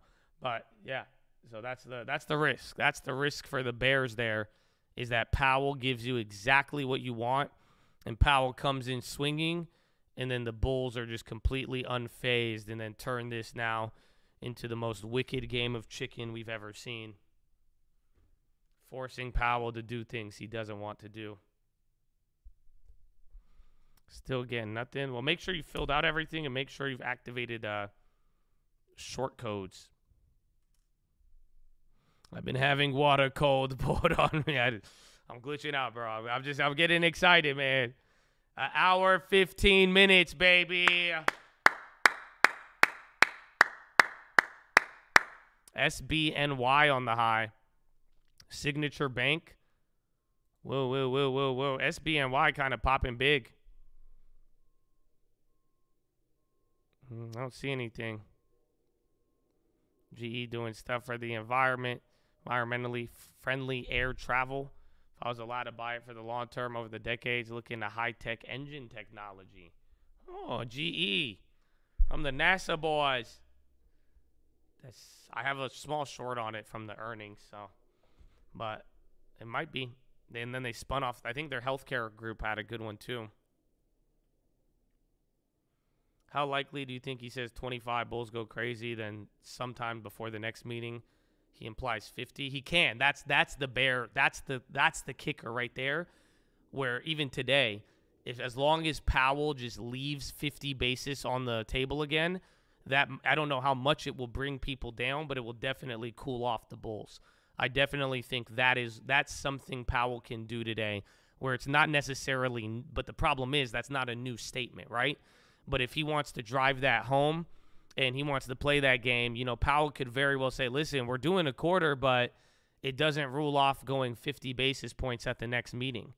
And if he does that, that could, I think that could shock people for a little bit. But like I'm saying, in the in the grand scope of things, it, it doesn't change much. SBNY is still running. No classified documents found in Biden's home, says attorney. He said all they found was a, a life alert button, and that's it. And they said they took some papers from Biden's beach home for review. He got a beach home?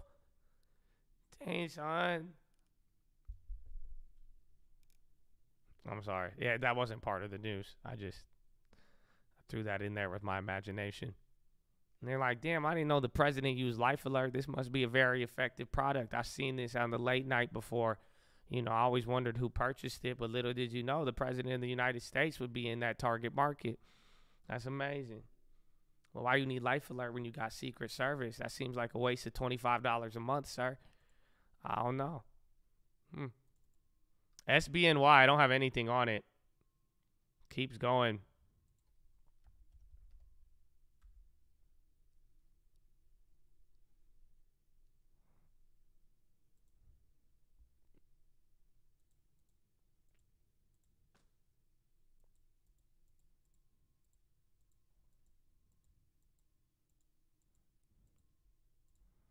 Fortive earnings call. That's why they started dropping. FTV, this is because of their earnings call. It just started.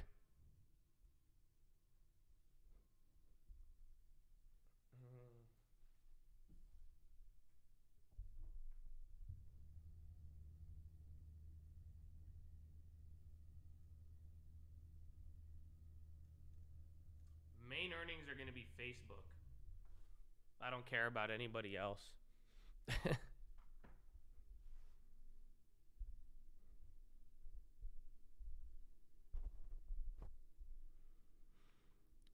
okay, FedEx is running. FedEx 199. You need to get to 200, you know? Need to get to 200. Be good for him, Habibi. Be good for you, sir.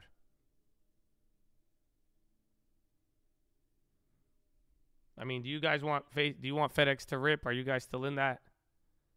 I'll do it for you guys. I got you.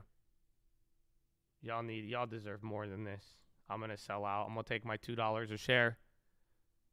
You just know I love you. All right, I sold out.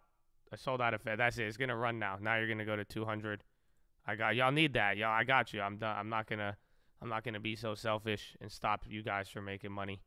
I'll just get my ass out of there. I took the sell. I'll take the bullet for you. You know, it's good. I did it with Baidu this morning, so I just I had to.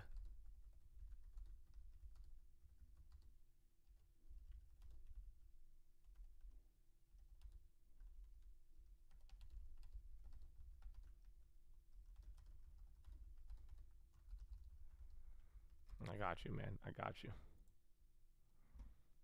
Now I'm doing hip stretches. Still in Amazon. I might want to get out of it, uh, but I don't know. I don't like how he's performing today. But and then I'm gonna hold the Google because of Facebook. And that's it.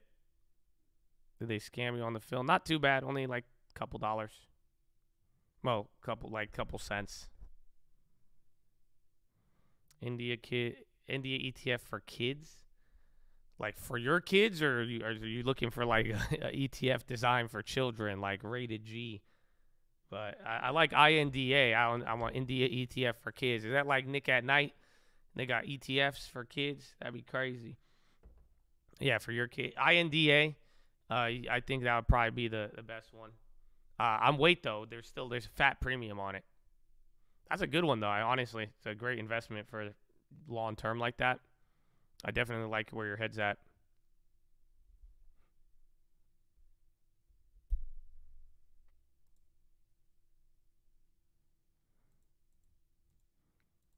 Executive still in discussion over 2022 compensation. Barclays. Adani in India. I don't care about it. I think, like, I'm telling you, this is like why Bill Ackman, if you're American all you care about with the Adani thing is hoping that this shit brings down Indian equities so you could fucking buy it at a discount for the next decade. That's all I care. I don't care. I want I want it to I don't have an opinion on it. I just want it to be bad so I could go buy India at a 30% discount and then that's it.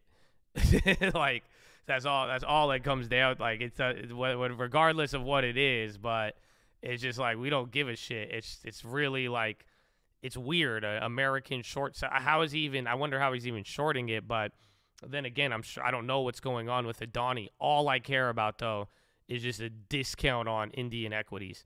Like that's all. That's all you need. It's been big news. It's, it's again. It's they've wiped out like ninety billion dollars. It's already brought down the India ETF. a solid like 10, 12% so far, which is great. But India, bro, India has literally been the hardest uh, country to get into without paying a premium. Like, go look at, bro, they shit on everybody. So now India is looking like Amazon, but like they look like they're in their 2021 phase still. So you still got a fat premium on Indian stock. So it's just like, yo, we get that break of 38, get it back to 2022 levels.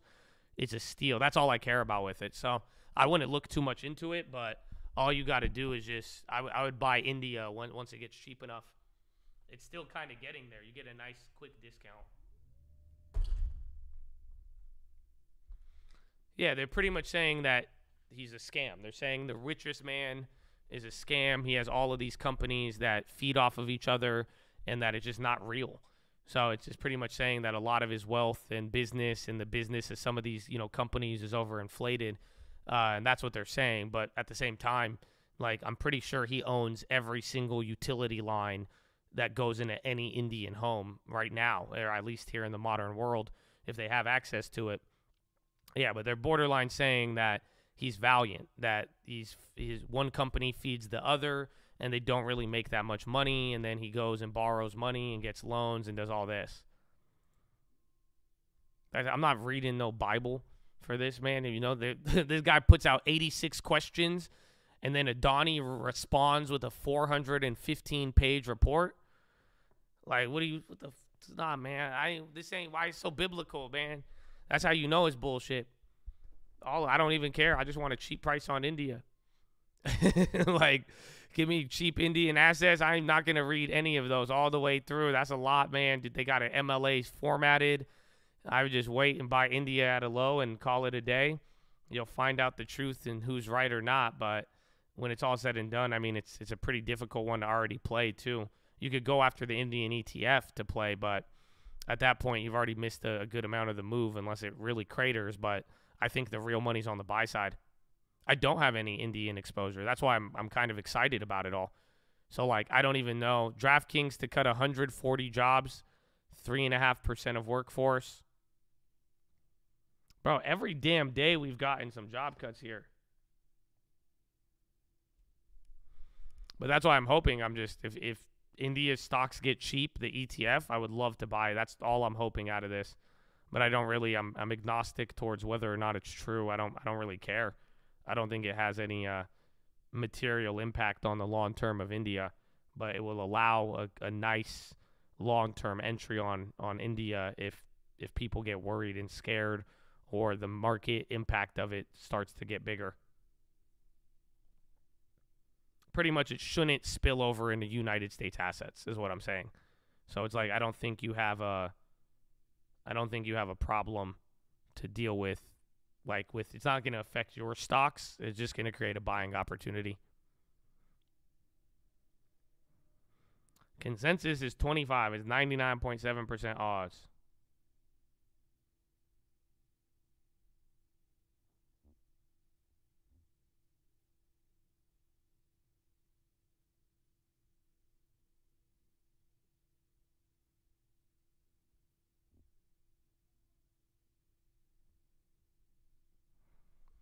I told you, I got y'all, FedEx boys. I got y'all.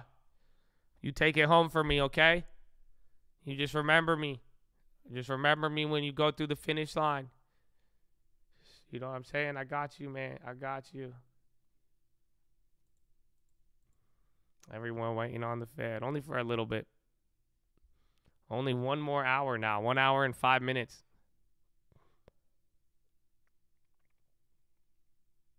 Mm-mm-mm. Could you sell some boil for me? I should. You know, just get a little bit, sell a little bit, let it let it go up. Or I could just short a future, but then that'd destroy me. They don't play around on that. Bonds are hitting a new high on this too now. So bonds look like they're catching up with the yen now. What a day. What a glorious day.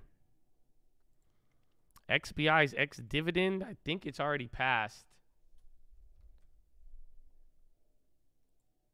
11 21 12. but then they they should have a new one here 11 12 1 2 Their ex dividend should be February like 21st or something. I think. Well, I guess that's weird. Or we missed the first. I don't know. I think we may may have missed the first payout.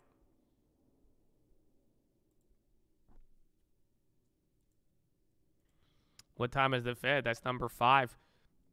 2 p.m. for the release Eastern time, and then 2:30 for Jerome Powell's press conference.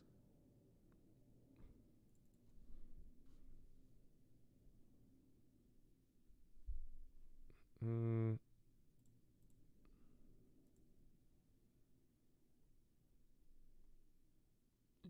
Um.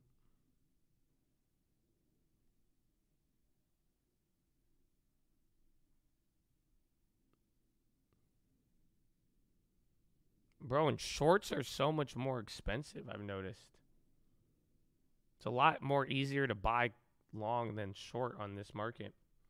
Everything from futures to stocks. Let's get it. There's your bounce. There's your FedEx 2.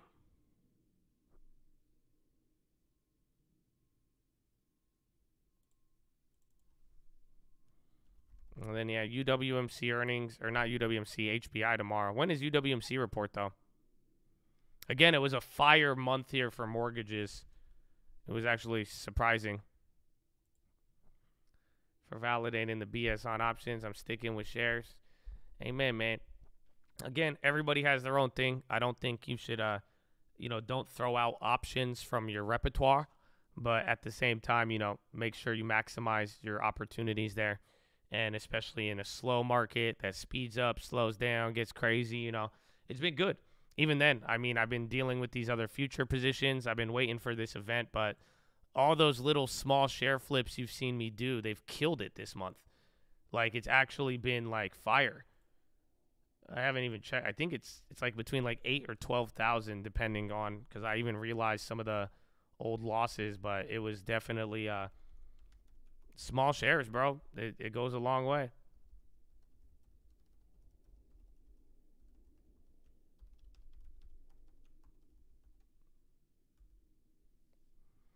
Negative on snap puts when when they went up. They will do that to you.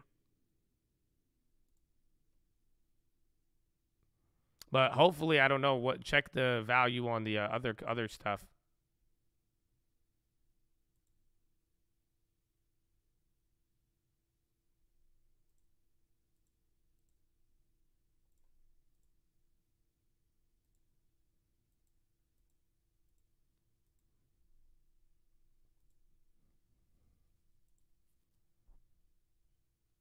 Trade electricity. You can. You know, that's what they do at utility companies.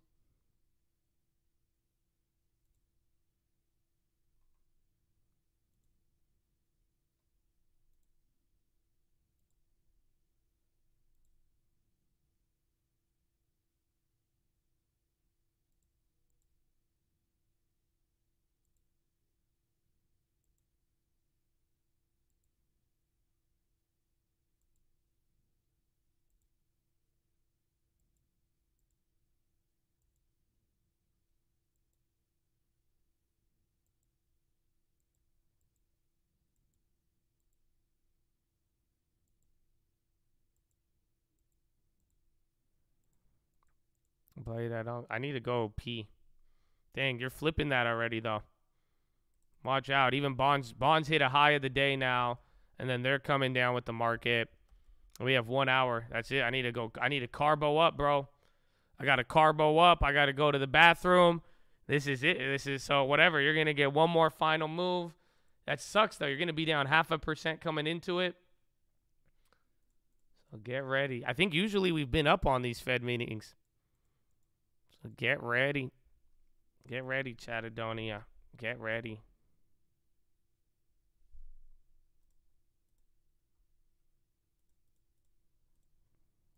Hey, oh, I'll BRB. I love you. Follow me on Instagram at the Trading Fraternity. And just know you're blessed, okay? You're blessed. Good. All right. All right. Please hold. Please hold. All right. It's the countdown to the Fed rate decision. 25 basis points on the docket just as the latest data signals a slowdown. I'm Kriti Gupta. Bloomberg Markets starts right now.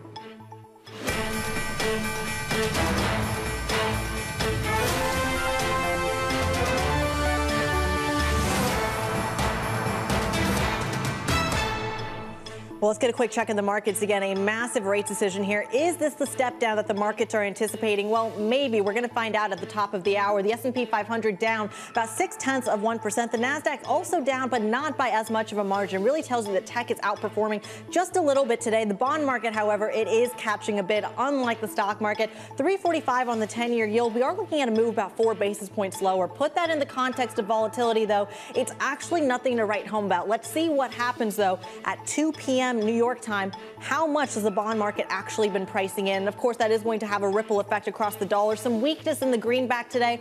Uh, 1220 on the Bloomberg Dollar Index, weaker by only two tenths of 1%. Once again, nothing to write home about just yet, but hold on to your hats because everything could change in just an hour. NYMEX crude, 76 handle. What is the commodity market telling us about the risk rally that we've been so used to for the stock market in the last couple of weeks? At the core of the story, though, is what is the roadmap? Is there a point of history that we can compare it to, or are we going in blind? Morgan Stanley's Mike Wilson said there might just be a parallel. Take a listen. The move we had this month is very typical in the month of January, particularly coming off of a difficult year. And we've been very focused in on January of 2001 as a very similar period. We had a you know re-rating of the big tech stocks and you know the former leaders, and uh, that was due to kind of the tech bubble itself. Joining us now with more on what to expect is Anna Wong, chief U.S. economist for Bloomberg Economics and former Fed uh, economist, I might add, as well as Bloomberg's macro man, Cameron Crise, and Markets Live strategist over on our traders blog. Cam, I want to start with you specifically because I want to ask about the financials condition index, the sensitivity to it at a time when the biggest move is coming from a forward looking mechanism, the stock market. So, why is the Fed so worried? Uh, well, I mean, the, the stock market uh, does uh, imply a sort of a, wealth effect um, for for households. Um, I, I, would push back a little bit. Uh, uh, a lot of the easing of the financial conditions index, particularly the Bloomberg iteration, is also a function of well-behaved credit spreads and a narrowing of, of, of credit spreads, um, which obviously makes borrowing conditions for companies um, that much easier. Leverage um, that much uh, that much easier. But I like this. You know, broadly at, speaking, the purpose of interest rate hikes is to, to tighten conditions um, across the economy, make it more difficult to access credit, uh, make households feel uh, fewer animal spirits, fewer less marginal propensity to consume. Um, and all of those recently have been been pushing the wrong way. Um, in a sense, kind of front loading the uh, the expectation that the Fed is going to uh, is going to come to a halt relatively quickly. Well, it's speaking of that halt, that Anna, it brings me to your report out this morning. It's not just financial conditions that are getting uh, really actively considered, it's the labor market at the core of it. You highlight this morning there are now two job openings per unemployed person. We're almost back to that pandemic high, pushing that Fed pivot further away. What kind of timeline are we looking at when it comes to when we're going to get that pivot? Timeline. So there it is. You got your FedEx pop too. GG test. GG. I hope you're ready. That's it, man. 55 minutes left. 55 minutes. Uh, we're going to go over all the analyst stuff ahead of time. I've already given you guys the keys for it. Hopefully, you've checked out the watch list. Hopefully, you understand uh, how powerful the statement ongoing rate increases are and how uh, change to gradual will also be very positive and we have to be on the lookout for Powell to uh, bat us down with uh, employment being strong. So we got a lot on our plate here. And bonds have moved up here. They kind of came down. The SPY is very, very low volume here this morning. Uh, energy is the real decliner on the day. So is real estate. So you're actually not like today's not as bad as it looks. You believe it or not, tech is the best performing on the day. Tech stocks are only down 0.04. But I'm sure you could thank uh, young AMD and NVIDIA for that one because they're still killing it. Mm-mm-mm. But yeah, get ready. Looking forward to specific question. I am. T- I'm gonna do this. Is this is game time? That's it. I got my carbo. I'm loading up now. I got we got to stretch a little bit, and it's gonna be here. But uh, even then, depending on where we even are at by the release, that will do a lot, and then we're gonna find out about that. You heard the most volatile asset, electricity. Yeah, it's because the pr- how the pricing uh, moves.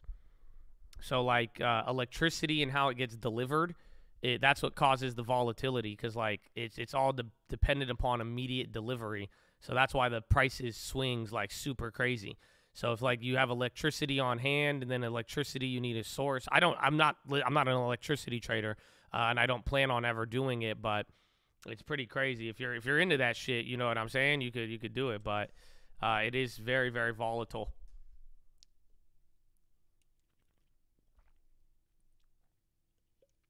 It's a nice little pop.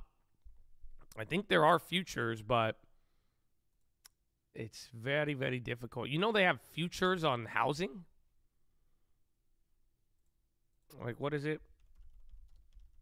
I don't even know how that fucking works. They have literally CME Metro Area Housing Index futures. It's like CUS, I think. I don't know if it loads up. I don't even think you could trade it. Oh, wait, you might be able to. It's cuz CUS. You can't trade it on TD. No, they literally have a housing housing metro area housing index futures. I don't even understand how you even play it. No, it exists. Like literally. It's on the CME. Metro Area Housing Index futures. There's no volume on it, but they have a future price for it. Yeah, it's very. I don't. I have no idea how it works.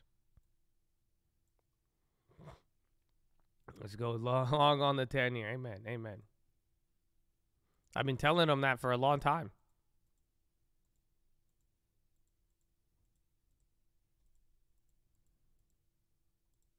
Mm. There's a big electricity trader out there called Enron. You should read into them. They're good guys. Yeah, Mo is buying back one billion in shares, and Mo had a solid earnings.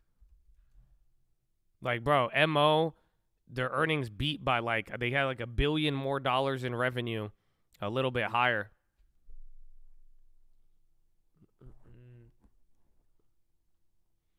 miss you a li- I, I missed you a little bit. I miss everybody, man. It's always good to see people. The only thing I really miss though is the shots I don't take. okay. I know I'm mad. Mo did. I don't know how to feel about it because it flipped. Uh, it, it, did some good work on the long term. You know, to get your dividends up there. But I'm like, dude, I really wanted it cheaper. That's why I was kind of sad, but whatever. I'll take it, I guess. Where is Mo? Yeah, man. You know, but I would have loved that 10% yield. That would have been cool. You know what I'm saying? Oh yeah, where did uh Where did Uber go? Did Uber calm down? Oh, I told I got you on FedEx, Chad. Bro, I'm telling you, 5 minutes. 5 minutes. I got you.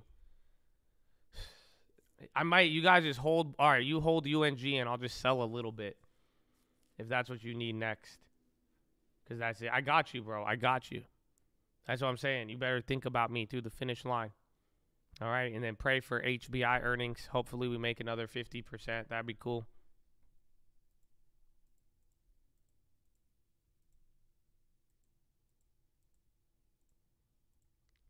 MSOS, weed.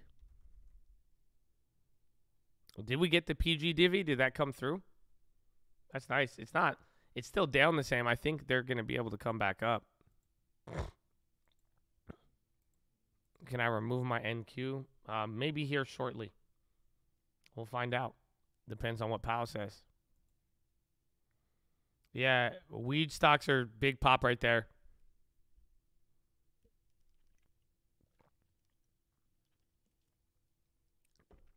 WBD's on the high as well too. WD popping here. Spotify's still holding the TikTok news from earlier. OpenAI introduces Chat GPT Plus subscription of $20 a month. Microsoft might react to that. Microsoft just hasn't done anything here, though. Expected rate hike is 25, and it's a 99.7% probability. Devon Energy says service company investor returns is bullish for energy. The Last of Us. I heard about it. I want to see it. But WBD's on been on fire.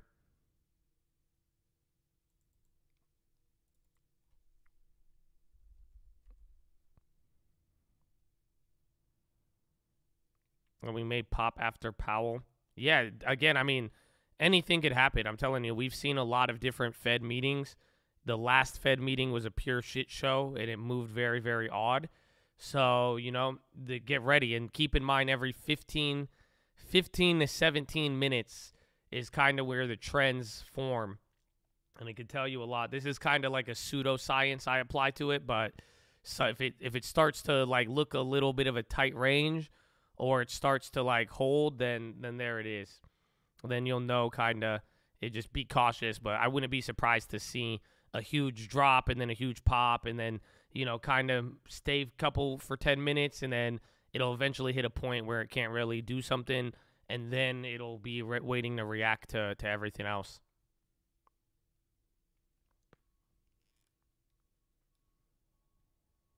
I played SQQ. I want SQQ below $39. So it's almost there, but I would grab SQQ at like 39 flat or 38. That's when we last flipped it. We made some good money on it with shares. If Powell blesses the market. Well, if Powell, if the market goes up based on Powell saying soft landing, or Powell believes that the economy isn't doing that bad and, and says good things, that will benefit uh, UNG. Again, the whole idea is if there's any chance of a, a resurgence in inflation, UNG should be the, the primary candidate. Otherwise, if there's anything negative about it, anything negative about the economy or even more rate hikes and, and you know leaving that door open, it should be negative again. Did you say you made 12k? I thought it was a 9,000. So 9,000 just on shares this month in January. And then I made like another like 1 or 3,000 uh, realized on futures, but then I've I've been dealing with these other futures here for a while. So I have a lot of unrealized there, and I still have I have unrealized share losses. So I probably have another like three, four grand in share losses that I could realize just uh, LMT and Boeing, uh, and then the Facebook. But uh, I could, you know, again, I have the time on them, but like realize all these little flips you've seen on here, they've added up to like nine thousand bucks on the month. Arcad in flex mode. Well, I'm just showing you what's possible with shares. I mean, at the end of the day, I don't I don't really care about it. Uh, I don't even like. I mean, nine thousand dollars doesn't seem like it's a it's a good amount, but it's not anything like you know you've you've watched me make that in a day on futures. But it just the whole point I've been trying to say is that if you have a decent account, even if you have a small account, uh, you know it's uh, it could go a long way, and that's what you could do. You're kidding? You sound? Did you go to high school with me? You sound like you went to high school with me. Like you one of them high school. You know, I'm kid. I'm kid. You gonna make fun of my Honda now? You be like, oh, I'm just kidding. I'm kid. Oh, you kidding now? Oh, you kidding now? Huh? oh, we got it funny, man. I'm just kidding. I'm just kidding. I'm just kidding.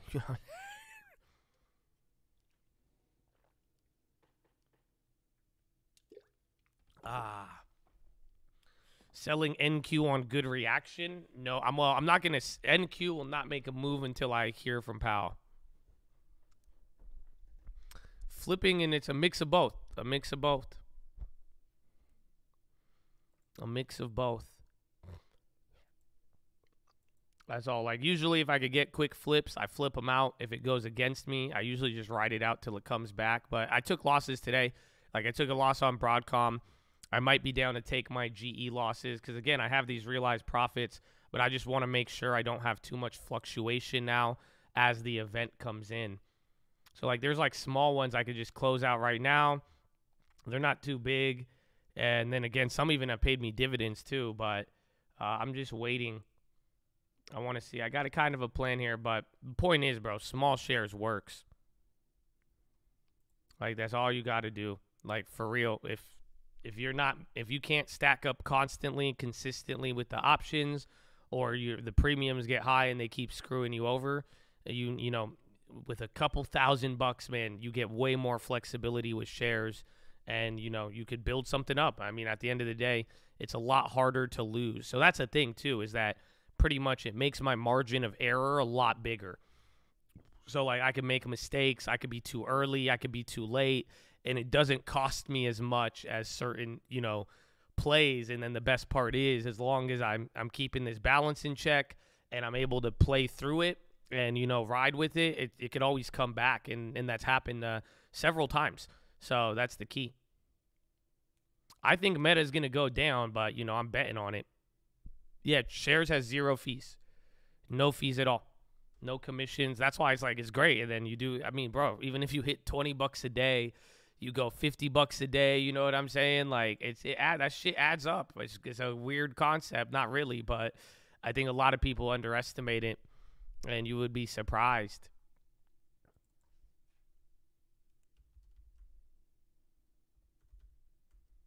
All right, coming right back down. A couple of red candles across the board. Is oil dropping again? I think so. Mm. AGNC monthly dividend. Uh, isn't is this a bond ETF though, or is it a mortgage?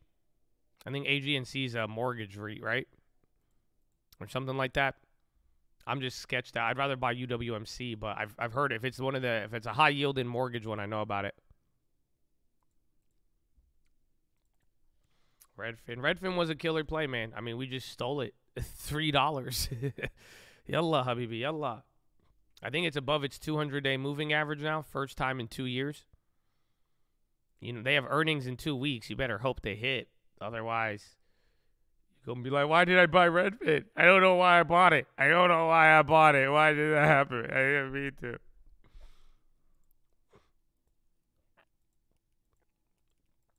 Mm. Where can I watch the live F Fed FOMC? I think they might have it on Rumble somewhere. Or you have HBO Plus. Is that what's called? Or HBO Max? I don't know which one it is. I don't know. It might come to Netflix. I'm not too sure. So that's you could look around any of those places. They might have it. You know, uh, I don't know if it's on cable. I'm just gonna use my antenna to figure it out. But you got a couple of places there. I think I don't know if it might be before or after the UFC fight. I'm not too sure. So if you have pay per view, it might be like a pregame.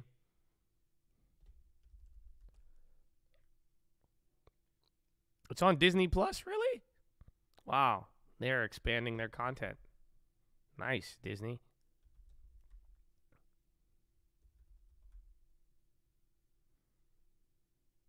It's on Disney Channel. That'd be dope, bro. Selena Gomez come out and say, "Hey, here's Fed Chair Jerome Powell." just kidding. I'm Selena Gomez. I'm old now. I'm just kidding. I can't call her old. I have no hairline. I'm bearish on Meta because they've gone up 57% uh, off of like one comment of them saying that they're going to cut spending. So I just don't think it's as tangible. And I mean, even Snapchat wasn't that great. And yeah, that's pretty much it. I mean, I could get I could get washed on it, but that's all I'm. I just don't think they had a material impact. Like when you compare Netflix's 50% run up, like Netflix had a material change in their earnings, and it was a it took time to get there. Whereas Meta it's just like Meta was like, okay, Mark Zuckerberg's not going to spend as much money. And they're like, okay, good, good. But we have no evidence of it. And I mean, God knows what some of the sales were looking like. I did, I did, I have seen a recent trend though. Them Oculuses have been selling kind of heavy, bro. It's pretty crazy. The Oculus, they've been they've been getting more of those sold. I, I I'm actually surprised by that though.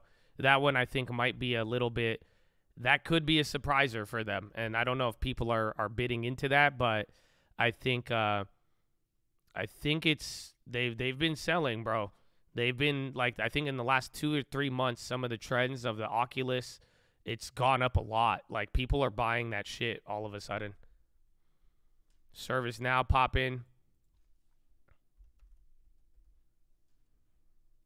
They cut prices. Well, it's good though. I mean, if it leads to adopt, but they've sold. I, I just remember it was dry. Like not too many people were buying them. But then like, I think it was because of the holidays. Uh, but they, I think they had a good holiday season on the Oculus.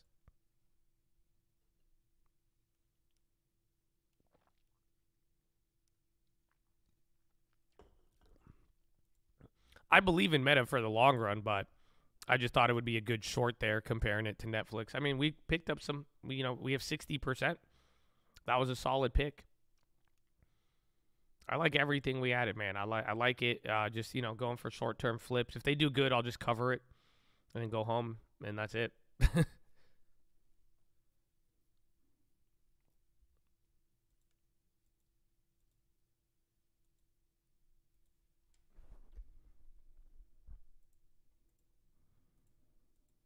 I'm feel I'm holding short shares. I have 100 shares short. FedEx again. I love you, Chad.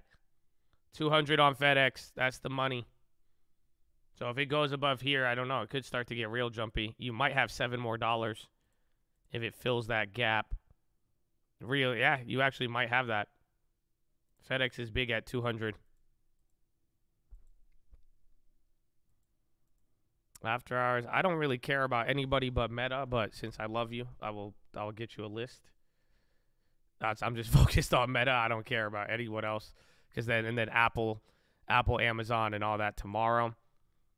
So today after hours, you're gonna get Elf, PTC, MSTR, Quavo or QRVO. I'll call it Quavo. McKesson, Meta, Met, Musa. Uh, that, I think that's my Ummu's name, and then CTVA. My mic is cut? What do you mean? Can you hear me now? You mean my mic is clapped? How is it clapped? How about, do you hear me now? Hello? Refresh. Oh, they don't want you to get the info. Dang, bro, we only have 30 minutes. Do you hear me now? Refresh. I sound beautiful in my own ears. Uh, okay, well, I told you. Uh, again, you got MSTR, ELF, PTC, Quavo, QRVO, RRX, Hollex, CHRW, McKesson, Meta, Musa, CTVA, and then Align Technologies. Bro, FedEx again.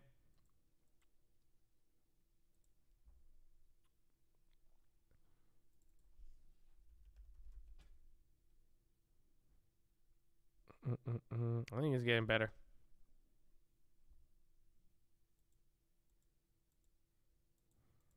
FedEx break it 200. I got you, bro. I I had to thank you for saying thank you, man. You know, I had to sacrifice. I got 40 bucks. I think I would have made like a hundred. So that's cool.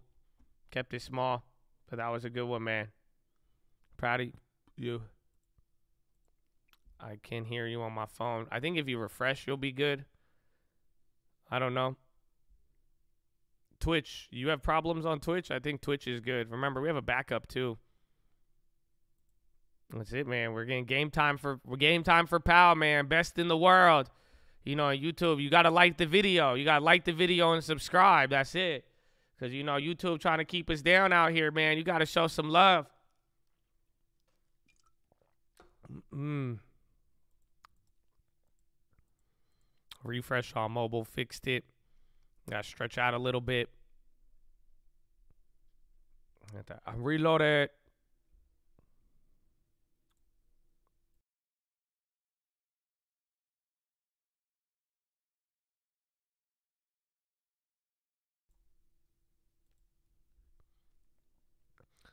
Twitch is the main channel in my heart.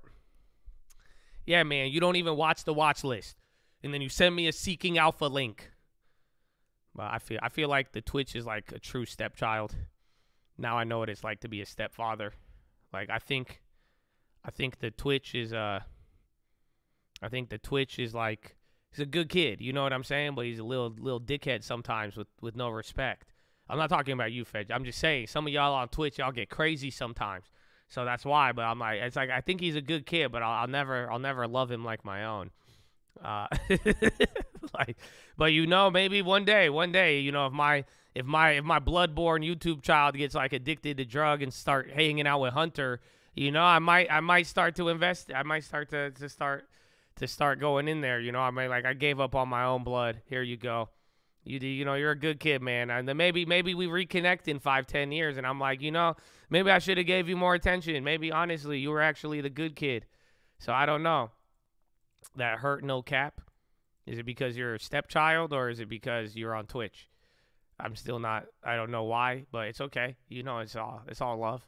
It's all love. It's, it's, oh, I've never. I do. We've been good on the Twitch. We've kept the Twitch alive for like a year, bro.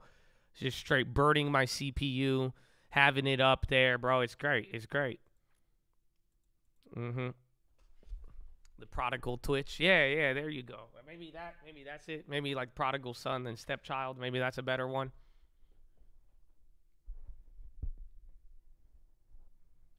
Mm-mm-mm. I invest in my friends' kids that seem they'll be winners. I want all the backup in 20 years. Bro, that's my plan. That's my that's why I invested. I invest in anybody. I'm like, you guys got potential just in case, man. I have crazy tendencies, so I do. Amen. I feel. Mm-mm-mm. We don't take you for granted. You don't. You guys, you got, got, we got some good people. The Twitch, the Twitch runs it sometimes. That's what I'm saying. You know, just I naturally, I was just born into YouTube. Like that's that's why. So I have, I give YouTube the unfair blood advantage. You know, but that's it. You know, it's just good. Mm-mm. I left YouTube to be on Twitch. You're just trying to be edgy. It's okay. I understand. I'm kidding. So I know people love Twitch, so they gonna get man. I do sound way better on Twitch. I do. Yeah, nep straight nepotism, hundred percent, hundred percent. Three minutes. Uh, I'm gonna have it at 45. Analysts are gonna come in 15 minutes before the release, but it's game time, baby. We're here. Yeah, and better video quality on Twitch. Mm-mm.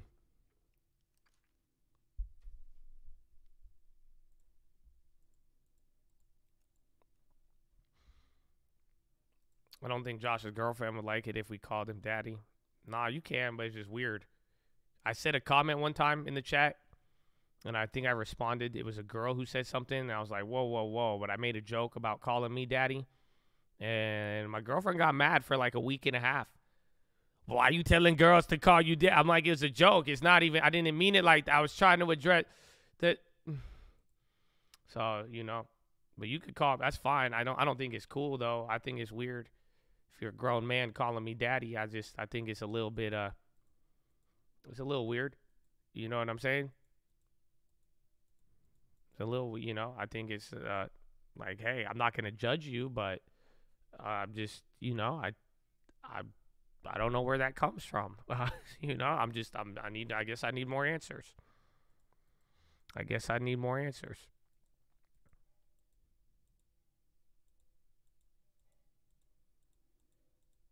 We'll go to Puerto Rico. What's up, papi? Uh, excuse me. Hmm?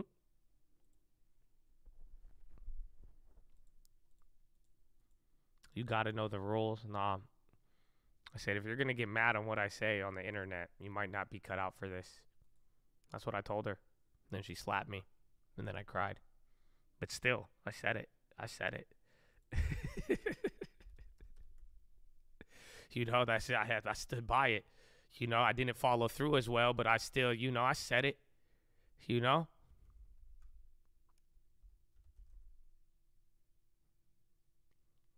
I got a lot of positions. Uh, I want to cut out a couple, but I'm hoping I could use the release to get rid of stuff, get some slight positivity on some names. And then we're going to start moving the ES and NQ possibly. And then just go from there, man. And then just go from there.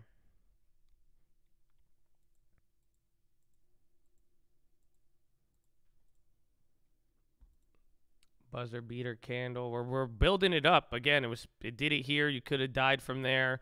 But you're starting to form the uptrend. And this whole time, VWAP's been coming down, but volume is lower.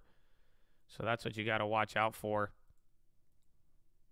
Again, news is kind of slowing down. We're going to get analysts in about 15, 15 minutes, and we're going to be good. Mm.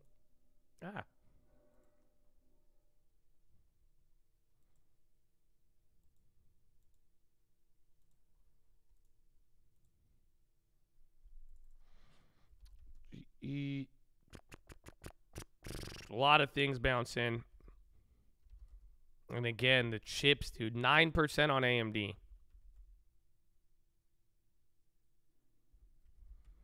AMD. AMD. There it is. There's your pop now to VWAP. That's it. You're getting close to the event now. Again, this is all very low volume of the day right now. This is hideous. 29 million by hour number four. Bruh. That's very, very bad. That's like 7 million an hour. 7.2 million volume an hour for the last four hours. That's very, very low. And 15 million came in in the first hour, I believe, or 12 million. So just get ready. Whatever, everything's going to change once this shit comes out. I'm ready. You ready? Let's get in my bag on heavy. I zoom, zoom, zoom to the fatty.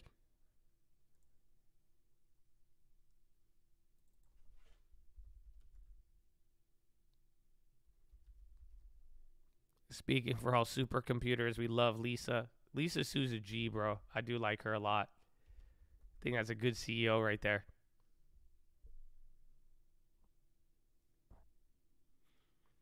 Again, the options market's only pricing in like a 1% move on the day. So we have 30, 27 minutes. 27 minutes, the release is going to come out. And again, we know what to look for pretty easy. Uh, we're going to be watching the, uh, we're going to be looking at the, um, the statement and if they make any of those changes. And then uh, at 30, we're going to be getting the uh, press conference. And then that's it. And it's game time.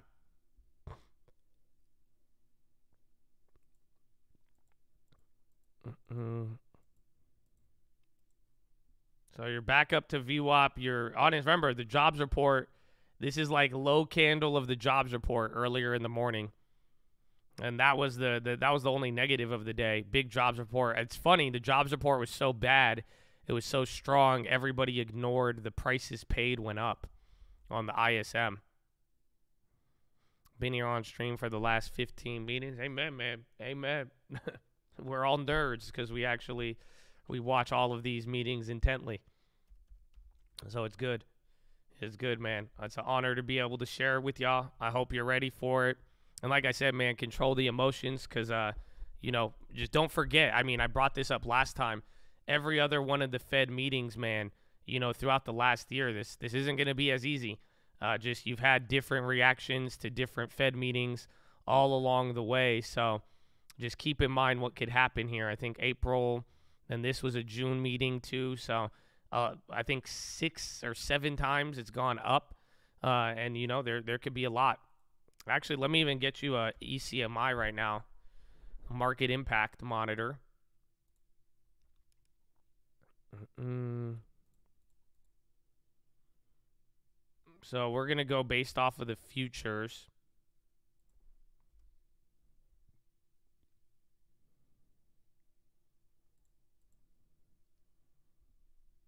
So here are the last couple of times. This is the first hour. I'll switch it to six hours, but uh, the purple line, this is last June.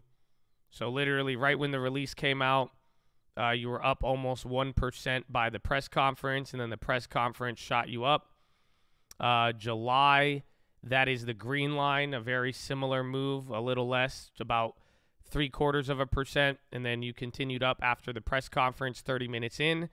Uh, the baby blue line, you see the baby blue one right here?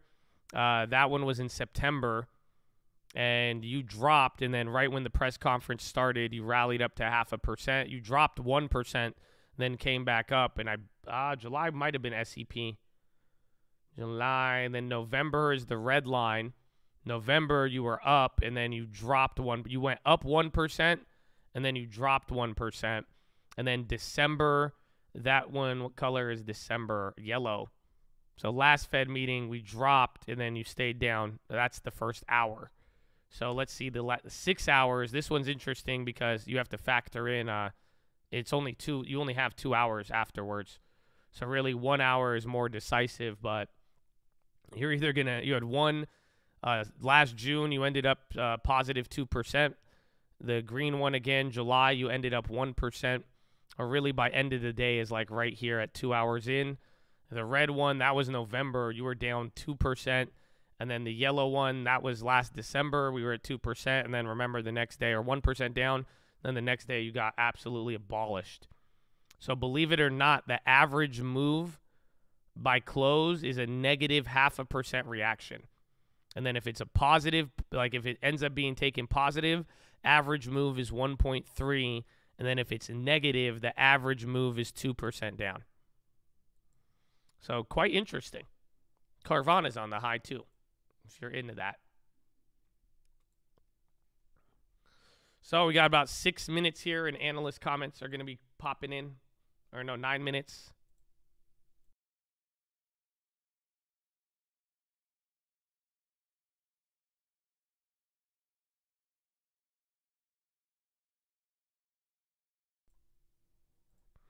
Hey, love the breakdown. Negative questioners.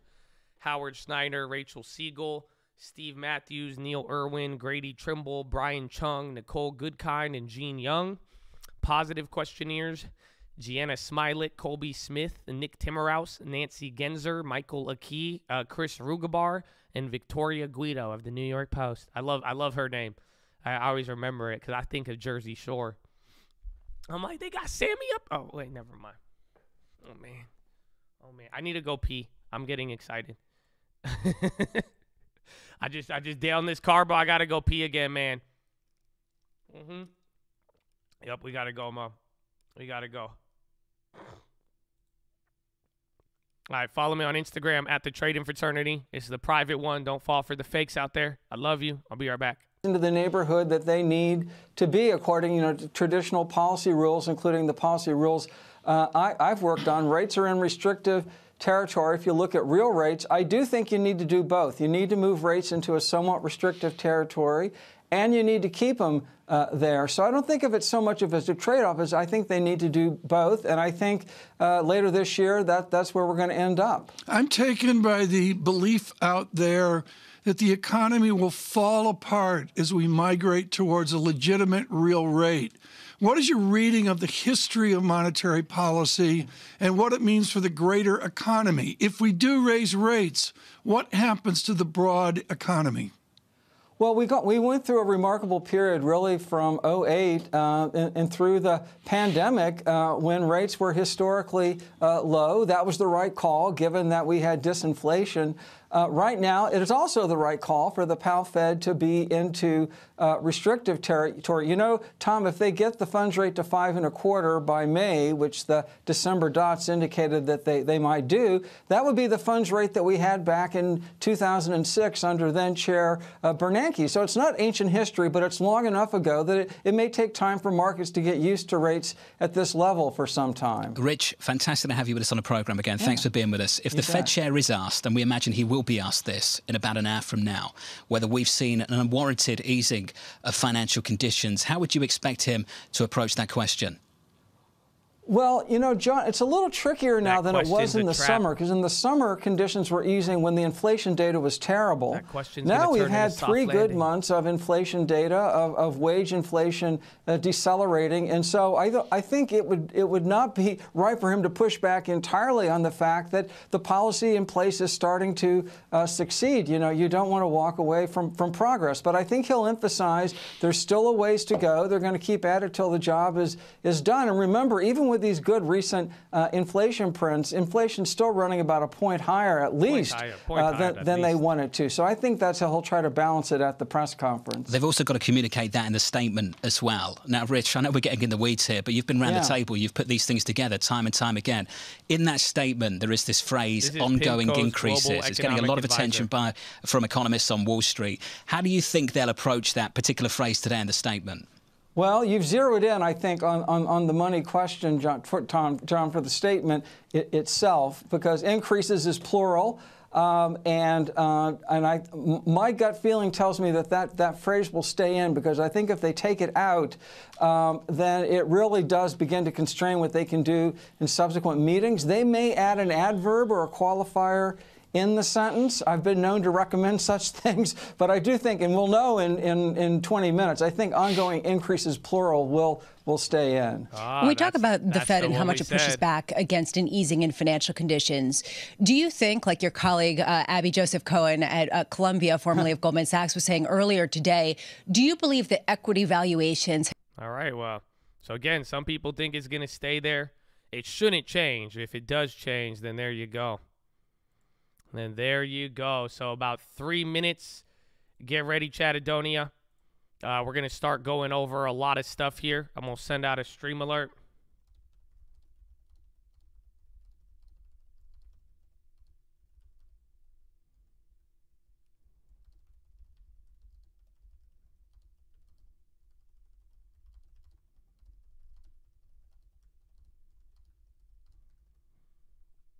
Mm, no, not three minutes for Powell. Three minutes for analyst. I'm gonna just start going over everything. We're gonna see what people are saying. We're gonna read a lot of different opinions from across the board, uh, and then 15 minutes after that, we will uh, then have the release, and then we're we're gonna go from there. It will be quite exciting. Again, my first move is gonna be going straight. Uh, again, we're gonna go straight to here.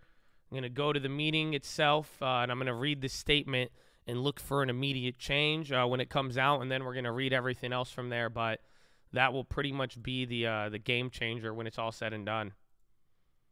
So get ready for it. It's going to be hype. Make sure you like the video. Show some love. We, we need like 10 likes. Y'all got 10 likes left? I don't, I don't know. I'm I'm keeping it small today. Y'all doing good, but two minutes we will begin, and uh, this is it. This is the this is the final the final tunnel. Then it happens. Oh, what's up, Farty? God bless you. Oh, we got was that who was that? Luis. Happy birthday to my only son, Luis Garcia. He's been listening since I have. He's a future business leader. Let's go, Luis. It's game time, baby. It's game time, Luis. Hey, man, future leader. That's what I'm talking about. Game time, man. Game time. Mm-hmm. Mm-hmm. Wow, hope you're ready, man. Yeah, happy birthday, baby. Happy birthday. It's game time. Gotta keep working hard, get that long term too. And let's see what happens today, man. I hope you all respect the market. I hope you're ready for both sides. Mm-mm-mm. Yeah, you actually haven't heard a lot from the Fed. There was a blackout period, and they kind of stuck to it. A little bit of a cheek lay here again. Volume is still very, very low. And get ready for everything. That's it. This is going to be the final, the final setup. Let's see. The these are your five. Speak now or forever hold your peace. We're going to see what every analyst, uh, all the Fed watchers are about to come out now. I'm still I'm holding the bonds. Yeah, I think the bonds could get killed. I'll just tell you now. If you're in that bond play, you have a real nice gift right now. You could either be walking away with a small profit or break even. The bonds might move more than the futures today. So just keep that in mind. The bonds could get very, very wicked. Uh, so, you know, for real, you better know what you want with it. Figure it out. Maybe make sure you have enough money for the next move. And it's going to be crazy. It's going to be crazy. The bonds are real. Again, because whatever Powell says, the release, everybody is going to be there. So here it is. Uh, the economics reporter for Bloomberg, he's saying they're going to be guiding through the FOMC. It is widely expected on Wall Street and has been pretty clear and signaled by the Fed that we will get a quarter point hike to an upper bound of 4.75. While that will be the smallest hike after 650 basis points or 75 basis point hike, it is still lifting the target rate to the highest point since 2007. The key news from the meeting will be guidance on rates and Powell's press conference. So that is our first comment right there. Again, after today, will be at the highest rate since 2007 and all eyes are firmly on the guidance for rates. So the key word to watch for the FOMC statement is ongoing, as we've already shared with you. In recent meetings, the Fed has pledged ongoing interest rates, which implies at least over the next couple of meetings. Some on Wall Street see that it being toned down to allow for the possibility of a pause in May. Thus, ongoing could be replaced with further tightening, which would be read as dovish. If ongoing stays, the presumption is the base case is for hikes at the next two meetings as well as today. So that's a very, very good one. If it doesn't change, base case is a quarter basis point from here on out until March or March and June, uh, or March and April or May.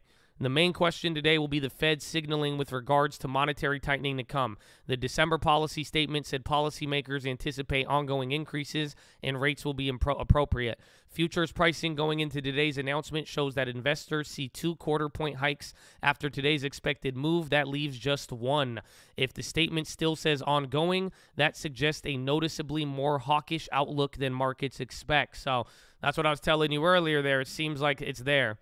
Some people are saying now if it is hawkish or if they don't change the ongoing, that could be read as initially hawkish.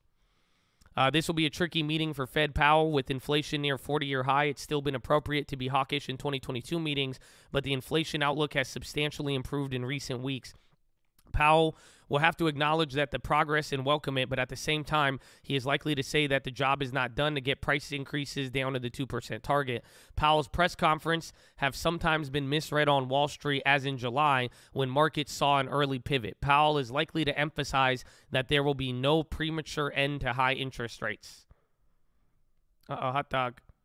The FOMC has an annual rotation of voters among Fed presidents. Coming in at the FOMC voters will be Chicago Fed's new president, Austan Goolsbee, believed to be dovish, Philadelphia's Patrick Harker, and Dallas's Lori Logan, both seen as centrist, and Minneapolis's Neel Kashkari, who is currently an arch hawk. So again, you have not had any, you only had two dissents on the last one. So as far as Powell has been in chair from 2018 or so, You've had about six dissenting ones, so that will be something to watch here. Uh, that's something I've even noticed myself is that anytime there has been a, a dissent, it's usually a, a 2% plus day. So while the Fed's voting panel has changed since the start of the year, communication from officials before the blackout period didn't seem to suggest the possibility of any dissent. But surely we must be approaching this point where there will be divided votes on how much further the Fed ought to raise rates. I wonder if Powell will hint at anything along those lines in the press briefing. Ba-da-ba-ba-bop. 10 minutes remaining. The FOMC was worried in December that financial conditions, stocks, bonds, and dollar and mortgage and lending rates might become too easy, countering their effort to bring back a below trend growth to cool prices. Since then, conditions have eased further to the extent easier conditions reflect the market's conviction that the Fed may cut rates prematurely later this year. Fed officials will want to push back against that. The easing in financial conditions sets up the potential for a hawkish meeting or press conference by Powell.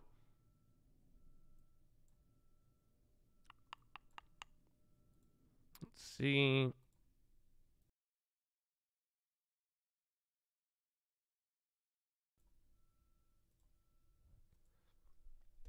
I wonder whether Powell will weigh in at all on the recent rally in markets which has the potential to undo some of the Fed's tightening. We saw in the minutes of December's Fed meeting that officials were concerned about this, but Powell has been very circumspect in addressing this in public comments. Obviously, if he makes very direct comments, it's going to be controversial. He wouldn't want to be saying, I want equities to fall, but at the same time, he is unlikely to want to stoke a rally today.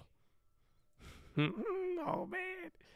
Understandably, there's plenty of focus on financial conditions, and it's likely to be raised at the press conference given the solid rally in risk assets and weakening of the dollar as of late.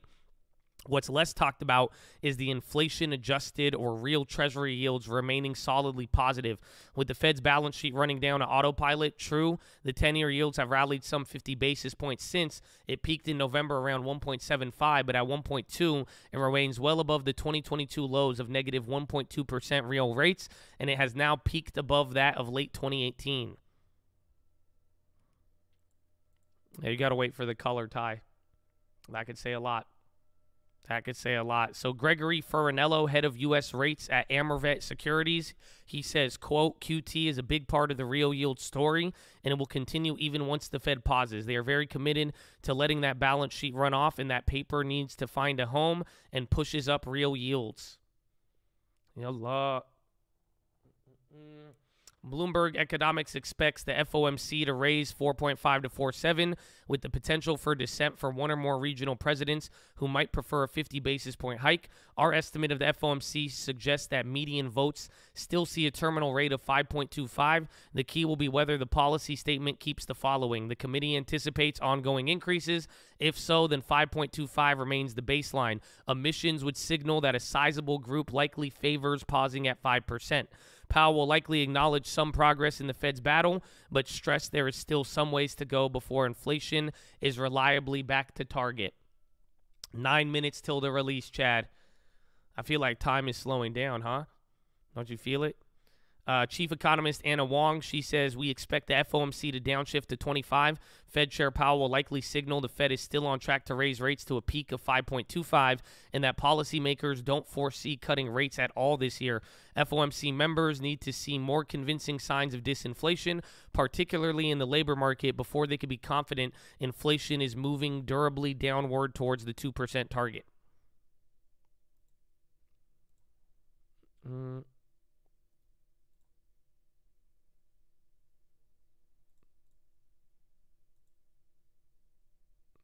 See.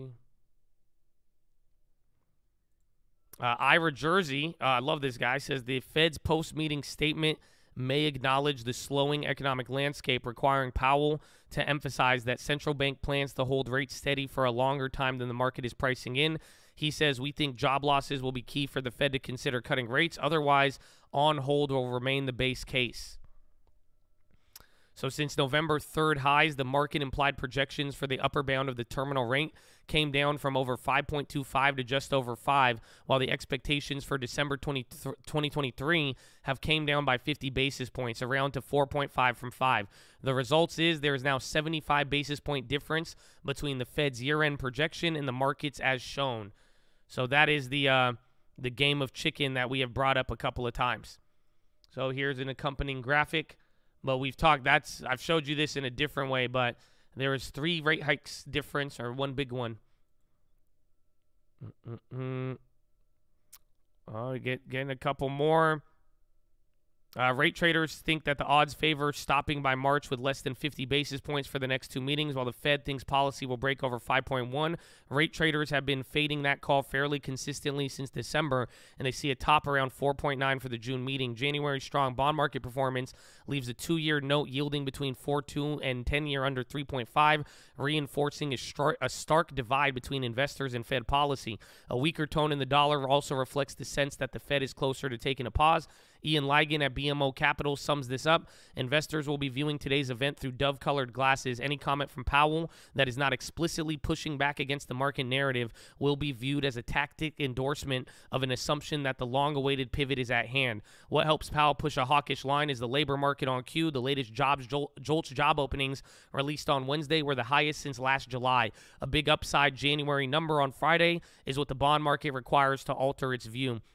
Uh, Blerina Uruci, chief economist at T. Rowe Price, says, without data to back this rhetoric, I expect Powell to tone uh, tone to be challenged by the market. The first step to believing Powell's hawkish message should start pricing the terminal rate in December statement of economic projections, which is yet to happen.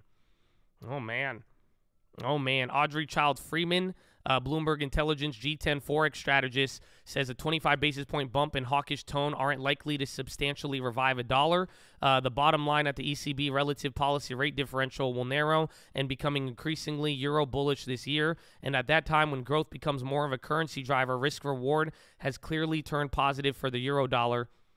Uh, market watchers have come to a consensus that they think the Fed will do this year in terms of numbers of additional rate hikes. Deutsche Bank says its strategy see two more 25 hikes after this week, partly as the Fed won't want to see financial condi- conditions ease too much as a result of being too dovish. Meanwhile, Sam Stovall, chief investment at CFRA Research, says that the central bank hike this week might be its final one before it pauses. Uh oh, hot dog. Pauses for the remainder of the year, he wrote in a note. Uh, we see this Fed contemplating the start of another rate lowering cycle as the inflation rate edges downward to the desired target. Uh, looking at the last three FOMC meetings here, uh, this is the volatility. Uh, we certainly expect some volatility over the coming hours and day. The risk appears to be to the downside, especially with the NASDAQ up around 10%. Over the last three FOMC meetings, the NASDAQ has declined 4.7 on average in the week after the announcement. So let's see if Powell weighs in at all on the press conference on the Federal Reserve debt limit standoff. Many economists and formal officials are predicting, uh, where is it? Uh, at least the tumultuous showdown as occurred in 2011 when stocks tumble, consumer confidence weakened, and the economy economic recovery hurt. Wall Street analyst sees the Treasury running out of cash sometime after June. Does the Fed chair weigh in at all in urging everyone to take the default as off the table as soon as possible? Uh oh, hot dog. Mm-hmm. All right. Four minutes.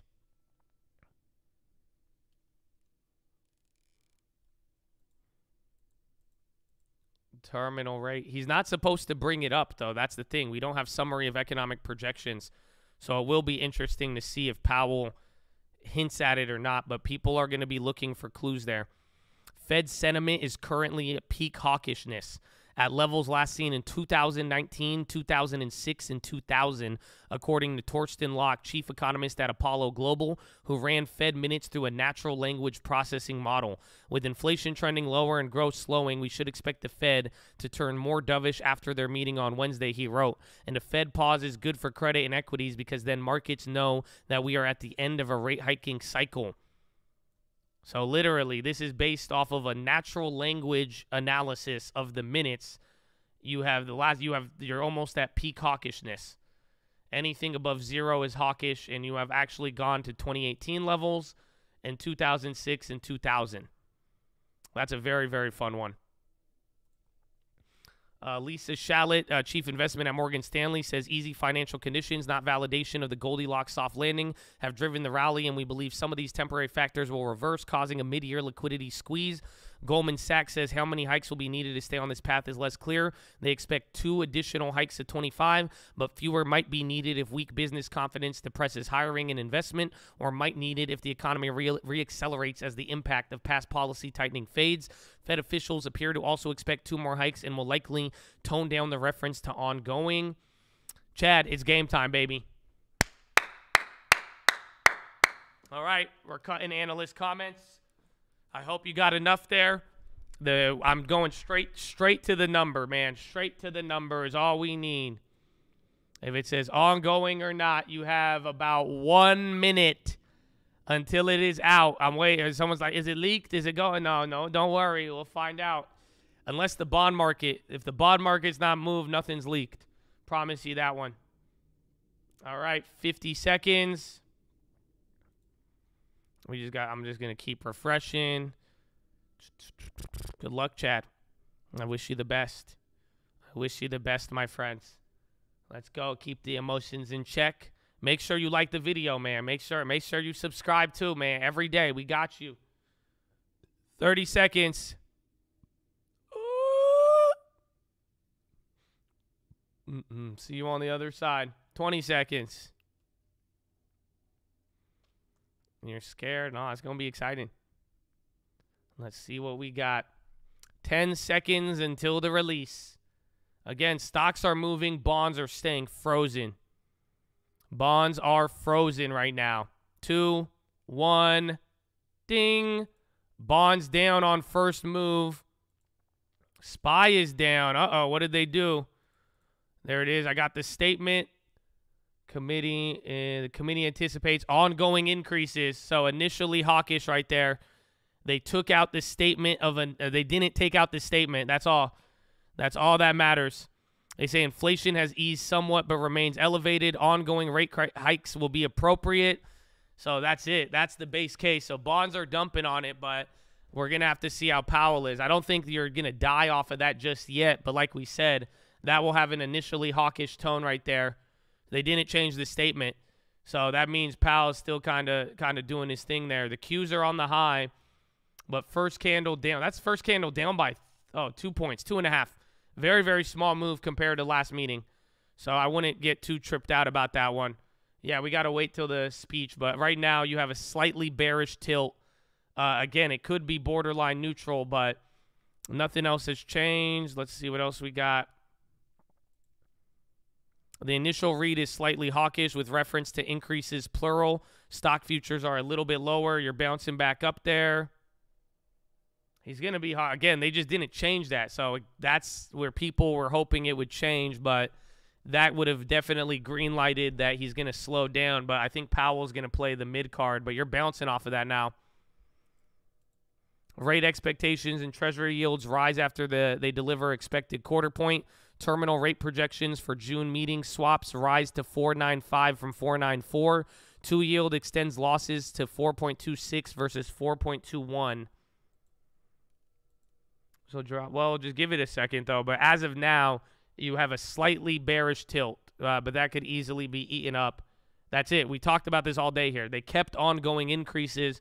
Uh, some people thought they would take it out, but it's just like if now it re now Powell is going to be a wild card.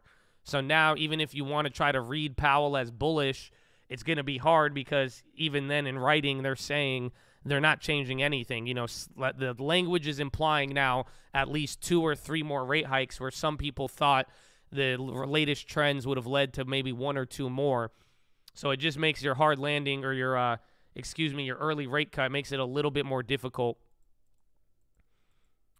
So, not much change in the take on the economy. They're emphasizing that the job is yet not done. They say inflation has eased, but somewhat remains elevated. So, nothing has really changed.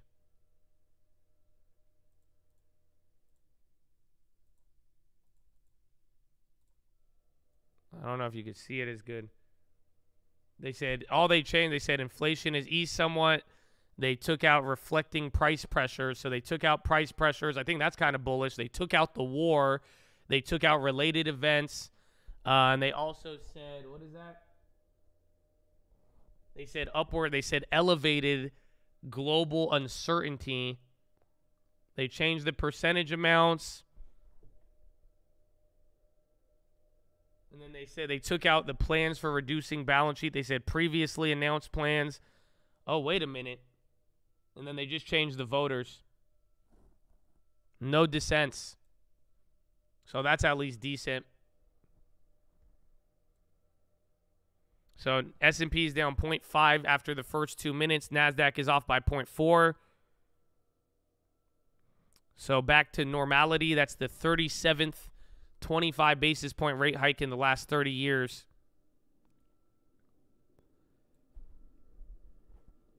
Mm.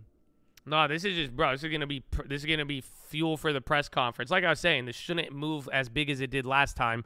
You have uh, once you hear terminal rate, once we hear that, that's what we're gonna need to see now. But it seems like ongoing rate increases is kind of getting people there. There's no change in guidance of quantitative tightening. The committee will continue to reduce holdings of Treasury securities and agency mortgage backed debts as described in its previously announced plans.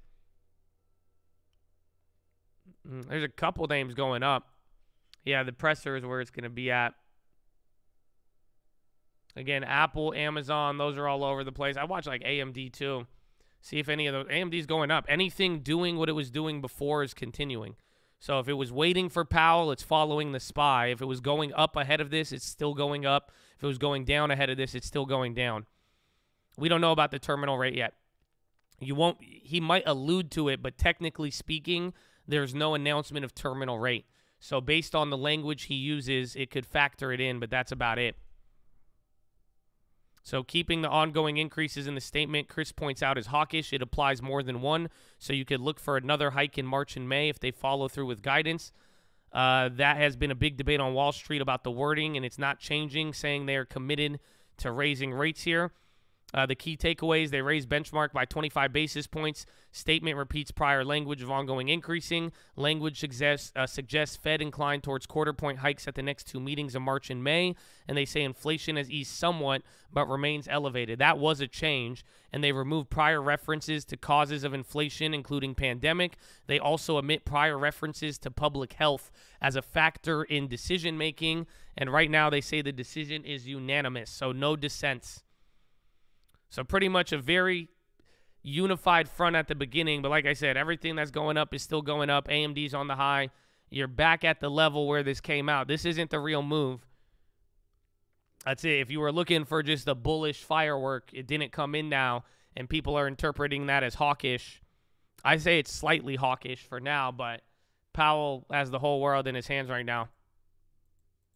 And then a comment, not all surprised, KPMG's Diane Swonk they say the Fed really has been pushing back on the easing of financial conditions. That's probably why they didn't change the language. Mm-hmm. That's the music they chose.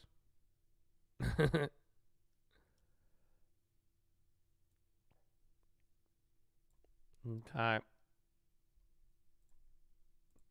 We'll set up the video for you.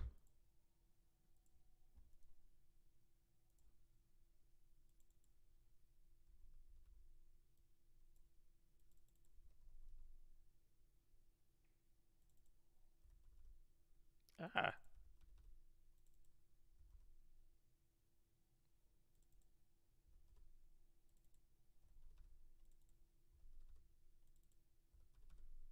I gotta gotta work it out here in real time, you know.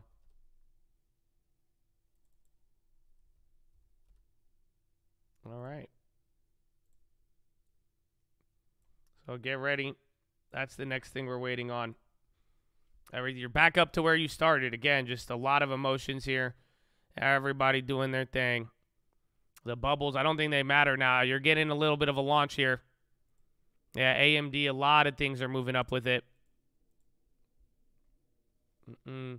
I'd watch crypto. You haven't watched, you need like a real risk asset move, more or less. Okay, futures are starting to rip here now. So that's what we wanted, but we'll see how long until Powell bats it down. But then the bonds too. That's that's the real answer. Nothing's really changed right now until that bond, until that ten year, and everybody starts factoring things in. But clearly, watch for any signals of terminal rates. So hiking into a recession. Here's a look at the change leading hiking rates into a recession. That's where February 2020 is. Uh, where else? December 2007, they were cutting into it. Oh, months from recession start. So right here is where the recession begins. So they've hiked into every recession, is what this chart is showing you. Uh, we don't care what Powell says. So again, Fed hikes benchmark rate by 25 as expected. Central banks signal further increases are coming. Inflation eased somewhat but remains elevated. That was a change. Treasury yields climb. Stock yields hit lows, but bonds are bouncing with it. It could be well FOMC decided that removing ongoing would be too strongly indicative that there's going to be a most only more than one rate hike coming, even if uh, policymakers, ah, where is it? Uh, think that it's likely they have plenty of time between now and mid March to shape expectations and react to oncoming data. Dennis DeBusschere of 22V. As always, wait for the press conference, and in particular, how much Powell focuses on pain. Uh, the need for the economy to take some pain or not. At the last meeting, he was very pain focused. mm Let's see. I wonder if this is going to give me. Okay, now I think Ethereum's moving. Let's see if this gives us an out on anything that I want to remove.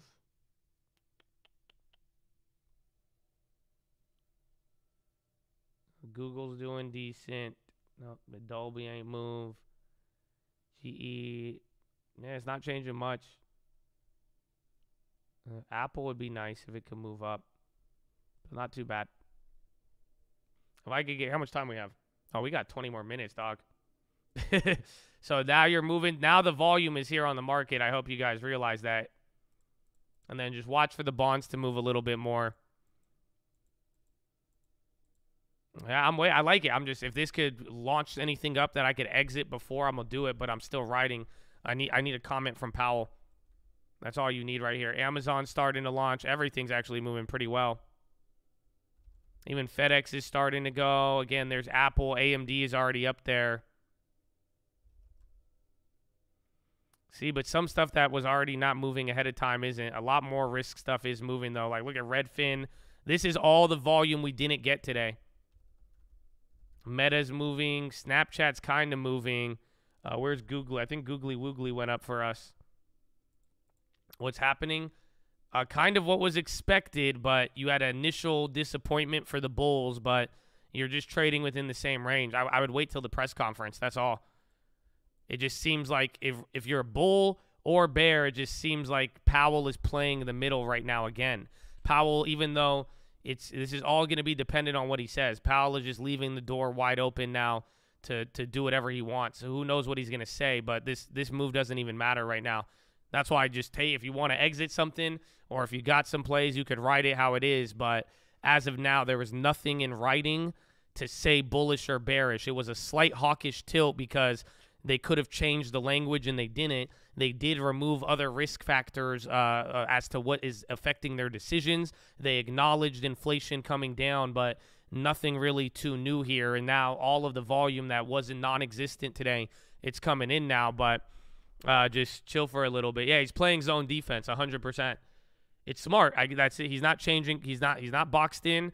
He still says it, but the like we said, we want to see what he says about terminal rate if he brings up anything of that nature, watch for soft landing odds question. Watch what he says about core services and real estate.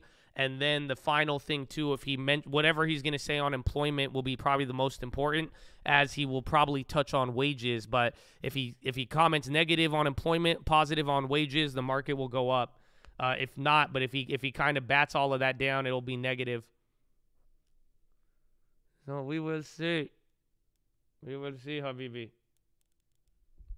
Again, you're really not even up at you're really at the high of the day from the morning, but you're getting some of that momentum. He's not playing Goldilocks. He's just buying again, like we said, it would be hawkish in the sense that Powell, in a weird way, he might start talking like he could do another 50 basis points at the next meeting, and that will scare people. But why put yourself in the box? He's just he's not putting it in writing to clap him pretty much. So he's just doing his thing for now. It, it's not. I, I wouldn't take it about I'm on anything. All it is is slight changes. Everything we discussed, you didn't watch any. There's nothing changed. So everything's coming in as expected. What could have been a surprise did not occur. And now you're trading within the same range, but now you just have a lot more volume and just wait for now. Uh, wait for the press conference. I mean, we got 15 more minutes here. No, I'm not averaging down nor selling anything yet. I'm telling you, this conference is going to be fire. So we're gonna. If you think this is a big move, you haven't seen anything yet. Just get ready for it. It's gonna come in. You know, there's there's gonna be some questions here, and you know we're prepared for it. We know what to be watching for. So if he says the right or wrong things, then we're gonna go from there. And and honestly, what I'll even tell you, the fact that they didn't change the language too much I would be on the lookout for any other Fed speakers following today. So there's going to be, you know, they they they could they're keeping the writing the same if they could find other ways to change expectations. So that's that's what I'd be worried about. Uh, the press conference should be a, a powder keg, but also the next coming days, again with the language the same. This just is going to make the next few days here a little bit more uh, sketchier.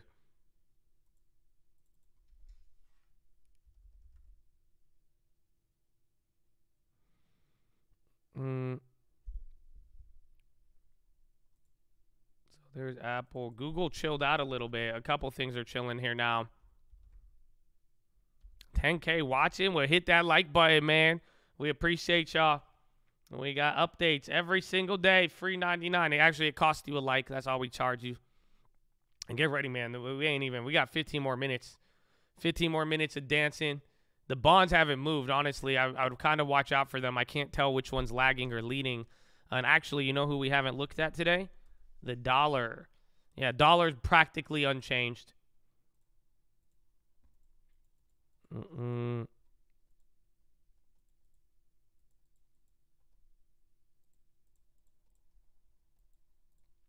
So Avery Shenfeld, chief economist, CIBC, she says uh, nothing to see here, folks. But he uh, but he adds that uh, uh where is it? He adds that the retention of ongoing increases could essentially be an effort to address the easing in financial conditions.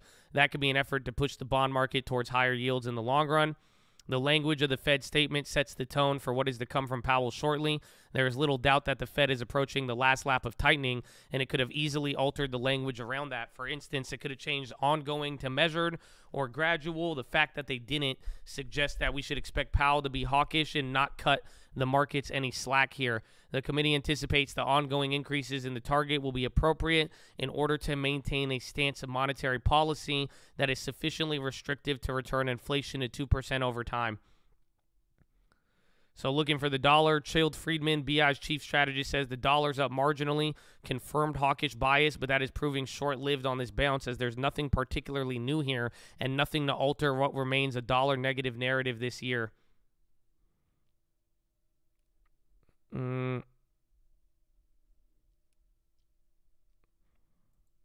Yeah. Well, again, he just what he should have done, he didn't.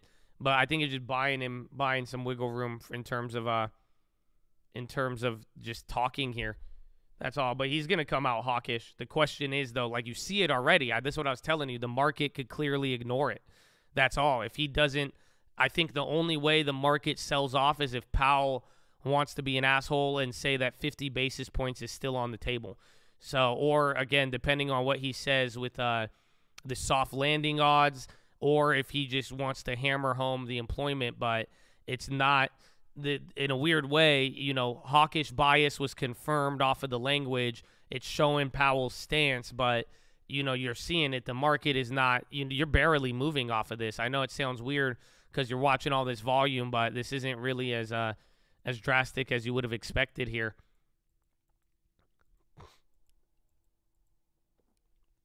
Yeah, back to VWAP. And again, take notice, Chad. What did I tell you? Every 15 minutes. So now your pretty much 15 minute trend is neutral. Half of the time you went up, or a little more than half, and then three minutes after that, four minutes, you've given it back up. But 15 minutes is straight neutralized.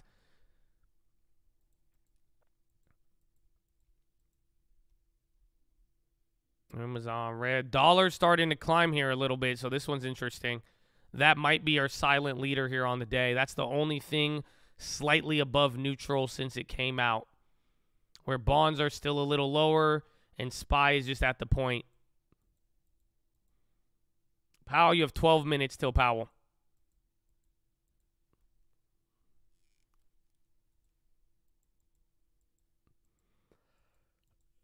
Uh, it's great excitement.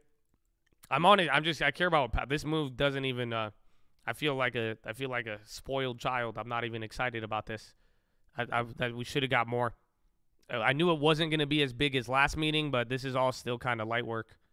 We need uh we need that. I, I what he's going to say. I'm telling you, he might have a trick up his sleeve, or if he drops the ball. But what I see is that the Bulls are still alive, and the Bears haven't gotten any surprisers to bring everything down. That's what I'm saying. You need a surpriser. Just like the employment, you see how that surprised people? That shit brought you down instantly. You need a surprise. So if there's no surprise, the Bulls are still they still got their their their their horns up there and they're ready to go. But we got to be able to find that one out. But right now, they're, the only surprise was that the Bulls didn't get what they wanted with the change in ongoing increases. So yeah, someone has to ask the right question, or he has to say something about liking wages not being down, or he has to again. I'm t- I think the easy way is if Powell just really wants to smoke out the the Bulls and just say 50 basis points still exists. If he says that, someone's going to ask him about 25 basis points, and then he's probably going to say, "Well, we could do 25 in the next couple of meetings, or we could do 50." That's why we said on, but we don't know. And he said we're going to need to be confident. So we're going to find out there, but it's it's all it all depends on this presser right here. That's what you really really need. And then where's the yen? It's going to be reactive to the dollar, but keep that one in mind. Yeah, it looked just like the dollar. 40, 60. Yeah, this dude, this is uh negative tilt slightly, but like we're saying, you're very, very neutral from the release. Ben Jeffery, BMO, says biggest takeaway along with widely expected 25, was that the Fed opted to leave ongoing with the formal language and indicated that there are more tightening moves to be realized this cycle. He adds that the phrase pace of future increases transition to the extent of future increases, reinforcing the idea that future rate hikes will be at pace consistent with what we got today.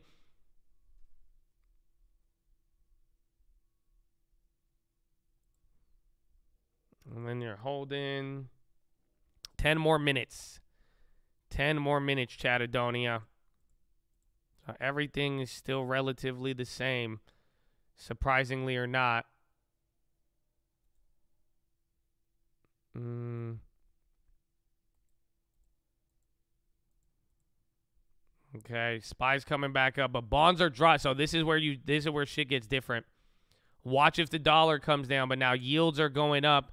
Bond market. So if bonds come down and stocks go up, that's going to start creating a gap here for Powell. One of them might be leading. You want to see does everybody, if nothing changed, did the bond market change its stance to disagreeing with Powell? That's pretty much what we're looking at here.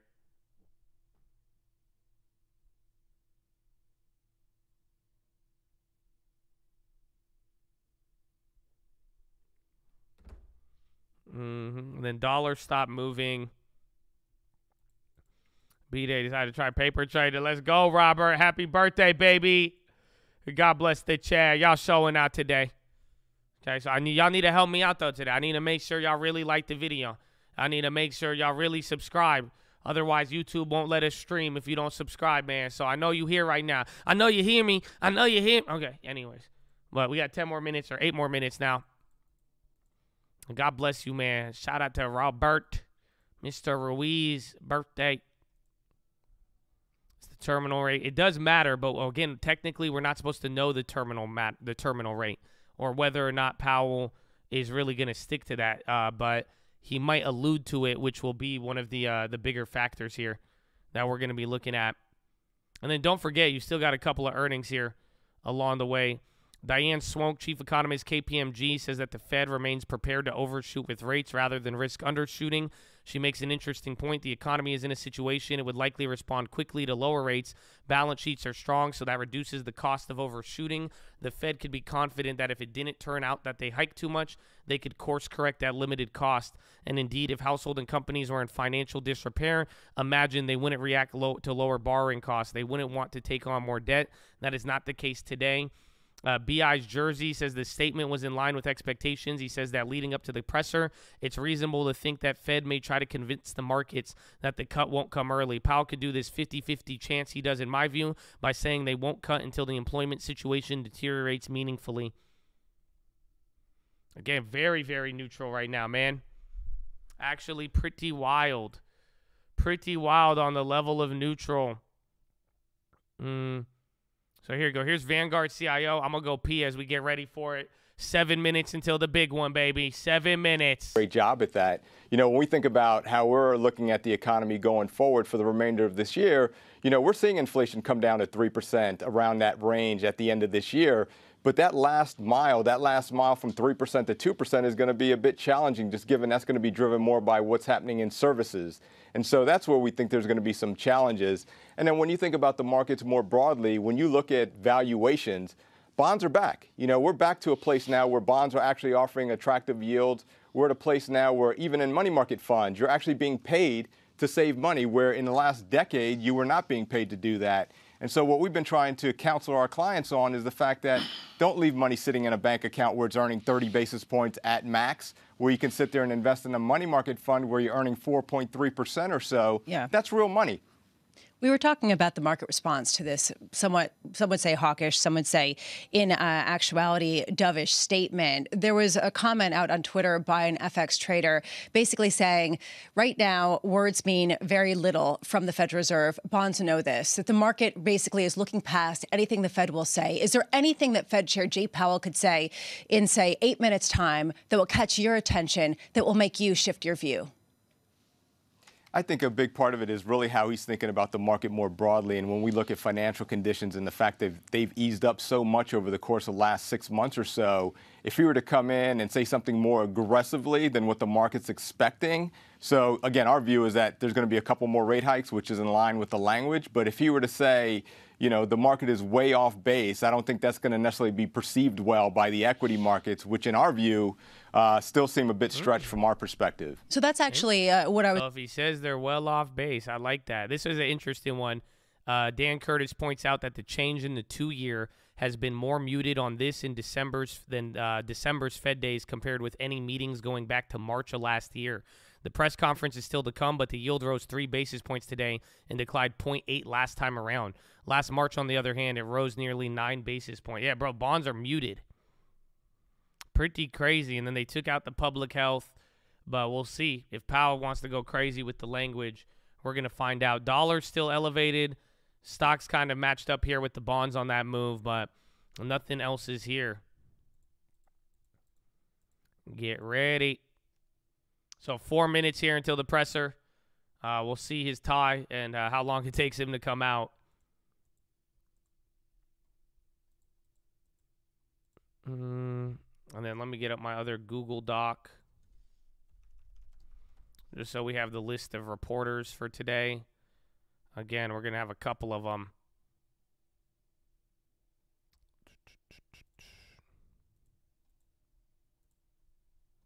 Nah, bonds are this is this kind of weird. Again, in the last year, off of a Fed meeting, the the bonds have moved what triple the size of this. So I think everybody wants to. I think everybody wants that clue on the terminal, and if Powell, whatever he says to to word his way in or out of that, I think that will have an effect. So we are gonna find out here, Chattadonia. It's coming. So now bonds are moving first. So this is it. If the bond, if everybody starts smashing the ask on the bonds, and they're like, "Screw you, Powell," that will be interesting. So let's see. And again, dollar. So every time bonds take a bid, dollar comes back down, but we still don't have a leader yet. Some on Wall Street are reading the change of extent of future increases from pace as being dovish, suggesting we're near the end. I'm not sure if it's 100% why the FOMC changed the wording. Perhaps, oh man, watch out. The Bulls the Bulls found a way to do it. This is what I was talking about. That's the that's the whisper right now. They're saying extent of future increases was different rather than further ongoing. They're saying extent. Hold on, I'm gonna double check this right now. I told you, bro. They might find a way to ignore Papa Pow. Where was it? to attain in determining the extent of future increases in the target range. Let me see if I could get this strike through. What does that mean? There was a slight change. Uh, they didn't. They kept the ongoing, but they changed the word to extent. So let me get it for you. I'm pulling it up. I'm trying to see the side by side.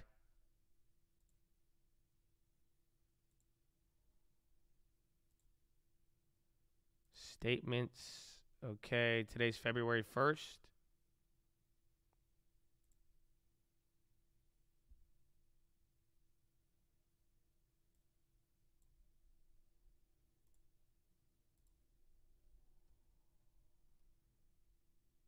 Let's see, right here.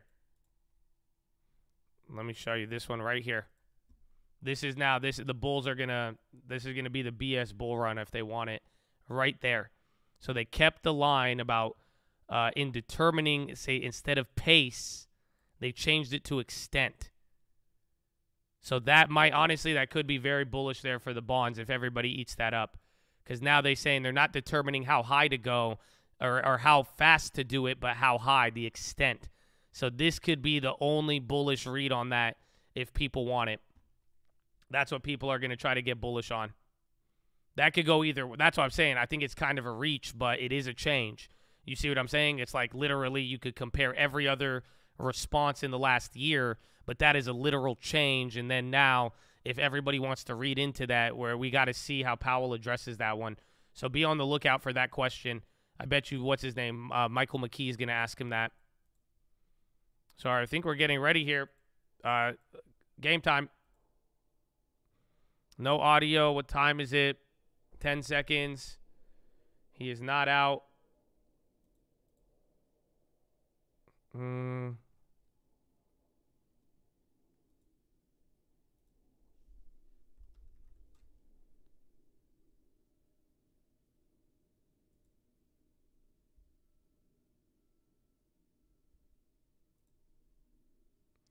Okay, this one's behind. I have a faster one.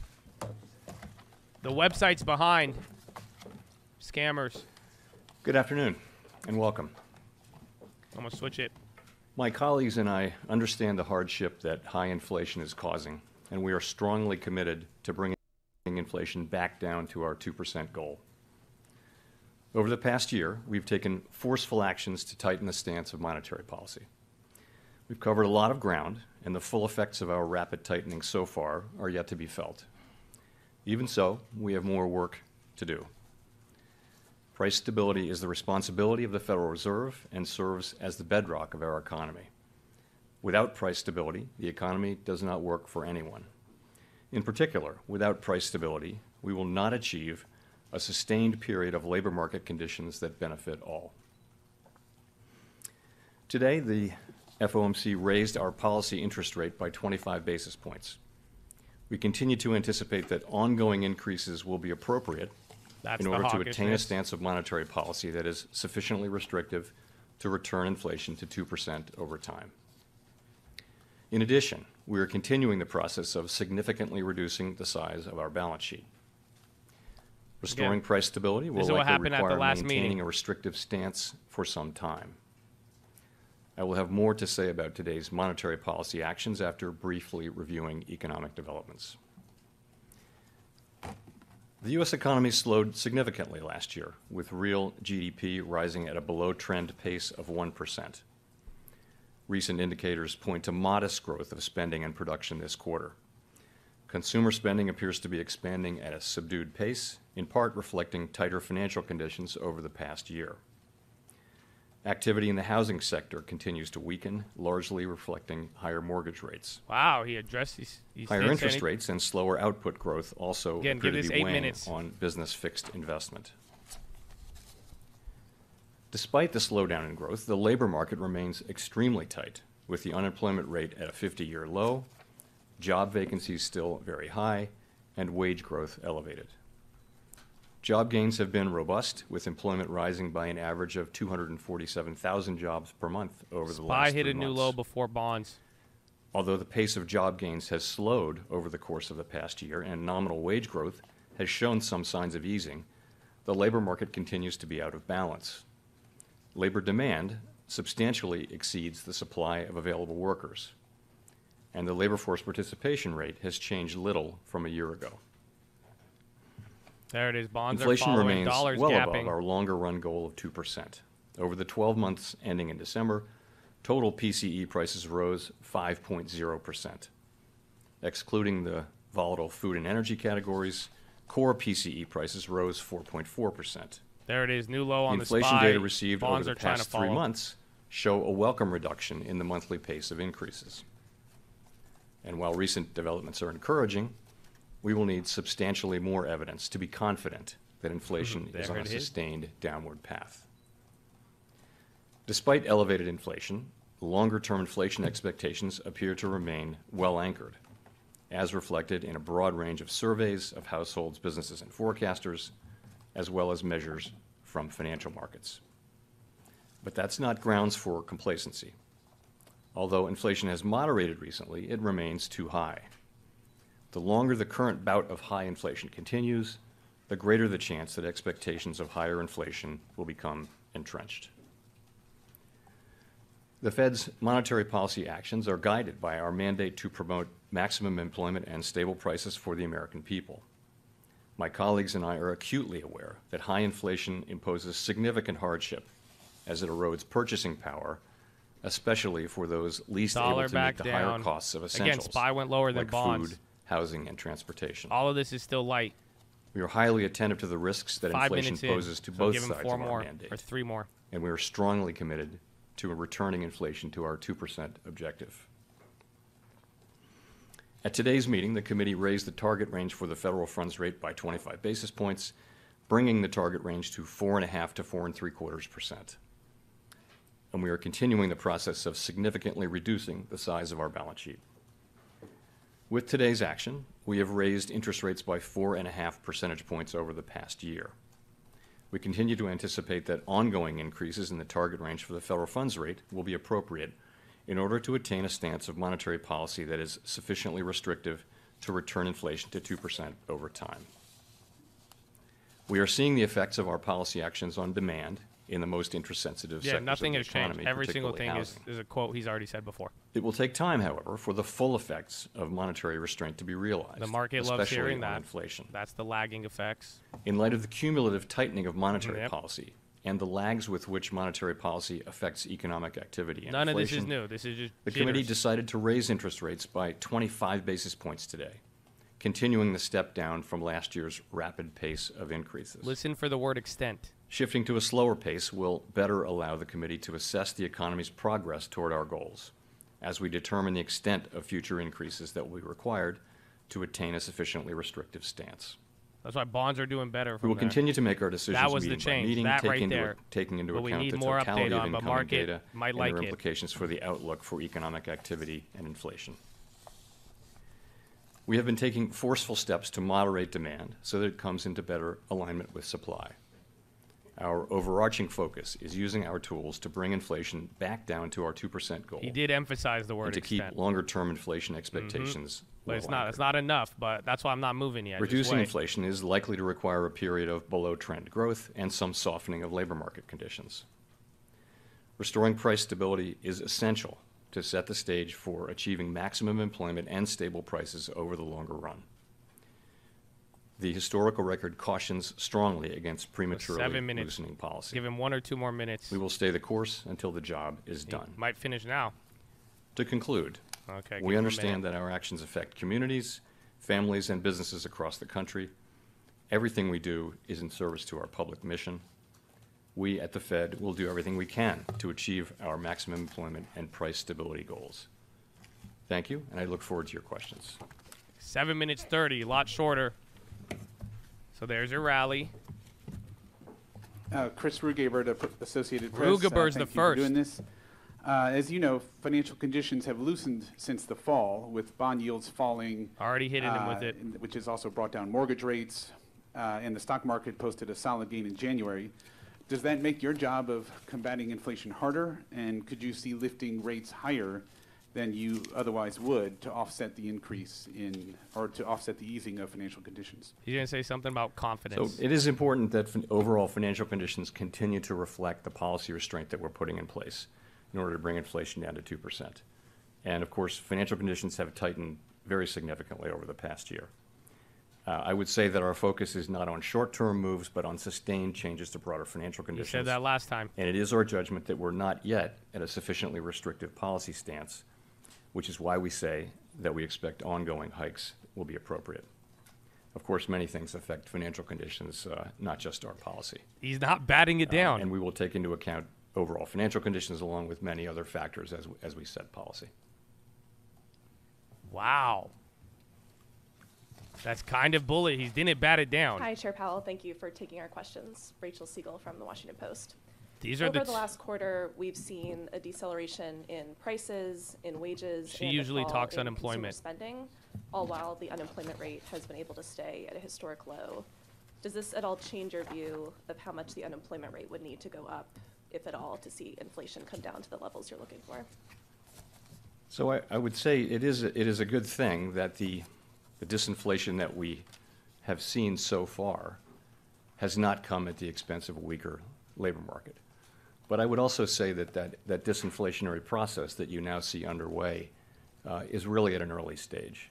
Uh, what you see is really uh, in the goods sector, you see inflation uh, now coming down uh, because uh, supply chains have been fixed, demand is shifting back to services, and shortages have been abated. So you see that in the um, in the oth- in the in the other in in the housing services sector, we expect inflation to continue moving up uh, for a while, but then to come down, assuming that new leases continue to be lower. Same so re- same in those two sectors, you've got a good story.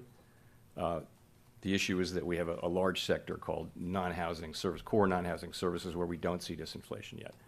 But I, I would say that um, so far, what we see is uh, is progress, but without without any weakening in labor market conditions. That's.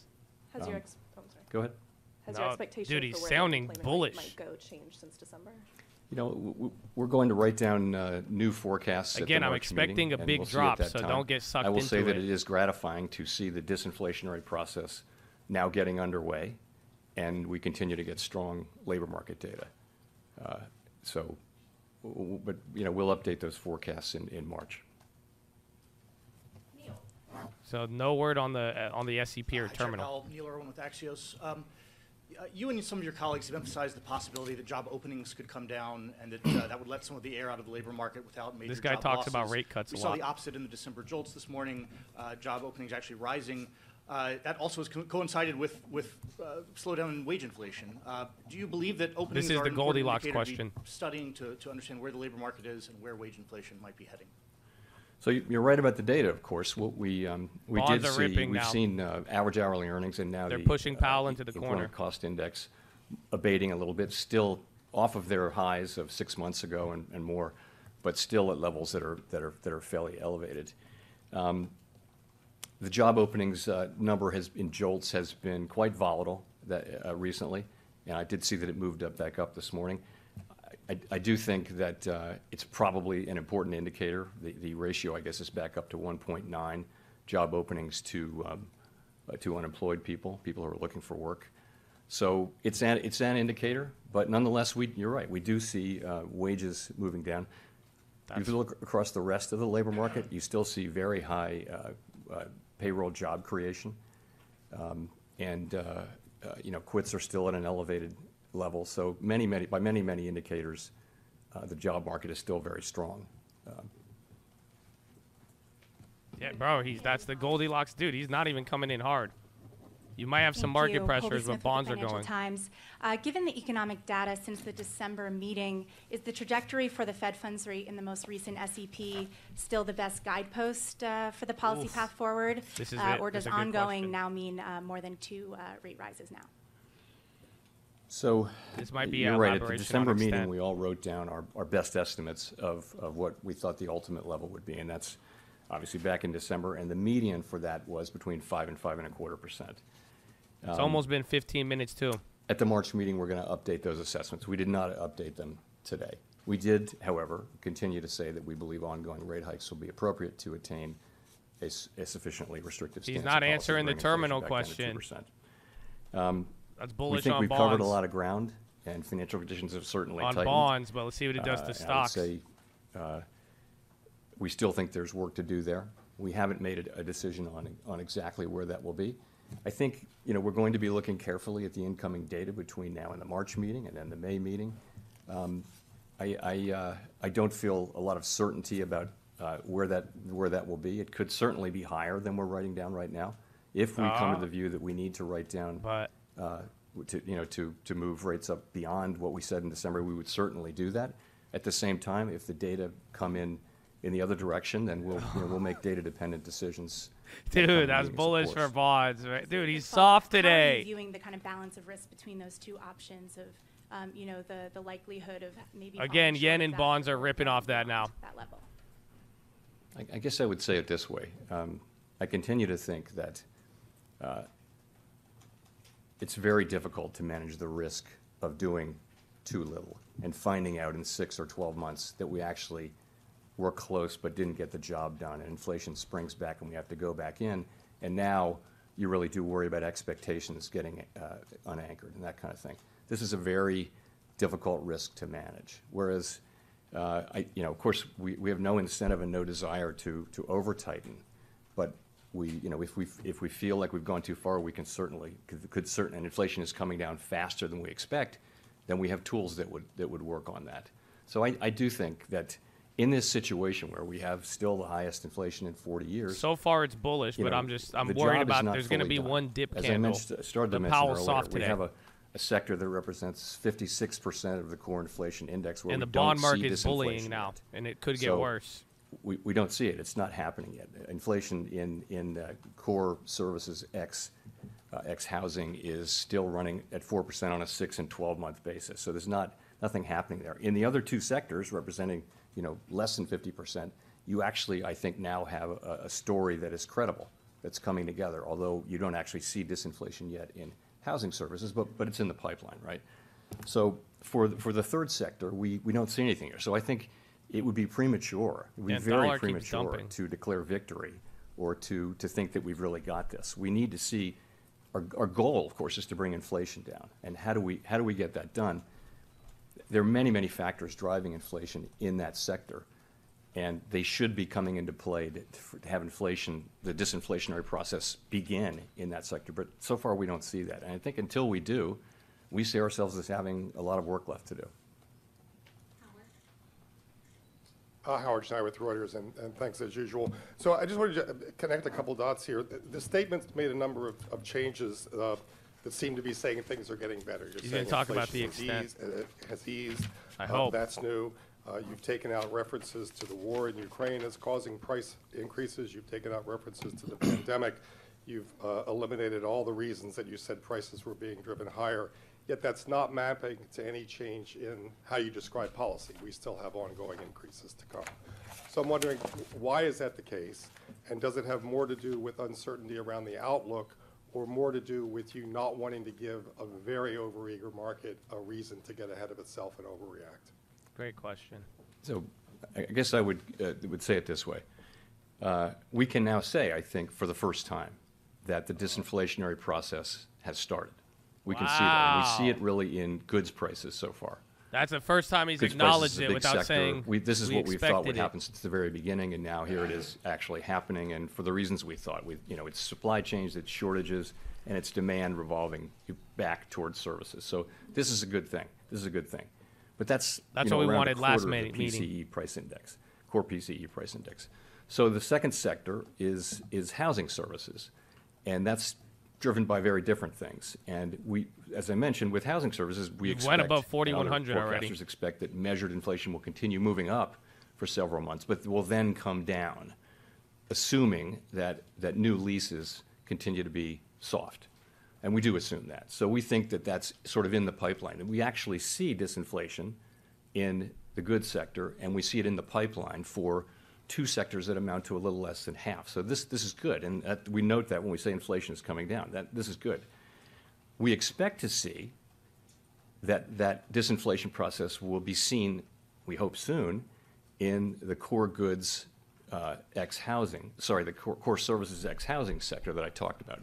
We don't see it yet. It's you know it's a, it's seven or eight different kinds of services. Uh, not all of them are the same, and you know we have a sense of what's going on in each of those different uh, subsections. Um, probably the biggest part of it, probably 60% of, of that will, is, you know, uh, research would show is sensitive to slack in the economy. And so the labor market will probably be important. Some of the other ones, it's, the labor market's not going to be important. Many other factors will drive it. In any case, we don't see disinflation in that sector yet. And I think we need to see that. It's the majority of the core PCE index, which is the thing that we think is the best predictor of headline PCE, which is our mandate. So it's not that we're not, we're neither optimistic nor pessimistic. We're just telling you that we, we don't see inf- uh, inflation moving down yet in that large sector. I think we will fairly soon, but we don't see it yet. Until we do, I think we, you know, we see ourselves, we got to be honest with ourselves, we see ourselves as having perhaps more persistent, we'll see, more persistent inflation in that sector, which will take longer to get down. I closed out my Dolby. I'm trying to take to- advantage of the We have to complete the smaller job. I mean, ones that's- here. That's what we're here for. Nick Timmerhouse. Nick Timiraos, The Wall Street Journal. Uh, Chair Powell, you observed several years ago that we learned we can have a low unemployment rate without above target inflation, and we have learned lately that inflation can come down from its uncomfortably high level despite a historically low unemployment rate. Given that, and, and given how much you did over the last year, why do you think further rate increases are needed? Why not stop here and see what transpires in the coming months before raising rates again? So we, you know, we've raised rates four and a half percentage He's points. saying, why and not We're pause talking here? about a couple of more rate hikes to get to that level we think is appropriately restrictive. And why do we think that's probably necessary? We think because inflation is still running very hot. We're, of course, taking into account long and variable lags, and we're thinking about that. Um, It really, it- it- the story we're telling about inflation is. So this will be a pivot point here, The way we understand it dollar's is basically too. the three things that I've just gone through a couple The of times. three buckets. And again, we don't see it affecting the services sector ex, ex housing yet. Um, but I mean, I think our assessment is that we're not very far from that level. Uh, we don't know that though. We don't know that. So I think we're, we're you know we're living in a world of significant uncertainty.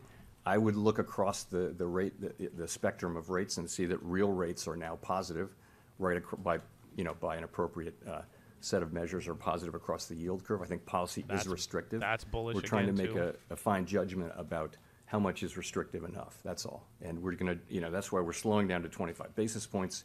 We're going to be carefully watching the economy and watching inflation and watching the progress of the disinflationary process. Did you or your colleagues uh, discuss um, the, the conditions for a pause at this meeting uh, this week? Ooh. We, you know, you'll see the, the minutes will come out in three weeks and we'll give you a lot of detail. I, you know, we spent a lot of time talking about the path ahead and, uh, and the state of the economy.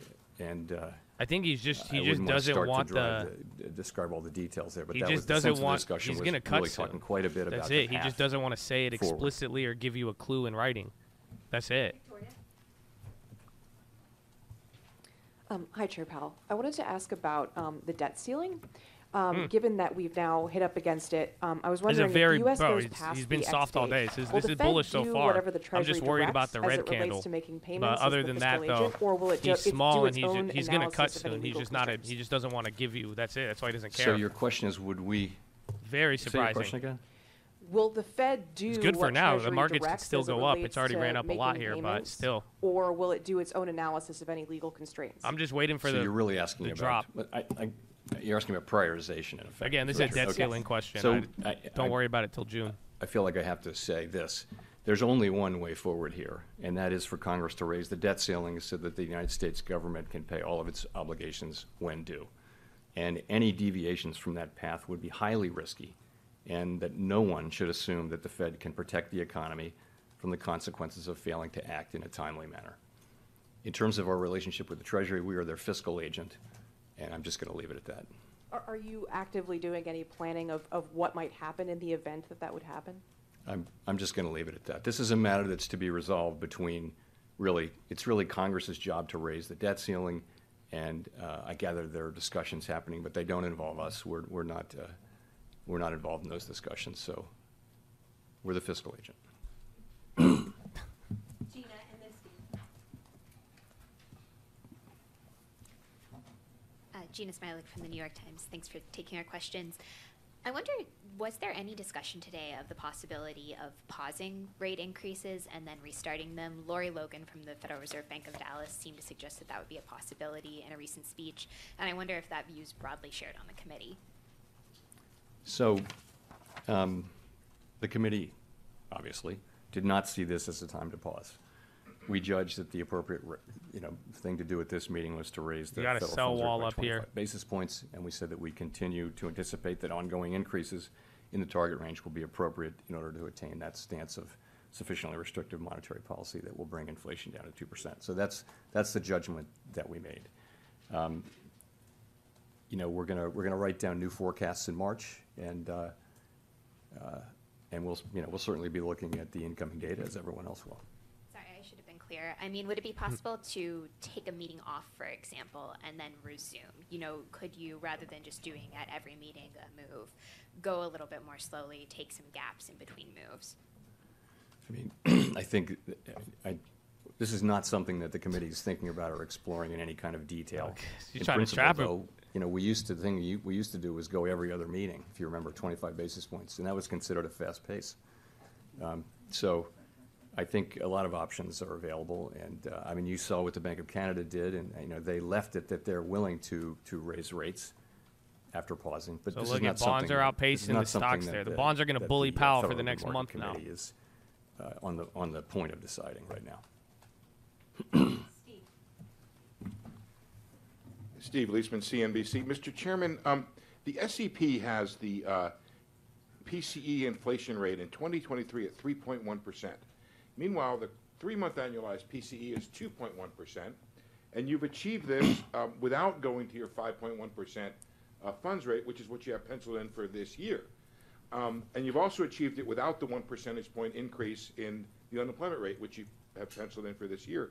I'm wondering if you've considered the idea of whether or not um, your understanding of the inflation dynamic may be wrong, and uh, it's possible to achieve these things without raising rates that high, um, and also without um, uh, without the surge in unemployment. And specifically, I wonder if you might comment on the uh, speech given by uh, Vice Chair Lael Brainard, who said, to the extent that inputs other than wages may been responsible in part for important price increases for some non-housing services, an unwinding of these factors. In other words, it may not be wages, the idea that it may not require unemployment rising to get this sector of inflation under control. Thanks.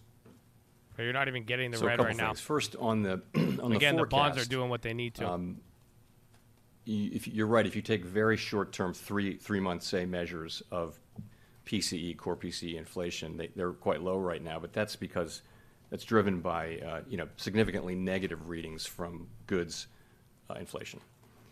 Most forecasters and uh, would would think that the that the significantly negative readings will be transitory, and that goods inflation will move up fairly soon back up to its longer run trend of something around zero, something like that. So a lot of forecasts would call for core PCE to go back up to 4% by the middle of the year, for example. So that's really where the sustainable level is, is more like at 4%. So that would suggest there's, there's work left to do. Uh, you know, let's, let's say inflation does come down much faster than we expect, which is, which is possible. As I mentioned, you know, obviously our policy is data dependent. We would take that into account. In terms of, of um, the non, sorry, the core non-housing services, as, I- as I mentioned earlier, it's a very diverse sector, six or seven sectors. And um, so sectors that represent 55 or 60 percent of that uh, subsectors of, of that sector um, are, we think, are sensitive to slack in the economy, sensitive to the labor market in a way. But some of the other sectors are, are not. And for example, you know, financial services is, is a big sector. That's really not driven by. All right, close by, out the uh, by, Whirlpool uh, eighty dollar loss. Again, uh, I'm just labor- I want to clean up some of these other ones here. Um, I don't want too so many that's X why I said there, The there are a number of things still that will affect. Take take take restaurants. compare right? the So bonds to clearly, the labor is important for restaurants, but so are food prices. And you know, transportation services is going to be driven by by uh, fuel prices, uh, for example. So there are lots of things in that mix that will drive inflation. I would say overall, though, my own view would be that you're not going to have a you know a sustainable return to two percent inflation in that sector without a better balance in the labor market. And um, I don't know what that will require in terms of, of increased unemployment. Your question. Um, I do think uh, there are a number of dimensions through which the labor market can soften. And uh, so far, we've, got, as I mentioned, in goods, we have inflation moving down without the softening in the labor market. I think most forecasters would say that, uh, that unemployment will probably rise a bit from here, but I still think, I continue to think, that there's a path to getting inflation back down to 2% without a really significant economic decline or a significant increase in unemployment. And that's that's because That's- this, the, you know the, the the setting soft we're in is quite different. The, It's interesting the market's not inflation that we originally got was very much a collision between very strong Yeah. demand and hard supply constraints, not something that you really have seen in, in prior, uh, you know, in prior business cycles. And so now we see goods inflation coming down for the reasons we thought, and um, we, we understand why housing inflation will come down. And I think we'll, a story will emerge on, on the uh, non-housing services sector soon enough. But I think there is, there's ongoing disinflation, and we don't yet see, uh, you don't, we don't yet see weakening in the labor market, so we'll have to see. Can we get there with five percent? Certainly possible. Yeah, absolutely, it's possible. You know, it's a question, it, no one really knows. I think it's because this is, this, this is not like the other business cycles in so many ways. Um, it may well be uh, that as, as, that it will take more slowing than, than we expect, than I expect, to get inflation down to 2%. But I don't, I don't, that's not my base case. My base case is that uh, the economy can return to 2% inflation without a really significant downturn. his base really case is soft landing? In unemployment. I think that's, that's a possible outcome. Um, I think many, many forecasters would say it's not the most likely outcome, but. Yeah, the bonds I- I don't would like that as much because like, what do you chance of it. mean? That means higher rates if that's the case. But everything else he said fueled bonds. I, he's just not trying to McKee admit he's going to cut. TV and radio. I'd like to That's pick it. up on uh, what you were just saying about a Mike uh, substantial downturn and ask with uh, the full weight of your tightening not in place yet, and uh, with the progress against inflation, there's still a lot of talk about uh, very, very slow growth going forward in 2023. And the recession indicators are all suggesting uh, that we are going to see recession this year. So I'm wondering if you've changed your view or you have a more nuanced view of what you think the danger to uh, economic growth is going forward, and whether you're very close to uh, perhaps tipping it into the wrong place, which calls for more restraint on your part. So I, I do think you, most forecasts and, and, you know, my own assessment would be that, that uh, growth will continue, positive growth will continue, but at a subdued pace, as it did last year. We had growth of, uh, GDP growth of 1% last year, and also final sales growth, which you think is, which we think is a better indicator of about 1%. I think, you know, most forecasts, and, certainly my assessment would be that growth will continue at, a fairly uh, subdued level this year. Um, there are other factors, though, that need to be considered. You, you will have seen that the global picture is, uh, is improving a bit, uh, and, and that will matter for us potentially. The labor market remains very, very strong, and that's job creation, that's wages. Um, as inflation does come down, sentiment will improve. You also, um, state and local governments are, are really flush these days with, uh, with Oh, he literally said big you know, money, and many of them are no considering tax cuts jump. or even sending checks. So I think that's going to support. They're also spending a lot. There's a lot of spending coming in the So construction. new high right now. You're getting up both there. private and public. Again, this And is so already above gonna support 4,100. economic activity. So I, I think there's a there's, there's a good chance that that those factors will help support positive growth this year, and that's my base case is is that that, that there will be positive growth this year.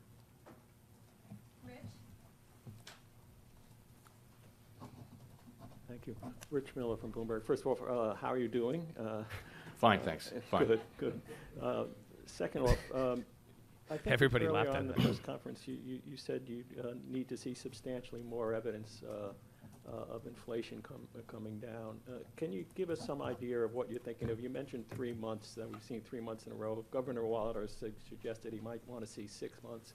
Is it just the inflation data, or do you have to see the, uh, the labor market coming back into better balance to have that substantially more evidence uh, So I, I metric? I don't think there's a, you know, going to be a light switch flipped or anything like that. I think it's just an accumulating, the ceiling, accumulation of evidence. 41.33. So of course, we'll be looking, by the time of, of the March meeting, we'll have two more employment reports, two more CPI reports, and we'll be looking at those carefully, as, as all of us will, and we'll be asking ourselves, what are they telling us? And, it- and uh, soon after that, we'll have another uh, ECI uh, uh, wage report, which, as you know, is, is a report that we, we like because it adjusts for composition and it's very complete.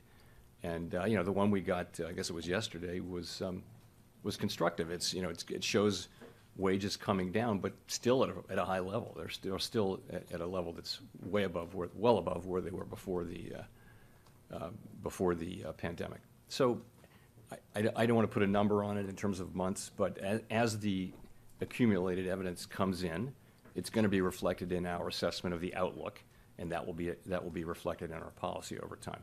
But I, I will say, though, we, you know, it is our job to restore price stability and achieve 2% inflation for the benefit of the American public. We're not, mar- market participants have a very different job. And it's a fine job, it's a great job. I- In fact, I did that job for, for years, but, um, in one form or another.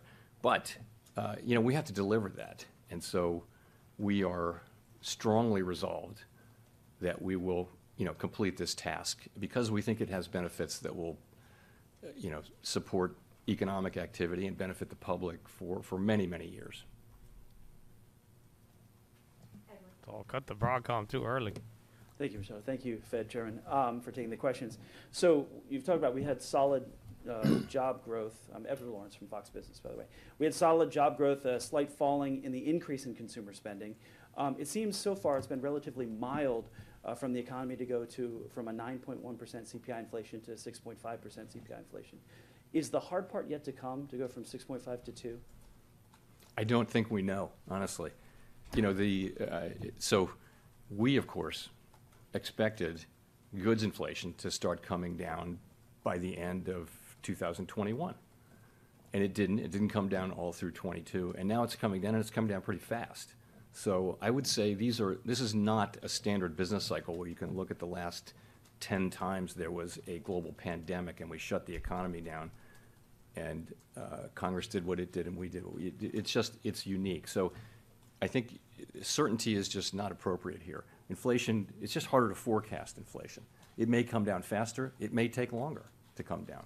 And, you know, our job is to deliver inflation back to target, and we will do that. But I think we, we're going to be cautious about, about declaring victory and, you know, sending signals that, uh, that we think that the, the game All is right, won. I grabbed because it- you know, 200 it's- we've got Apple a long way to shares. go. It's just, it's the I think this is gonna run until earnings fuck it it's up. most welcome to be able to say that, that we are I now averaged down on in my Apple. disinflation.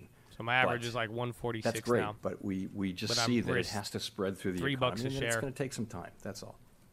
Do you- How long do you see then the federal funds rate? Again, the remaining at speech is about to elevated end. It seems like You know, too. so our, again, our, the, my forecast and that of my You only- colleagues, yeah, you as have you will barely see from any the red on that. S&P, and I mean there are many different forecasts, but generally it's a forecast of slower growth, some softening in labor market conditions, and inflation moving down, moving down steadily, but not quickly. And in that case, uh, if, if the economy performs broadly in line with those expectations, it will not be appropriate to, to cut rates this year, to loosen policy this year. Of course, other people have forecasts with, with inflation coming down much faster. That's a different thing. You know, if that happens, if inflation comes down much faster, you know, then No, I'm we'll still seeing holding my and NQ. be That's why I want the incorporated into our Apple and then the policy. run up for tomorrow. We already have the Amazons. Thank you, Chair Powell. Simon Rabinovitch with The Economist. Again, I I'm down a- to- a I have the question with bonds, so even if it around comes down, I'm not Increases. Uh, That, of course, leveling things implies at least two further rate rises. Uh, If you look at Fed Fund futures pricing, uh, the implication is that you'll raise rates one more time uh, and then pause. Are you concerned about that divergence? Uh, Or do you think if everything breaks right, is that, is that a plausible outcome? 6,000 contracts?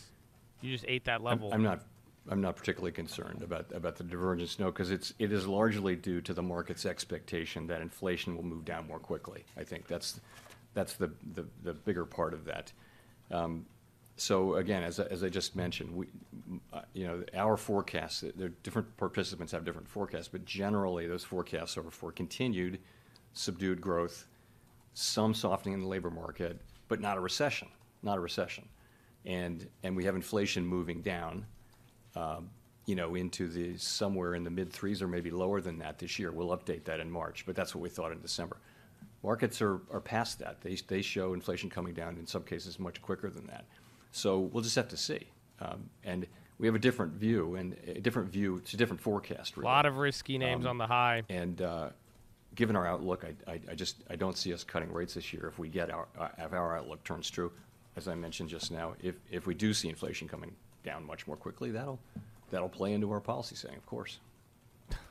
Dude, this is, bro, Powell's soft today. Hi, Chair Powell. Scott Horsley from NPR. Bro, he did Um, not have one the of the changes in the statement this, this month is that the committee is no longer listing public health as among the. Bro, the high ticker's tweaking bro. Everything's running. Every dude, this is tweaking out right what now. What should we make of that? You got Does people piling in Reserve right no here. longer see the pandemic as- Again, I'm still cautious. I had to take that one there to balance some things. That's but the this general might be a sense of green it. light Look, we earnings understand- tomorrow. I personally understand well that that, that uh, COVID is still out there, um, but uh, that it's no longer playing an important role in our economy. And you know, we've kept that statement in there for uh, for quite a while, and I think we just we knew we would take it out at some point. There's never a perfect time. But we thought that, uh, you know, people are handling it better, and the economy and the society are handling it better now. It doesn't really need to be in a Yeah, you know, Meta might do its own, uh, but this is just Apple, Amazon, Netflix, Google uh, now. or, That's you know, it. They- post-meeting statement as this an is just good, bro. He's too soft today. as opposed to he's way, you way know, too health soft. Issue. Again, he knows it's gonna cut. he knows he's gonna cut rates, but he has to be soft. Otherwise, he has to admit his plan. Chair Powell, Nancy Marshall Genzer. That's uh, it. With Marketplace. Again, just wait for the big red candle, but for now, they, dude, he's being soft. Um, she said she doesn't see signs of a wage price spiral, and I'm wondering if you agree with that. I do. Yeah, I do. Uh, I, I, I don't see that yet, but the whole point is, you, you know, if you once you see it, it you're, you, you have a serious problem. That that that means that effectively in people's decision making, inflation has become a really salient issue, and once that happens, maybe we get our first what- red, that's but what we I'm- can't you let- need a- to I'm happen. expecting some And, big drop. If that doesn't so that's why materialize, it's gonna happen the at longer earnings. we're at this, and the longer people are talking about inflation all day long, every day. Next level is um, 41.33. You know, the, the more risk Or of something like that. 41.40 No, on there's, there's not much. It's a, it's more of a risk. It always has been more of I a think risk. this is a level on the futures, though. By the way, I think it's becoming less salient, and people are, you know, we we pick that up in conversations, and I've seen some data too that show people are, you know, gradually they're glad that inflation's coming down. People really don't like inflation, and as we see it coming down, that could also add a boost to economic activity. You, you look at the sentiment uh, surveys now, and they're very very low, with three and a half percent unemployment and you know high wage increases his, nominally by historical standards. Why can that be? It has to be inflation, right?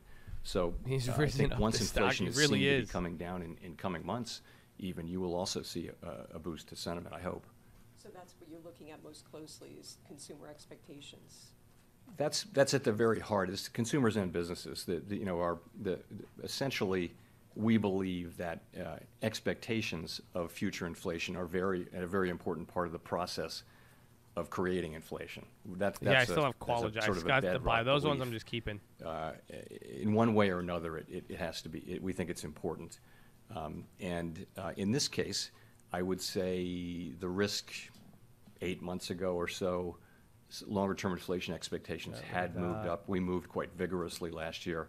Expectations are seem to be well anchored, including at the shorter end now, not just the longer end. So it's you know and that's i think that's very reassuring i think you know the markets have decided and the public has decided that inflation is going to come back down to 2% and it's just a matter of us Bonds and through. just taking that's turns. measurably helpful to the process No, of I'm double- I'm down. a- my The next plan is drop the ES off. generally p- believe But I'm it wait. I'm down. waiting. that'll This be is- part of the process This guy bought time. You need Apple or another Fed speaker to bring it down. Oh, I'm already saying this is bor- this is all borderline, very bullish. Thank you, Chair Powell. Greg Robb from Market Watch. In Again, the it's already moved up, though, like 2%. There was a, a couple sentences that struck people And then ultra important. bullish When on bonds The now. committee said participants talked about this unwarranted easing of financial conditions was a risk. And then the NQ is really not that bad. I mean, if you guys see it, bring inflation we have it balanced with other Are- stuff. The ES or the seen- heard you talk Ethereum much hurts it there too, but the statement, so I was wondering, on all of this today, I'm down 100 among bucks, members, or is that 200 dollars. still That's why I'm just waiting. It gets worse once I I would drop put it something this way, off. it's something that we I'm- monitor carefully. I'm pushing it. Financial conditions didn't really change much from the December meeting to now. They mostly went sideways or up and down, but came out in roughly the same place. Um, it's important that the markets No, I think this is bullish for natural tightening that gas. we're putting in place. As we've as we've discussed a couple times here, there's a different difference in perspective by some market measures on how fast inflation will come down. We're just going to have to see. Uh, I mean, w- I'm not going to try to persuade people to have a different forecast. But our forecast is that it will take some time and some patience, and that we'll need to keep rates higher for longer. But we'll, There's some we'll see. stuff that really hasn't even moved. Go to Brendan for the last question. Hi, Chair Powell. Uh, Brendan Pedersen with Punchbowl News. Uh, I wanted to ask if the Fed takes into account at all the debt ceiling when it comes to quantitative tightening, given the fact that rapid or faster quantitative tightening could bring us closer, faster Okay, to that if we drop do get our big debt reds, deadline. we Could sell off to effect VWAP and then bounce by the end of the day. That drop dead And then if it holds up, it's going into squeeze mode. I, look, I, it's very hard to think about all the different possible ramifications, and I, I think the answer is basically I don't I don't think there's likely to be any important interaction between the two because I believe Congress will wind up acting, and as it as it will and must in the end to raise the debt ceiling in a way that doesn't risk you know the progress we're making against inflation and the economy and the financial sector. I believe that that will happen. I believe it will happen. You know, it, we, we of course will monitor money market conditions carefully uh, as you know as the process moves on. For example, the, the Treasury General account will shrink down and then it will grow back up, and we understand there'll be lots of flows between there and the overnight repo facility and, and reserves. We, we understand all that. We're watching it uh, carefully. We'll just be monitoring it. Thank you very much. Thank you, Jerome. Thank you, bro. That was crazy, bro. That's the softest you've seen Powell in a year, bro. That so again, I was saying it earlier, even from like right around here, I was just telling you it was bullish and it was really bullish for the bonds. He's not fighting back against anything. He's just, I, I again, I'm under the impression that he just doesn't want to tilt his hand because if he admitted it, the bonds in the market would rally even harder. I think this was the best option. And then I'm assuming he knows something will bring it down here, but for the most part, that was the softest Powell you've seen in 12 months. He had no stick on him at all. That's it. That's why everything. I'm waiting for the red, uh, for the big red here, which we haven't gotten, which usually we should. Like I'm saying here now, we got about 45 minutes. Watch for one VWAP move. If it doesn't get below 408.77 here, it's just going to be bounce and squeeze mode. But I'm bullish on bonds, bullish on stocks. I wasn't enough. I'm just I was taking out some of the little smaller plays there, but uh, again, I mean this my balance is working very very fine for me. How just like the bonds and the ES, uh, it's actually more than the uh, NQ, but I'm just waiting here. I added to Apple for earnings because I think this could uh, qualify for an earnings run up. I'm now down on those the new shares a little bit, but uh, overall I, I interpreted that as bullish. It's bullish in the short term. I think bearish uh, in the midterm as something happens, but overall, Powell just stroked it, man. He was just so nice right there. That was very, very weird. I didn't average on the NQ. No, no, no. It's the same one. I just didn't move on it, but now, you know, I have bigger profits here on the ES, and then the bonds just, dude, the bonds are going to rock it. That's it. He's not even fighting back against the gap, and he borderline was kind of saying that, hey, you know, we're even the Fed, he said we might be able to change it. You know, he he's really leaving it up until March, but that's that's what it was. It was he did not beat down the market in the way you would have expected him to. That's it, bro. He was just he gave the Bulls uh, he gave the Bulls a, a W right there. I think in, the only thing that's going to bring this down is if uh, the uh, uh, what's it called? Is if Apple earnings and Google earnings are really really bad. Otherwise, he probably knows there's going to be a data set that is going to surprise people. But he he didn't fight back against the bonds at all.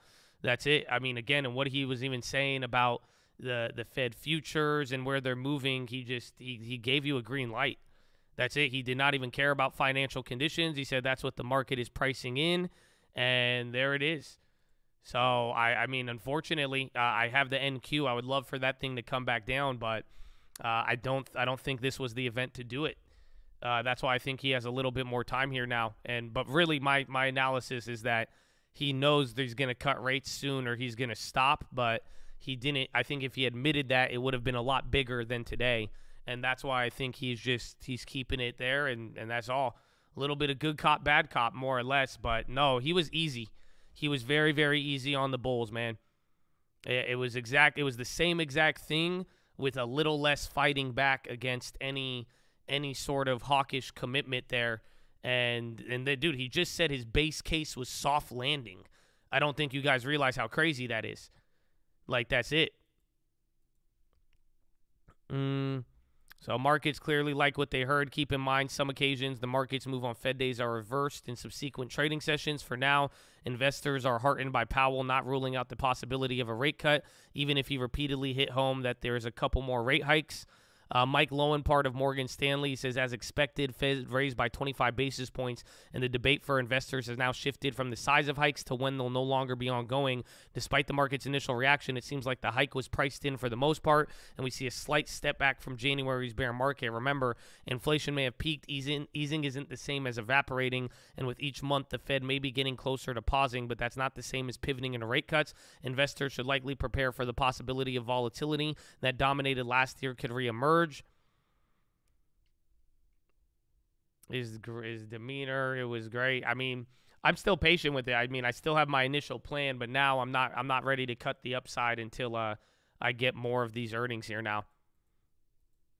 So I, I still don't think the uh, I don't think the the Bulls are safe, but they definitely have a short term green light off of this. It just he wasn't, bro. He said base case was a damn soft landing. And then he brought up the Goldilocks again and he said everything with the wages. He said, well, we're not seeing, he said you don't want to see the wages. And once you do see wages go up, you already have a problem. But uh, he wasn't, uh, he wasn't acknowledging it in the sense that he, he sounded more positive about it than not. Again, look at the bonds. I'm, I'm telling you, that right there, he did not even fight back against what the bonds were doing. So Roger Hallam, global head of Vanguard, says the bond market has extrapolated Chair Powell's more balanced tone to think that the pause is coming soon. That's not what he said today, with at least a couple more hikes, and he did raise the prospect of doing more if the data was stronger. He cautions that the front end looks expensive and adds that decent jobs print on Friday throws into doubt the Fed pausing in the near term. So I, I, I agree with that. I th- again, I think you got that bond. The bonds are are saying what I'm telling you, but that could change by Thursday or Friday with the earnings and jobs report. But I think it's short term for now. He that was weird. I'm telling you, that was very that wasn't Jerome Powell you have seen in the last 12 months. He seemed oddly more positive about it than not. Short Disney. We might be waiting for some of the earnings there against some of the companies, uh, depending on where they're at, if they've already had their move. Spotify still going. He even smiled. They laughed a little bit, but no, the soft landing thing, that right there, they changed pace to extent. I told you the Bulls had that in the beginning if they really wanted to run off of it. Uh, little did I know Powell was going to be the softest he's ever been. It was very, very weird, bro. Very, very weird. Carvana, you're a lot of risky names are moving more like a risk off the underperformers of last year. Those are the one. I like UNG a little bit better now. That's it because I think he's going to cut rates sooner than not. But I, I I think if he admitted that, commodities would have ran today. So I think we're gonna have to hold it for a little bit longer there. But I, I'm in a weird way, I'm definitely not as concerned as that. Mm-hmm. Right, everything's going crazy. Everything, bro. You have a lot. Again, you have more earnings in the morning, and then today we have Meta now. But you only you only got like 30 more minutes. I think just take this into earnings. I'm again, I'm waiting for the VWAP drop, but if that doesn't happen, you are going to start squeezing, and then China is going to have to react to this and everything. I'm still bearish on Meta, yeah. I mean, that's earnings, so it doesn't matter where they're at right now. If fucking Zuckerberg went crazy with the blank checks, you know. Uh, but then again, if that does good, I'm just going to cut it after hours there. I'm still again my my idea with Meta is bad earnings, not necessarily reacting to where the stock price moves, if that makes sense. But I'm not. I added uh, Apple to the upside just in case we get a run up tomorrow. I'm still holding the ES. The bonds are supporting again. Like you can see right here, it's like I make five thousand bucks between ES and bonds, and then down four thousand eight hundred on the NQ. Again, my balance isn't even out of whack here. It's you would be surprised. Imagine with what you're seeing in all of these. I'm down six hundred bucks now. So that was a little worse than earlier. At one point, I was up a thousand. So it's not really. Uh, again, uh, this is just about keeping everything steady till I could move it with the surprise data, and that'll be my plan. I'm gonna hold Google uh, just in case, because just in case Meta runs, that'll prepare me for any more run up on that.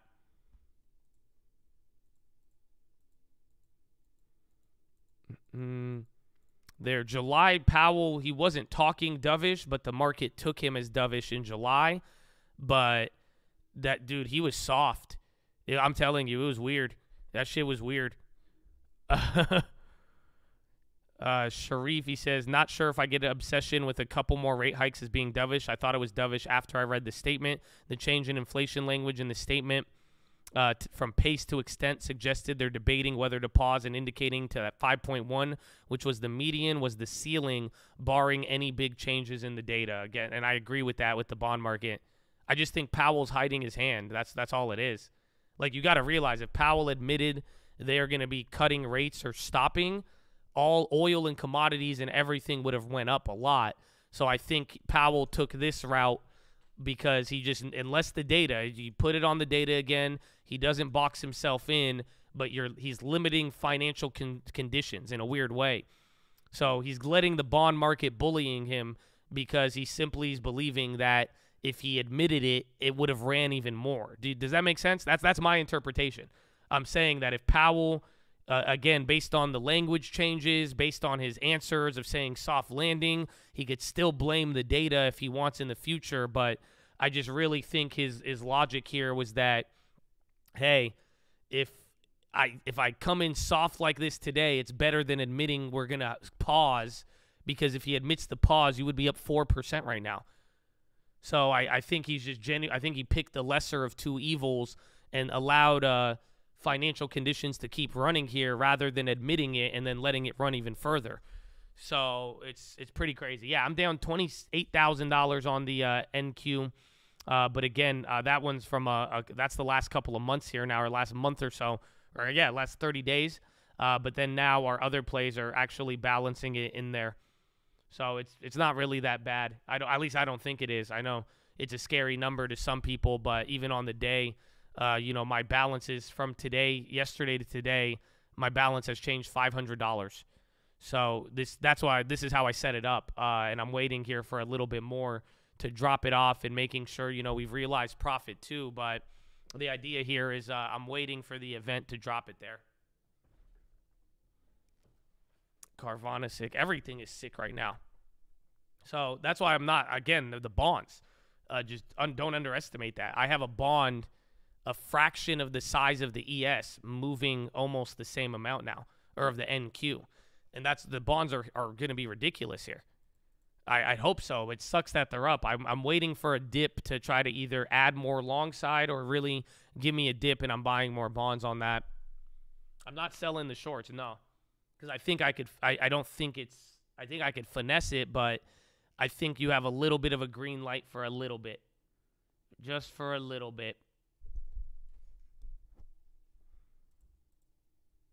He knows the truth will come out in the minutes. Brainard beat him in arm wrestling. That's what he said. He said that comment there. He said, You'll see in the minutes, which is crazy, but hopefully the data at that point calms you down.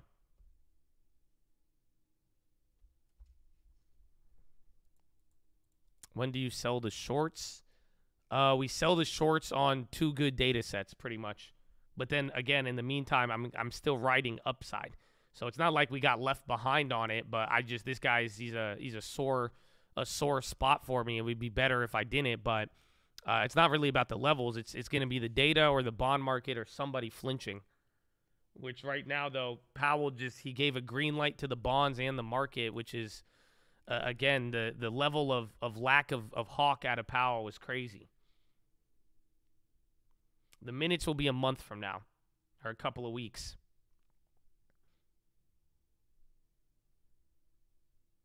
Mm. TLT called. Well, they're they're substantially more. Every all the bonds are really really expensive now, comparatively. They're all going up here, and then we're gonna find out. Our Redfin position is great. I mean, 140 percent. Uh, the covered calls are working me now, but 140 on the equity after the yield, a total of 160 percent. But that's long term. Long term's loving this too. I mean, that's it. It's just this is this is killer. I can't I, I can't believe Powell just greenlighted that shit, bro. This guy's crazy. Tesla, I might be able to. I have to go 185 then 188, I believe, and then 196. Bro, even HBI went. Bro, all of these names. I'm telling you, even Uber at $32 or right below. Stupid. Stupid dude, I'm telling you, this this was this was weird. This was it doesn't mean bye bye bear market, but it, I, in a weird way, it's kind of it's bullish in the short term, ominous in the midterm because I, I really think Powell is going to cut and or pause at least, but he's not. He didn't. He can't admit it, and that's where I'm like, dude, this is why I've never seen. I have not seen Powell like that in a long time. Neither have you. Uh, it's been 12 months now minimum where Powell has even sounded remotely like that. Like in July when we ran up, uh, it was because of it, people misinterpreted the lagging effects, the cumulative tightening effects, if you remember. This time he just straight up was he didn't fight back against the bonds. He didn't say he said soft landing is his base case. Those are the things I'm really focusing on because that that's kind of a, a very big shift he was saying he said he doesn't see jobless jobs going up that much, and as long as wages stay down, uh, very very weird. I think earnings matter. I wouldn't I wouldn't get too far. That's what I'm saying is like you got some bullishness, but the only way people get ahead of themselves is if you ignore some of those. But earnings might be contained to certain industries, if not. But that was wicked. He wasn't no, he wasn't dovish in December because he was kind of the, the the bearish part about December is the terminal rate went up to 5.2. So no matter what he and then he didn't say he said he, he kind of he said he doesn't disagree with soft landing. Today he said it's a base case. Uh, but then in December he raised the uh, he raised do the all right. You're squeeze mode now. End of the day, 30 minutes here now. 330 ramp capital. You did not get your VWAP drop. I think you're going to go 4140. Uh, that will be your next level here to the upside. But in in December, that by raising the terminal rate to 5.2 and downgrading the economy into a you know a lower GDP, that's what gave him the hawkishness. But today, he's just like, nah, you know, he really wasn't there. He missed the bottom, not quite yet. I don't. I still wouldn't. Uh, I wouldn't fall for that just yet. But as of now, he gave us again a temporary one. Just don't forget, you have two jobs reports and two CPIs now. But for now, he definitely gave a mini victory to the some vindication. He vindicated the Bulls a little bit here.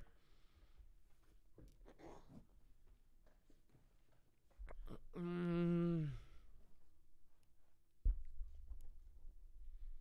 What a crazy, crazy cat. The yen move, I like it. I think it's going to flow with the bonds. I mean, if anything, you might watch the yen start to strengthen, but the bonds go with it. Again, there's a high correlation, but the bond the bond should be the winner. I think over the next couple of days, bond should be the real winner. Yen could play along. The dollar's already down, but then just depending, you really, really need the dollar to go go down. Mm.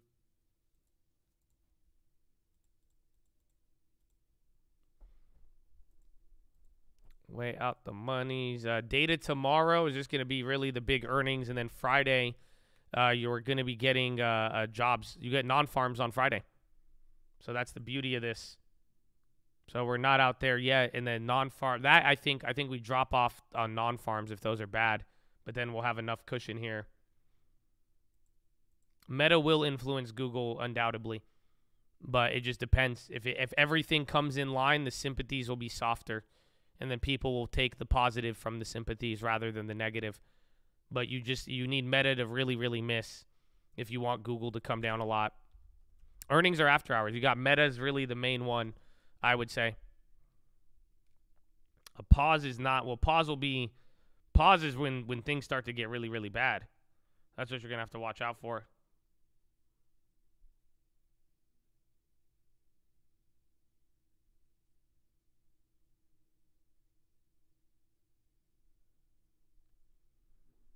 Yeah, QuantumScape and Align Technologies. We usually gap down after the the the FOMC.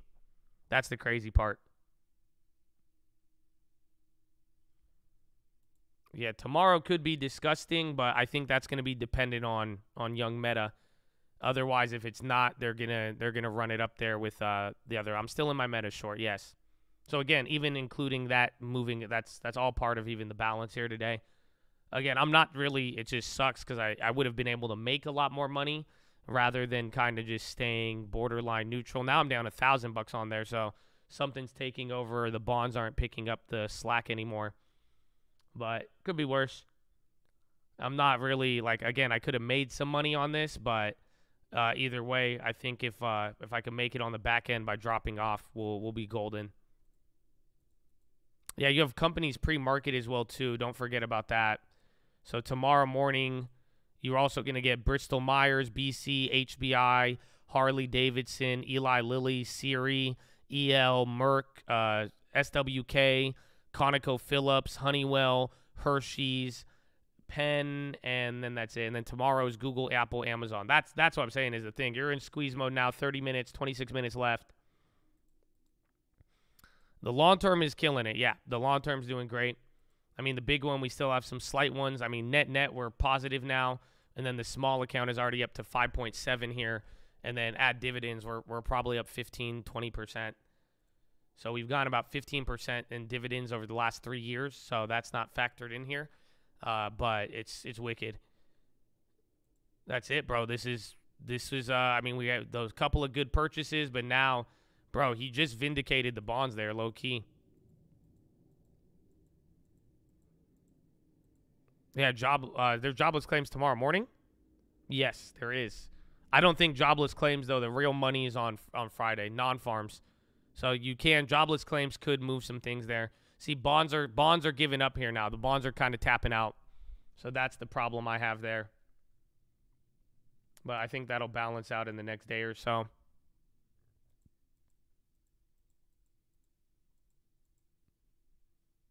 Hmm. Uh, what is it?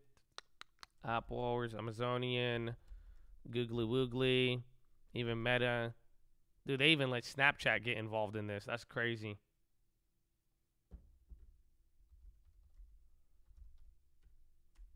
Nvidia, AMD, that's it. They're all they're all there, man.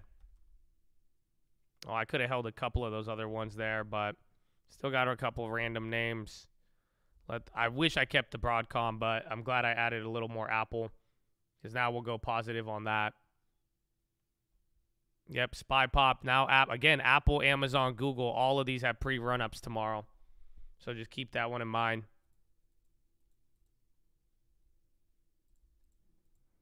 Yeah, HBI again. A lot of value names in the morning. Damn, they yeah everything's now. Yeah, Broadcom. That's the one. I'm like, damn it, that one we could have made a little bit of extra change on that one. But I'm happy. I, I got to at least trim some stuff, give me some room. We still have a lot. I just threw down a decent amount on Apple there. If we could clean out some of this tomorrow, get the run up, and then hopefully if Meta could work for us, that would be nice.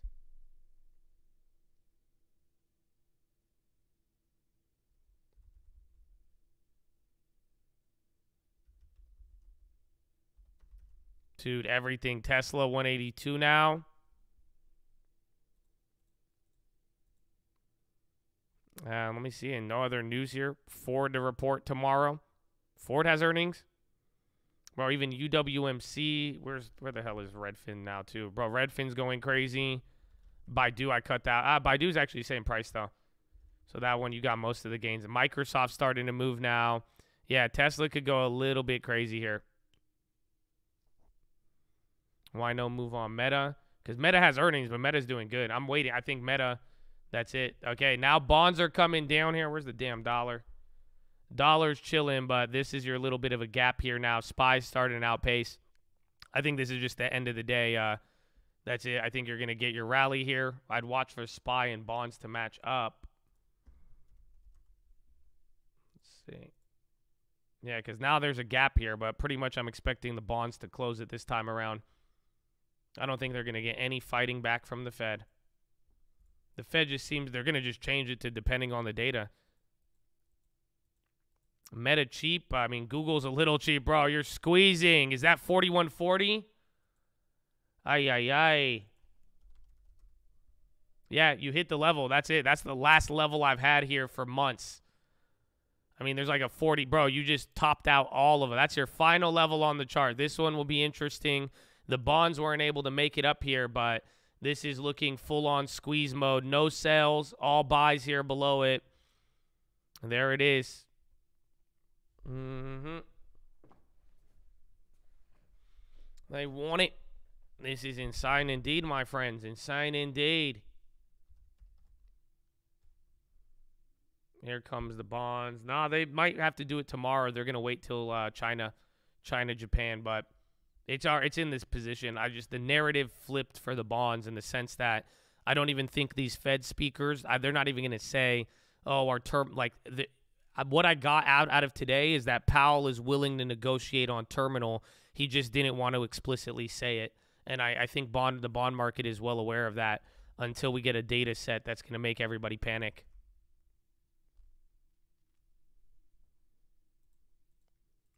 Spy, bro. Spy's at 413. Y'all say now that you could like justify a little bit of pump it up. Cause finally, bro, you're that's it. You're above Jackson Hole. I don't know if y'all feel me on that. Bro, this is Jackson Hole. That's it. All of that last August, everything, you are now above that level. So really like 415-ish. 415 to 418 will be the next if you hold this. Assuming you could hold this 415 to 418 on SPY good earnings, everything else is going to be good.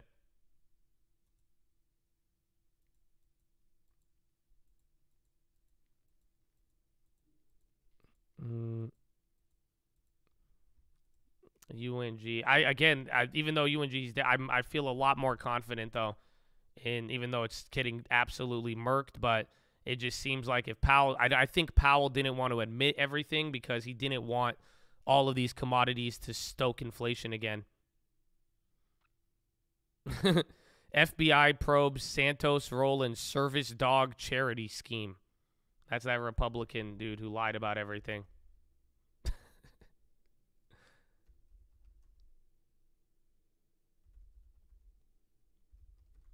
Again, there's still the possibility we barf after today, but I would just keep in mind uh, whatever happens with earnings.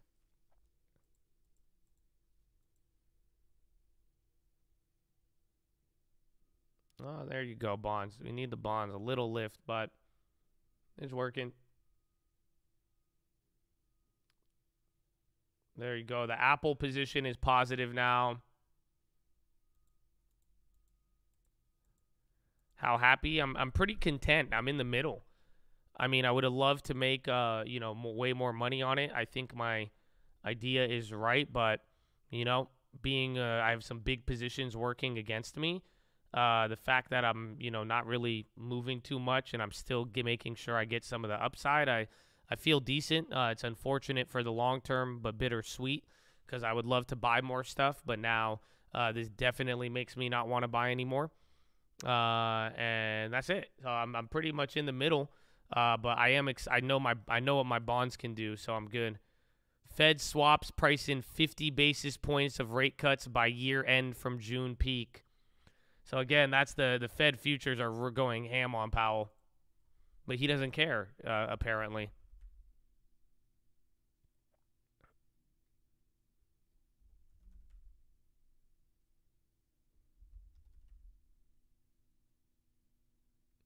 Is the rally short covering? I think definitely this is taking out the late shorts, and then not to mention you have a lot of new money hitting right there. Again, volume is high and every we got what 18 minutes. Yeah, you're again. You're already at seven. You're going to do a 100 million here, but I'm a lot of people. This is uh this is what I was saying earlier. You know, we want uh. It reminds me of uh like I told you for the butterflies. Remember I told you I wanted one of these. That's I think you're right here right now. That's it without a gap up. You're going to get one more of these. That could last a couple of days here. That's, you know, you get your little pop, you get the little blow off top more or less, but it depends on data, sadly. Uh, again, I, I would not doubt the Bulls now because you're the only person who would have fucked up everybody. Just this guy, Powell, just abandoned the Bears today. I'm telling you, Powell. Powell said, I don't know you, man. He said, I don't know what you're talking about. You know, maybe, maybe soft landing is the base case. He said, I don't know. Maybe, maybe you know it's uh, you know, maybe the terminal rate. You know, we'll see what happens. You know, maybe we'll see. I don't know. Like Powell, bro, Powell just abandoned any bearish position. I'm, I'm very shocked by it, low key. Very, very shocked. Mm-hmm.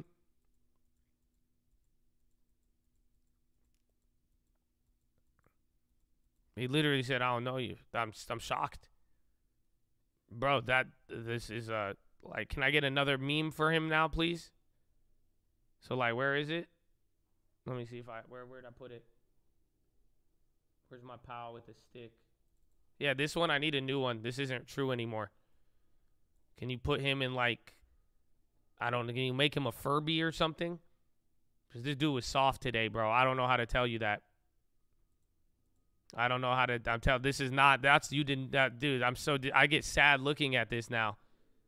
Cause I'm like, that's not even like, like, dude, he didn't even do that. Nah, bro. He just straight up like, bro. He just went Hollywood. I don't know what it. He's soft now, bro. I'm telling you.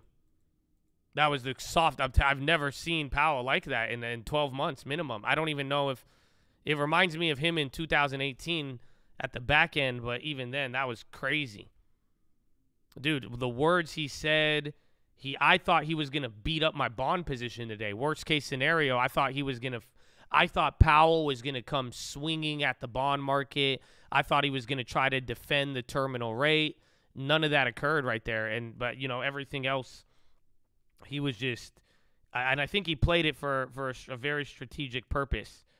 You know, I think he did it because again, I think he knows they're going to pause and cut soon. But I think he already, I think he chose the the less violent route even though this is pretty violent, but you know that that wasn't that wasn't the pal that you used to know. It's like you it's like when you're you know it's like when one of your friends starts talking to a cute girl and starts acting all different. That's what Powell did. I don't know what he saw though. I think he just he didn't. I think Powell would rather would rather act dovish than than tell you what what he's gonna do, and give himself some optionality.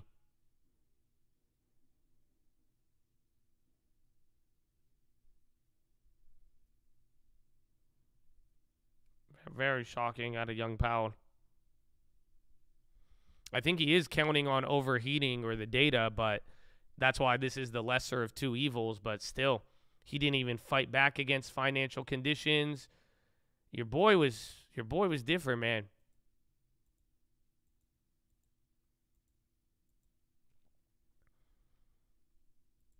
Mm.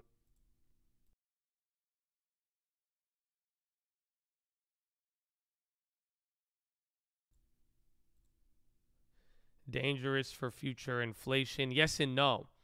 Because he's letting the markets go up, but the markets could quickly come down. But by not admitting he is going to pause, he just saved oil and natural gas and commodities from running. Does that make sense? This is my interpretation. This is my interpretation of it, but I, I think it's quite smart in the sense that he picked, he chose which one he wanted. He said, fuck it. I'll let the markets go up, I'll beat them down, or let the data beat them down later. But if he admitted, that's why I was telling you for UNG, I was waiting. Because if he said we're going to pause or gave any admission if they changed the language, oil, commodities, and, and agriculture would have ran uh, off of the future expectation of that. So I think he just chose, he chose let the stocks run up, keep commodities down for now until the data – beats everybody else up at this point, but he it, came at a cost of of your you just loosened up, bro. I think financial conditions might be at January levels right now. There's no way they're not. That's that's my only that's my take on it cuz I don't know why he didn't fight the bonds, bro. He should have fought the bonds. Ah. Interesting. I think financial conditions. Yeah, bro. Right now you are at. Where are you? You're at 0.33. The high was 0.78 on the year. Uh, do we have 10 minute rig coming in? Let's go. I, I mean, I, I still want a VWAP drop, but look at what's happening now. The bond, they're switching gears. It's the same thing now. Mm little scammer. Dude, he's he did he didn't fight back.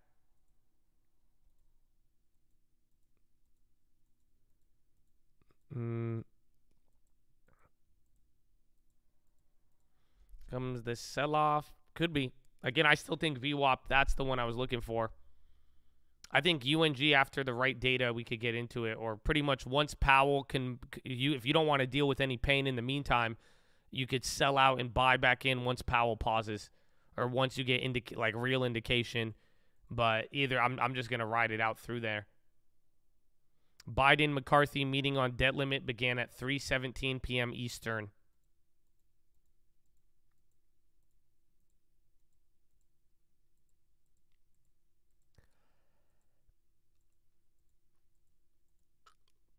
Mm-mm.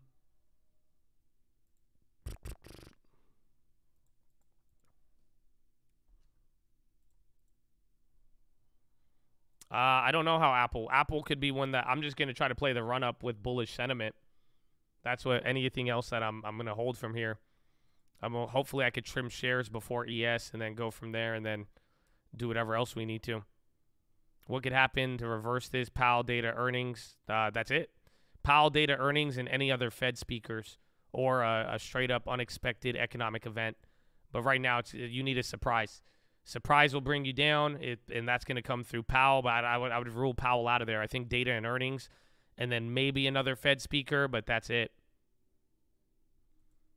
Just like straight up data, and the data is still big. You now, again, you just don't forget what you saw this morning. You saw a huge data surprise. So I mean, it looks like nothing now compared to this move, but uh, that will be the uh, the next thing I think moving forward.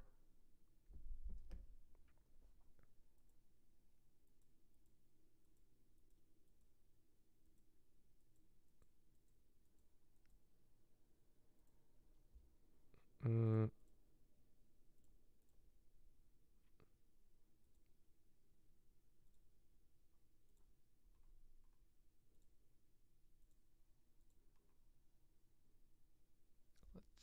Mm.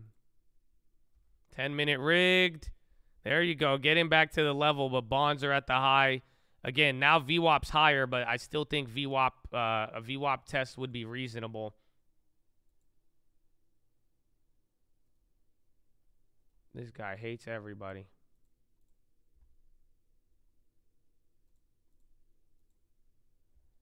Yeah, we're about to close, so and then you have Facebook after the bell. That's it. I think everybody's kind of just digesting this still. There's a this is a lot to take in. You just saw one of the most bearish Fed chairs, one of the most bearish actions of the year, and then today, uh, again, slight language changes, but then he confirmed it with just with soft talk, bro. That was weird. I can't I can't say anything else besides that's the part I'm tripping on. But I think it's going to set us up for quite the quite the uh, divergence through the next couple of months here between bulls, bears, even data, equities, financial conditions. Now, this is how diver this is what divergences are made of, man. So, but it's it's ah.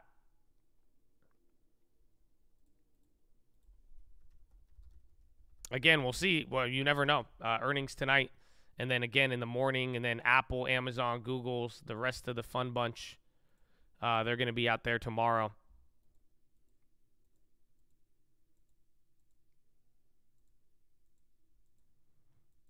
Now we're going to be laughed by Bullard. That's the thing. Those Fed speakers, they might be able to do it, but we'll find out. Meta should be coming out right after the bell. I mean, give or take five to 10 minutes, depending. But we'll see.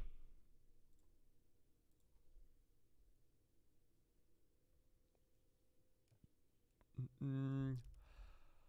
Oh, man. 405.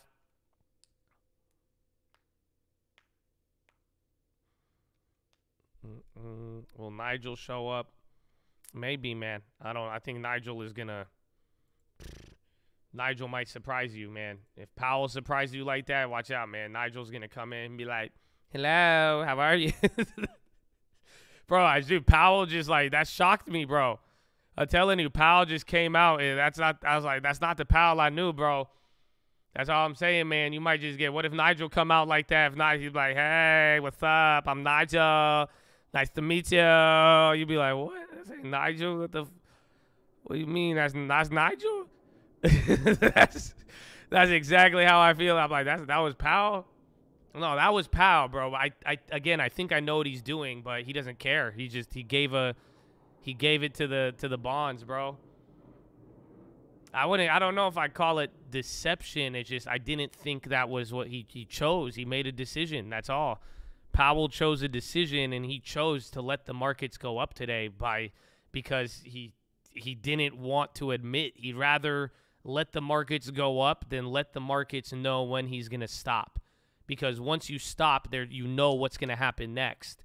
And I just I really think he just made his decision of fuck it let him let it run rather than try to uh you know, give anybody a olive leaf or a olive branch of when he's going to stop because then it's easy to get trapped there. Yeah, he's just he's not yeah, exactly. He chose let it run then get trapped in the future, but I'm I I, I felt like he could have done more though. That's the weird part. I felt like he could have not trapped himself, but I, I'm I'm surprised at some of the language choices he made. And again, and now you throw with the speech into the first one, it was it was wicked. But again, data is still, I mean, you have non farm payrolls on Friday. So just keep that in mind.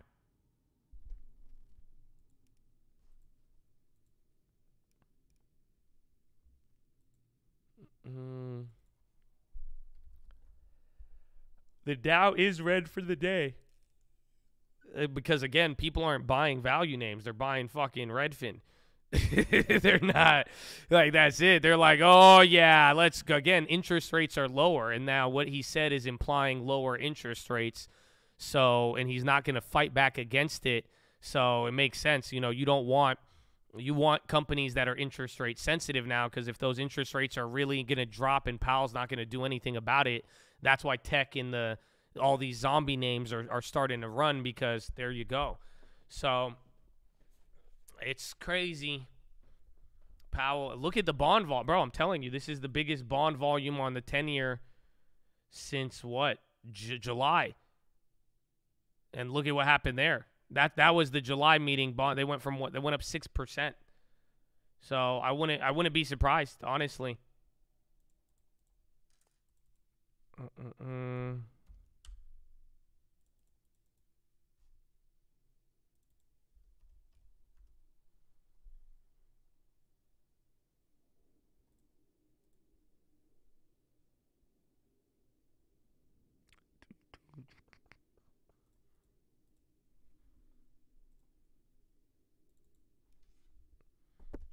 We wait till earnings. There'll be there could be the bonds are either going to gap, but the bonds are going to sell off soon.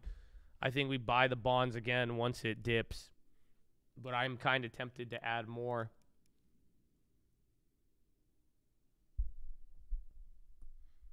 But I think it's just better to wait. I already added the Apple. Damn fucking Powell, bro. I can't believe he did that. Oh man. Yeah, Meta is after after close here today.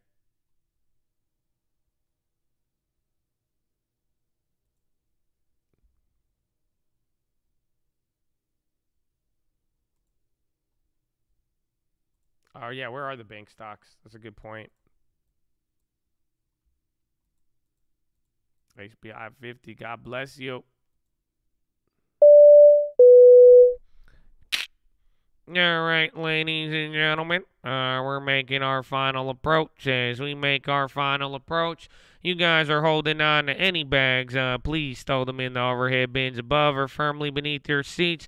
We'll be coming through there all with a trash bag if you'd like to dispose of those bags. But as we make this final approach, we're going to be landing here into the second link terminal. Second link terminal in the description. That's going to be your nightly watch list and main channel layover around 4 p.m. Pacific time. Then we're going to be taking off promptly around 6 a.m. 6:10 of sunny San Diego, California.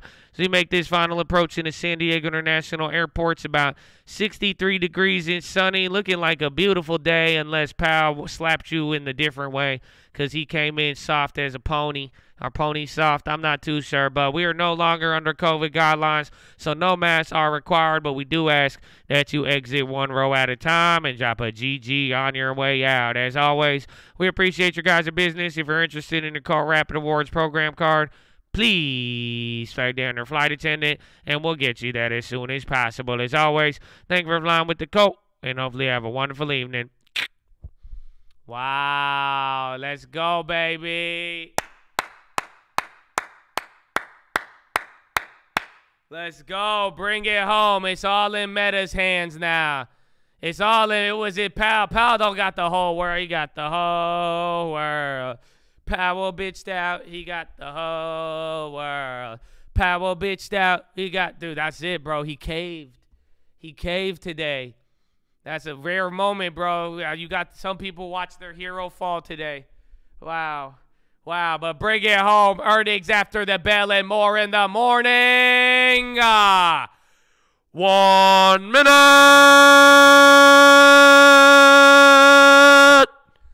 Let's go. Wow, that's a Fed day for you, Chad.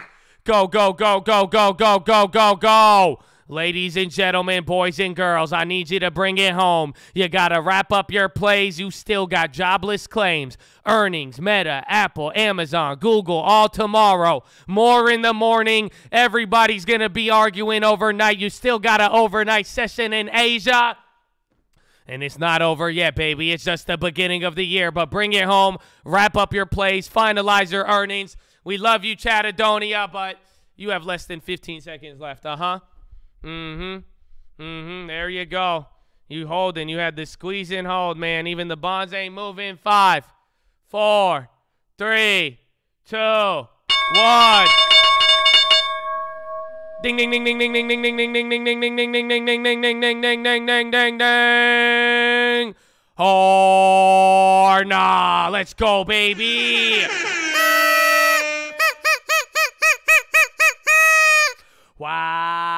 GG, baby, let's go. I don't care if you made money, lost money, lost your hero. I don't know. I need a GG. Get them in here before Facebook comes in. Let's go. Let's go. All the real ones out there. It don't matter if you made money or lost money. I know you learned something. I hope you stayed alive. We got a lot more on the way, baby. It's only the first day of the month. Oh, man. Where you at, baby? All the laggers, all the lurkers, all the lovers. No need to be shy. You made it to the bell. We love you. All the people who held it down. They contributed. All the stream alerts, all the members, all the non-members, all my homies holding it down. Let's go. Good game, baby. Oh, we still in the game. Hand me some fun, bitch. I'm back. I ain't done really rapping about fun. Let's go. I see you too, Twitch. You my favorite stepchild. I love you. It's okay. The prodigal Twitch. The prodigal Twitch. I love you. Good game, baby. Way to hold it down. Are you in the game or not? You ain't backing down now. This is the beginning of a volatile year. Like opinions and thoughts, why they don't mean a lot. And my money on stats, I can show you the top. Every bottom I bought, both the key and the lock. Don't believe me, just watch. Use my freedom a lot. I need me to rock. You won't see me a lot. Monday through Friday, you need me to talk. Chattadonia, that's it. Oh, bow, bow, bow, bow, bow, bow, bow, bow, bow, bow, bow, bow. Wow, Chattadonia, that is the day. I love you. If you have to get going, thank you.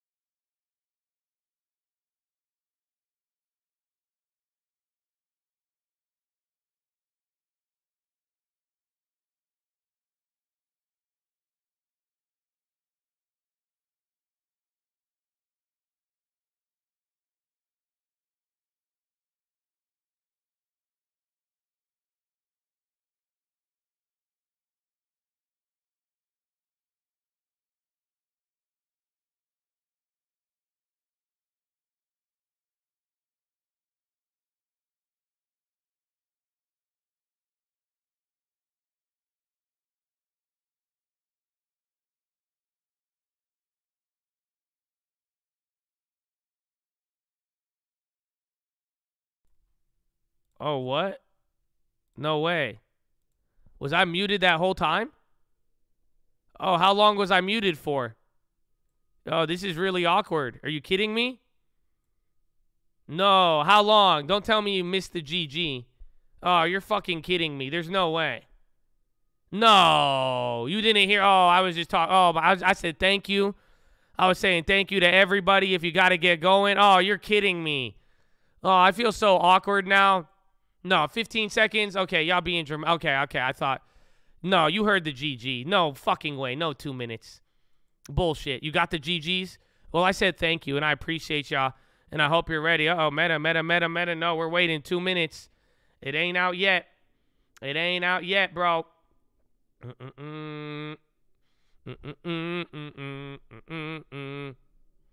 Meta, meta. Wait for it. Wait for it. You got the thank you. Okay, I love you. I was trying to get you this info. But yeah, this is what's expected. It's not out yet. You're getting the little pop baby. Oh man. Oh man. So what? Oh well, thank you guys. I love you, man, for real. And just dude, this is gonna be an exciting year. Okay. If you gotta go, you gotta go, bro. But I, I love y'all. And let's get it. I hope I see you on the watch list, okay? Mm-hmm. Okay, you got at four exactly. Okay, that's good. Then we're good. We're good. We're good. Land the plane. The plane's already landed. Don't worry about it, man. But for real, stay in the game, man. A wild day. There's a there's a lot lot of good and a lot of bad. You know, I don't I don't know. There's, just get ready. And now this this earnings, dude. This just made this whole year crazy, man. So let's go, Chad. You're ready for it. This is only the first day of the month. So let's see. I think one minute now, 45 seconds.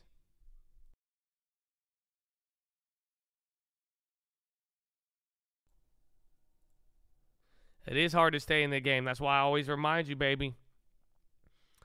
Wait for it. Wait for it. Wait for it. Are you sure it's five minutes? Because I don't want to get all hyped up and then I like mute my mic or something. Mm-hmm. Mm-hmm. Mm-hmm. Whoop. 10 seconds. Are you excited? This was a. I can't believe Powell was a. Little. li- Powell was a teacup. I can't believe they got him. All right, five minutes. I don't see anything. Uh uh uh uh oh whoa whoa whoa whoa monthly active users 2.9 revenue 31.25 estimate 30.86 uh family apps they barely beat uh, Reality Labs 727 million estimate 659 they missed on users again they see first quarter oh they guided up by 1 billion for next quarter oh come on I don't think it was that hot but it's moving they guided up barely so they guided first quarter 26 to 28 billion. They lowered the bottom range and then raised the top range by 1.5 or 1.2 and they oh 40 billion dollars in stock buyback. Fuckers. Well, there you go. Well, so it's already up 12 days. That dude, 40 billion dollars? Are you kidding me? Oh, come on, Zuckerberg. So guidance was was borderline bad, but they just raised a 40 billion dollar buyback. So I'll probably cover once I get a drop on this. That's it. Buybacks, you know how they love them. Google's going up on it now. Oh my god. Dickheads. So again, the guidance they lowered the range, but now they they literally just announced the buyback. Mhm. That is RIP the meta play. 100%. Uh, that's why I'm to just wait to close it. Well, give me give me a red candle on a guidance reaction, but ad revenue was bi- well, they missed uh, on this quarter, or I think they let's see, revenue beat by like three quarters of a billion, so 700 million beat, uh, not much, and then they guided by uh, two billion or 1.5 billion lower on the low end, but then they raised the top end by 1.25. So they but again, a 40 billion dollar buyback is insane. Again, remember we were talking about that with uh with what's it dude? That's like how much of the shares right now? Even at this price, that's that's a ten percent of their float, dude. that is ten percent. I was uh, short on it on the trading account. Yeah, you ain't watching the watch list on there. They killing me, man. You killing me. Some of y'all killing me, bro. You killing me. Mm-mm. Well, it's good for the long term. One more wait. Give me one little one, or maybe I wait till uh the conference call. But that dude, that's forty, bro. Ten percent of the float right there. That's that's a lot of money, dude. That's your ten percent of your market cap of buybacks. Mm, so Google's already up off of that. Uh, it's good for the market. That's it. I mean, the adver- just like Snapchat, they didn't do bad enough to scare you. Again, I don't think guidance being lowered was good, but that's it. I know. Yeah, exactly. I'd rather that's what that's that's his gift to employees and shareholders. So instead of screwing you over by spending it on Metaverse, he bought. I am. I I want to cut that short on Meta. Yeah, I'm just giving it some time here. Uh, okay, and it could squeeze a couple more dollars. What's the next range? But is it gonna get back to? I think if it goes above 180, you're screwed. So a couple more, 188. But if that conference call, I don't know how that's gonna be. They say total expenses 89 to 95 billion versus 94 to 100. That's positive. Uh, so they actually lower. They said they're going to spend 1 billion in restructuring. Again, EPS was 176, 32.1 billion revenue. Mm. The googly woogly. He ain't getting too much of it. Again, this is just buybacks. So it's already up 16%. It's already up what it was pricing in. That's the crazy part.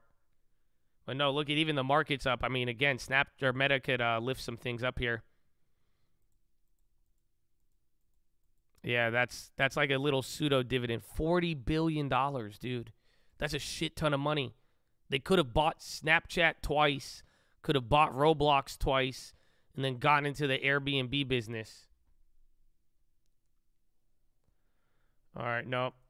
They're not giving it. I'm covering. I'm gonna take a four thousand dollar loss total on that one. That one hurt. Oh shit!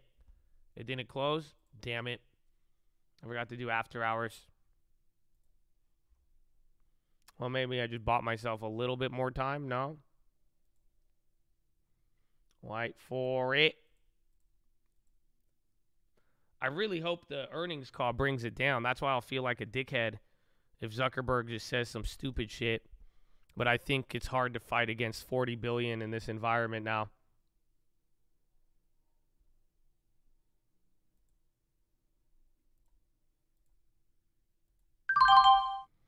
All right, top tick Josh closed it 4,000, 2,500 on the day. So that tilted my balance there. That was the one that hurt. Hold it. I even then, I don't even care. It's like that's it. I'll give it to them. They were supposed to do awful. Now they again, I don't think the ad revenue uh, get dude, it's 40 billion dollars there. Yep, top tick Josh right there. I should have waited.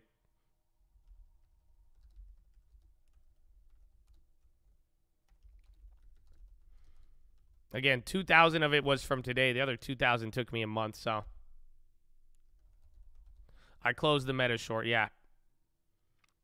Again, I think it could drop there on the conference call, but I'm just, I don't, that's it, bro. He gave, it's a weird one because he gave something to the shareholders, he gave something to employees. They still are spending money, but they did lower capex by 10 billion and they their guidance, they lowered it while raising it. Again, everything's going crazy on that now. And again, just look at the market and everything. They beat barely. They beat barely on revenue, and then that's it. Dude, there's a $40 billion buyback.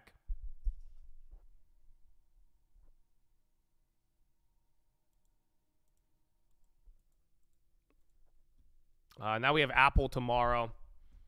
And then they said reported headcount includes substantial majority of 11,000 employees. So their headcount's not even reflected. They saw more than 2 billion users a day, up more than 70 million the year prior. Notable number for the platform, which has been around two decades. The Q1 revenue straddles the estimate. Seems like good news to the street with the stock up 13%. Interested to hear commentary as to whether the revenue beat was on general malaise in digital advertising and is similar to what Snap said. Meta's been working to monetize Reels, their new video content, which has been positive for users but a drag on revenue. Mm-mm. Zuck knows Meta was undervalued. Dude, 40 billion is insane. I guess it's still at 2018 levels. That's why I'm like, all right. That's where the problem starts to hit. Again, even Roblo's up. Every everything. Again, look at Google after hours, bro. So that's it. The whole spy now. Now it's at 176. Uh, where is it? Oh, I see in the long term. Dude, that's insane. Dude, we're almost 100% on meta now, too. That's disgusting.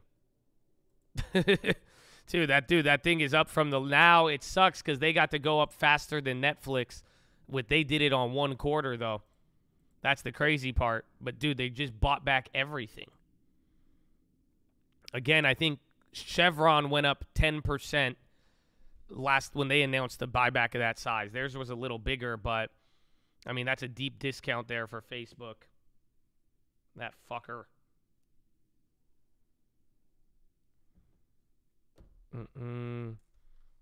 You have to log in and congrats. It's bittersweet. I lost out on that trade. My old meta shares, I, I made a shit ton of money, and then our long term. I mean, we might have 200% picks in the last what three to four months. But shit, dude, this is I can't believe this right now. He just went in on there.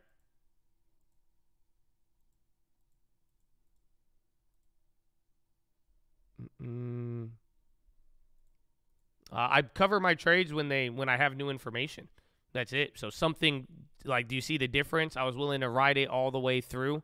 Uh, again, I didn't I didn't believe that the stock was up on a legitimate basis, and I paid for it. But what happened right now?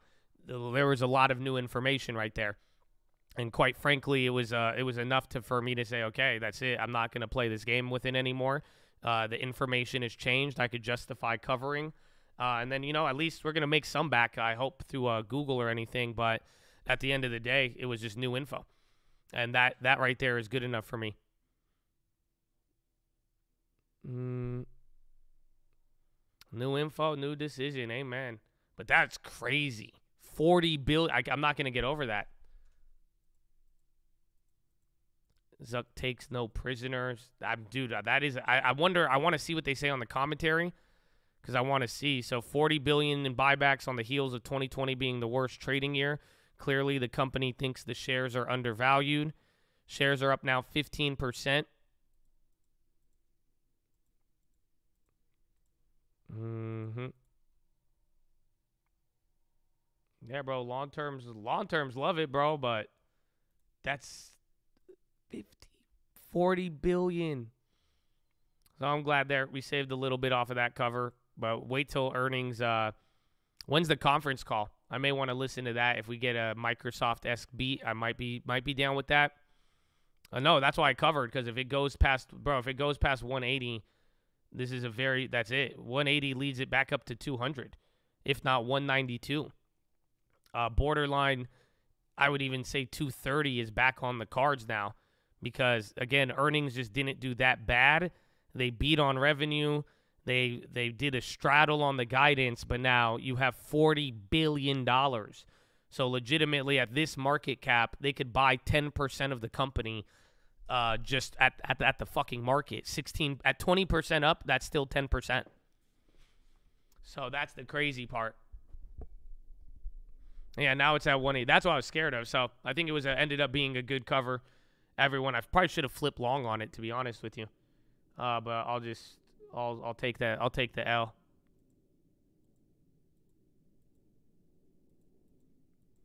HBI, HBI in the moon. That'll. I mean, this is a. It's looking great for the long term.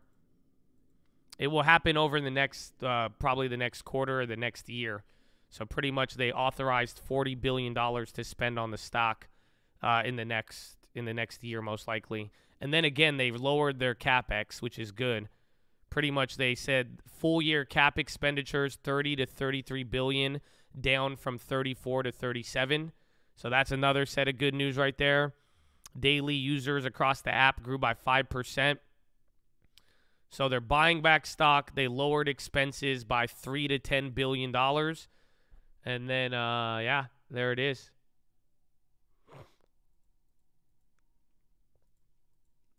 Mm, Biden will be pissed. Very, dude. This is again. The market is already up now, one point, almost two points off of that. Look at Google. So again, those should come in a little bit more for us, but overall, dude, the Meta is now going to be the squeeze stock here for a little bit. It's up twenty percent. So this was this was a surprise in terms of the news. I think even the calls might even hit off of that. 184. You break above here, you go crazy. That's the that's going to be your first test. 184 and then conference call. See where it takes you. Just hopefully Zuckerberg doesn't say anything shitty about it. Uh, Apple, I mean, I'm in it for I'm in it long, so I'm glad I have that. I'm glad I have the rest of the big tech. That's what I'm saying. That'll feed us for tomorrow. But like we were even saying with Powell now, you're not even going to get uh uh you're not even going to get um like this the first set of data for tomorrow unless the earnings in the morning are down, that's it. That's all that matters. Shares of other social media stocks are running. Snap is up 1.9. Uh, Pinterest is up 3. Alphabet 2.2. No, they even let Snap go up? That's insane. Yeah, bro, 180. Are read that. we should be almost at 100%. Yeah, 93% now on the long term for that one. And then Redfin did some work for you too. The covered calls, if you we sold those too early, we waited on that, that would have been even better.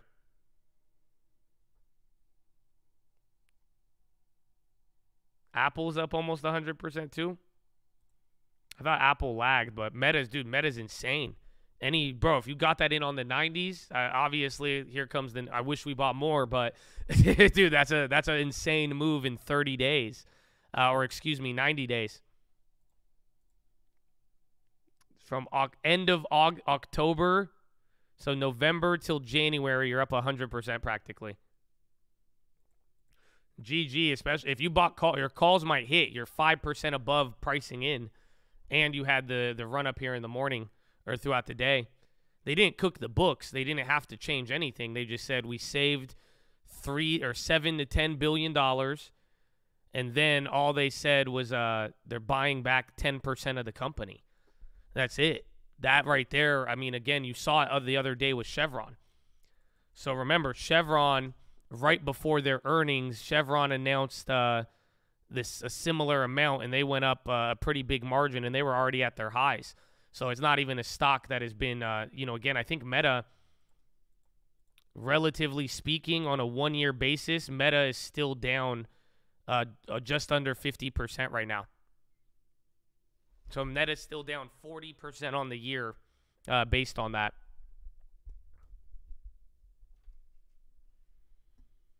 Mm. Zuckerberg saved the market a little. Well, Powell did. Powell was a, a little b boy. Well, wait till the conference call. I mean, that's the story of this. Yeah, you got the gains. Google's a little smaller, but I mean, it'll buffer it a little bit. But we held the meta for a while. But then if Google doesn't do bad, I think is Google down yearly. Google's the one with premium though. Actually, no, Google. I guess they still got down a little bit. Again, they love it too.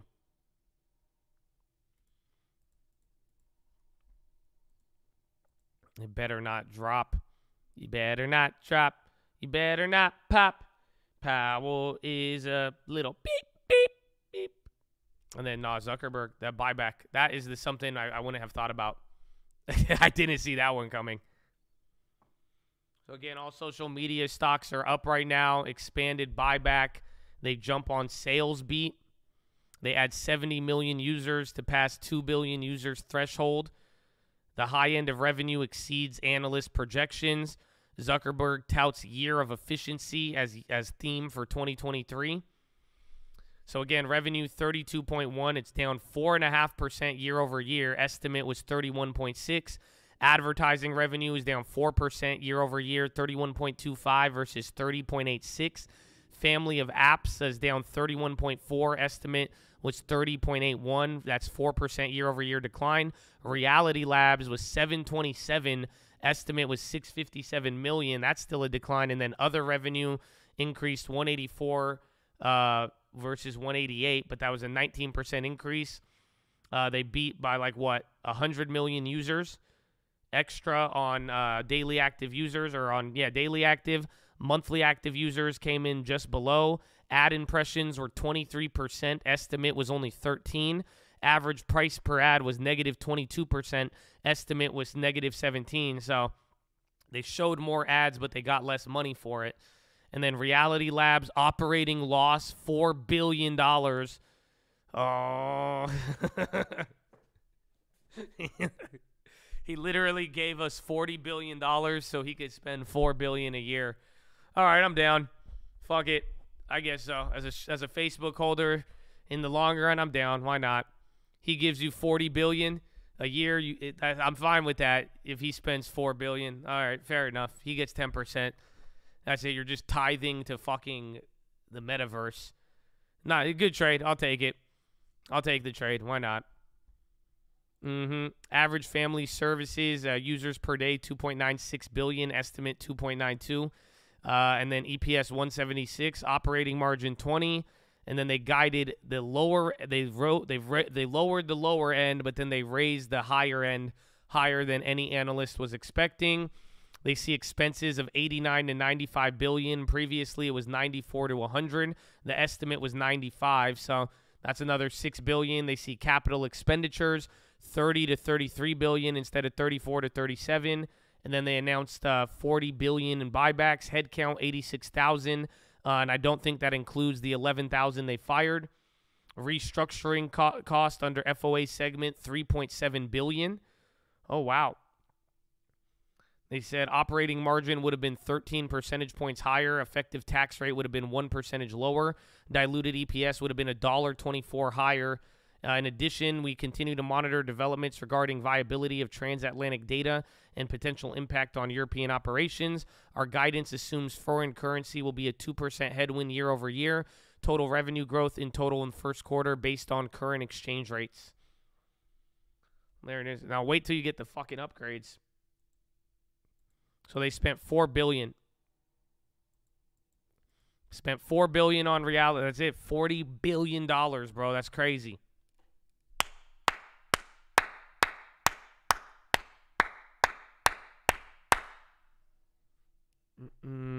Yeah, no, they the firing didn't really do that much. They didn't even. Uh, oh yeah, invested.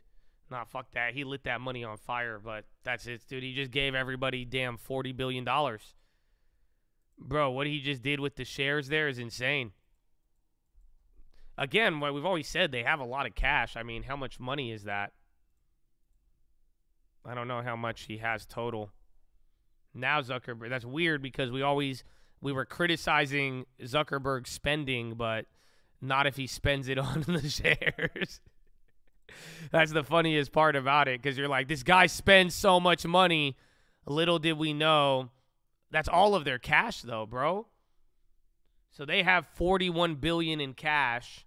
So I wonder how they're going to divest that throughout everything, but I guess so. You got I mean it's a deep discount on anything else. He he's buying it at a very very cheap price.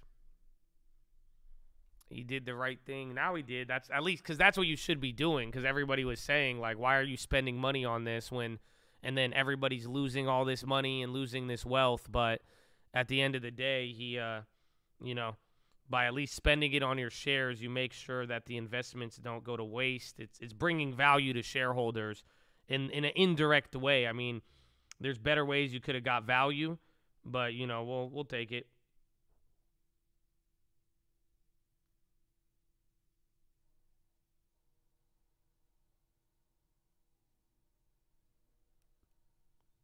Mm-mm.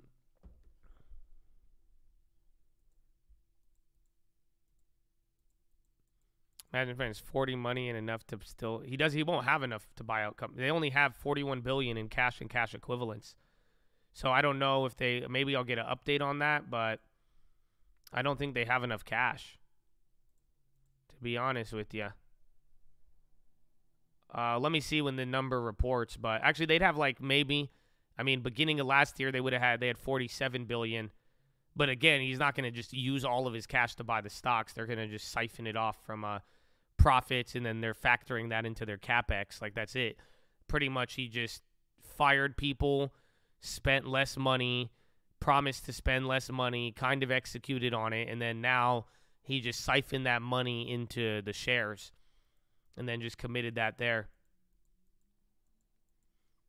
Mm, Qualcomm, I feel uh, I'm still short on that one too, but I mean, we did see a lot of earnings misses on chips, but I'm I'm kind of worried now because I just think there's another element of the market that could come back and kill us all.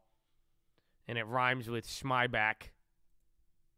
If any of these companies have that much cash and their stocks are just trading at discounts, I mean, again, Facebook was at, you know, we bought it, uh, I thought it was cheap at $90, but, you know, I. I'd never, I, I don't know why I didn't factor that in. It rhymes with Maybach, Maybach. Dude, he's a killer.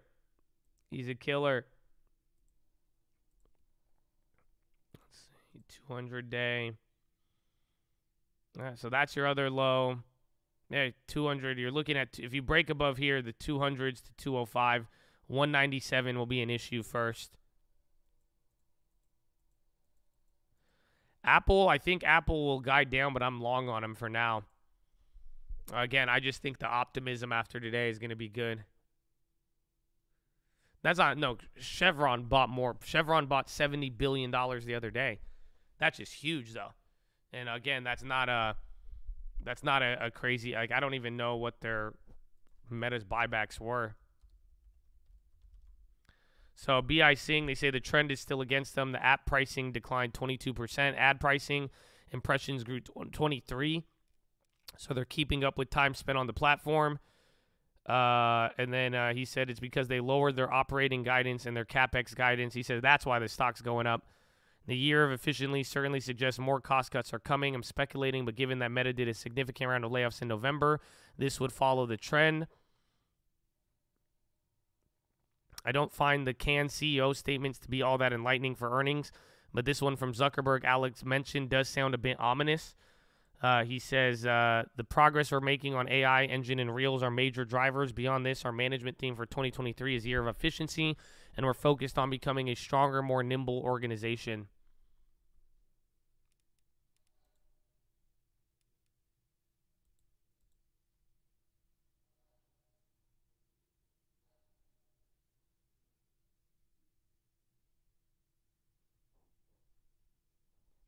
Oh, I guess he did do a buyback in uh They did do a buy they did the first buyback was October 21st and they did 50 billion. So actually this is 10 billion dollars less than October.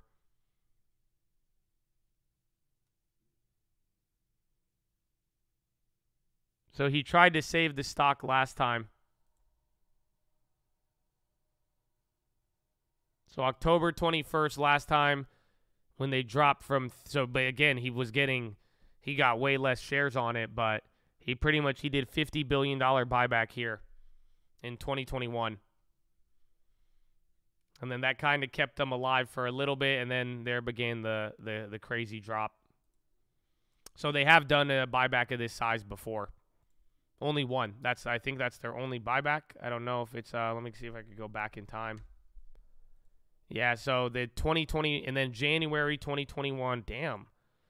January 2021 they did 25 billion.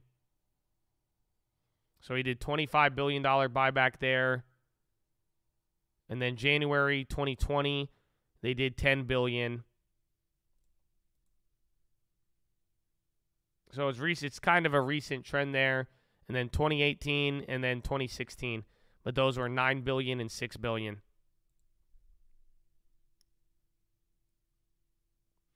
75, 80, 86. So they bought in like I guess 25% of the company now at this point or on current valuation. Yeah, the stock does drop usually after the buybacks.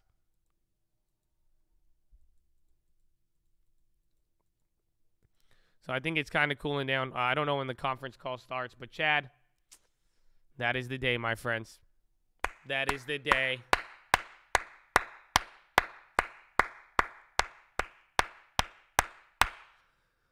So, Chad, I love you.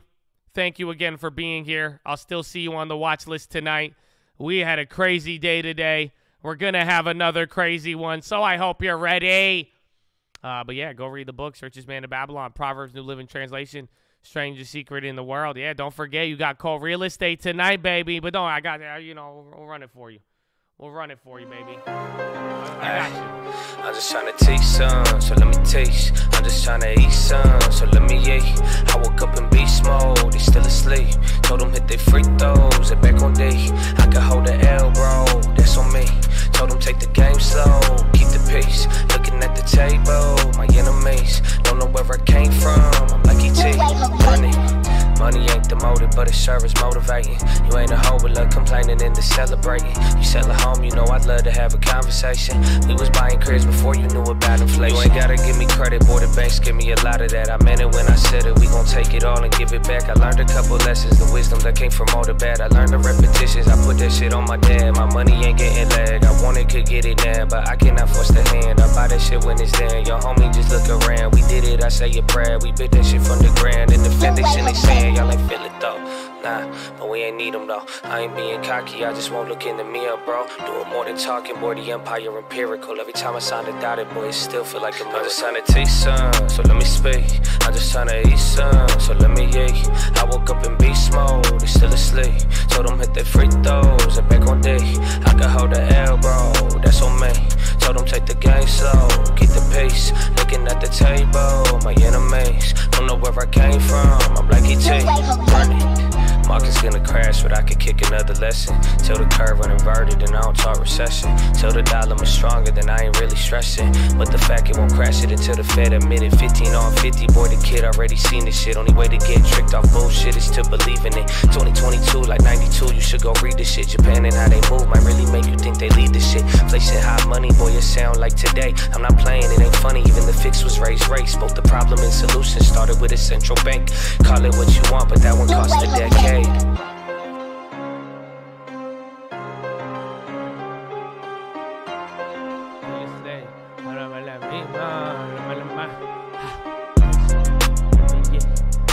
I can hold the air, bro.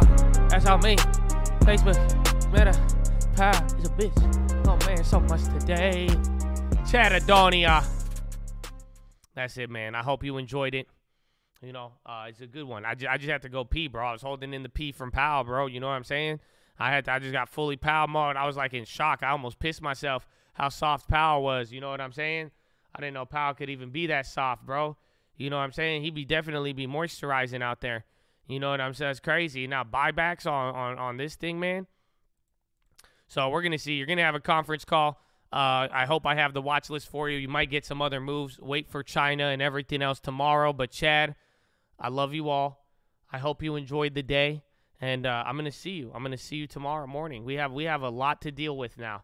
You know that the market the market is slowly shifting, and Powell and he's left the door wide open, and we are gonna have to deal with a lot, man. We are gonna have to deal with a lot. So. I hope I see you on the watch list. I hope I see you on Call Real Estate tonight. I don't know, man. That's it. You see if the stock market bouncing and the rates go lower, you know what that means for real estate. Oh, never mind. I don't want to. I've been telling them for years, man. And even then, it's 6% year over year gain, bro. It's crazy. Yeah, non farm. You have jobless claims tomorrow, too. We'll go over all that. But Chattadonia, I love you. God bless you. And thank you again. And don't forget why we're here and why we keep going. And even if it's hard, you stay in the game, baby. And why you got to keep looking forward, save that 10% and keep that faith, hope, and love and endurance alive, baby. Why?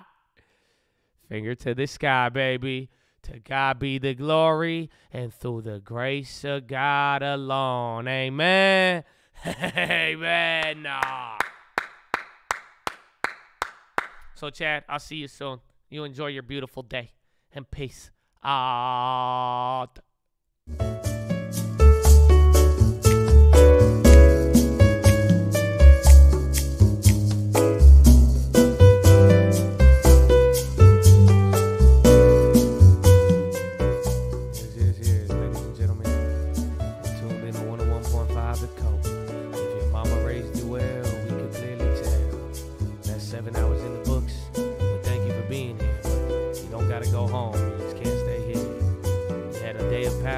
Jobless claims, and Mark Zuckerberg throwing some money away. I hope you liked it loaded, and I hope you're ready for more, baby. And get ready. Welcome to February. Cole loves baby. Shout out to Cole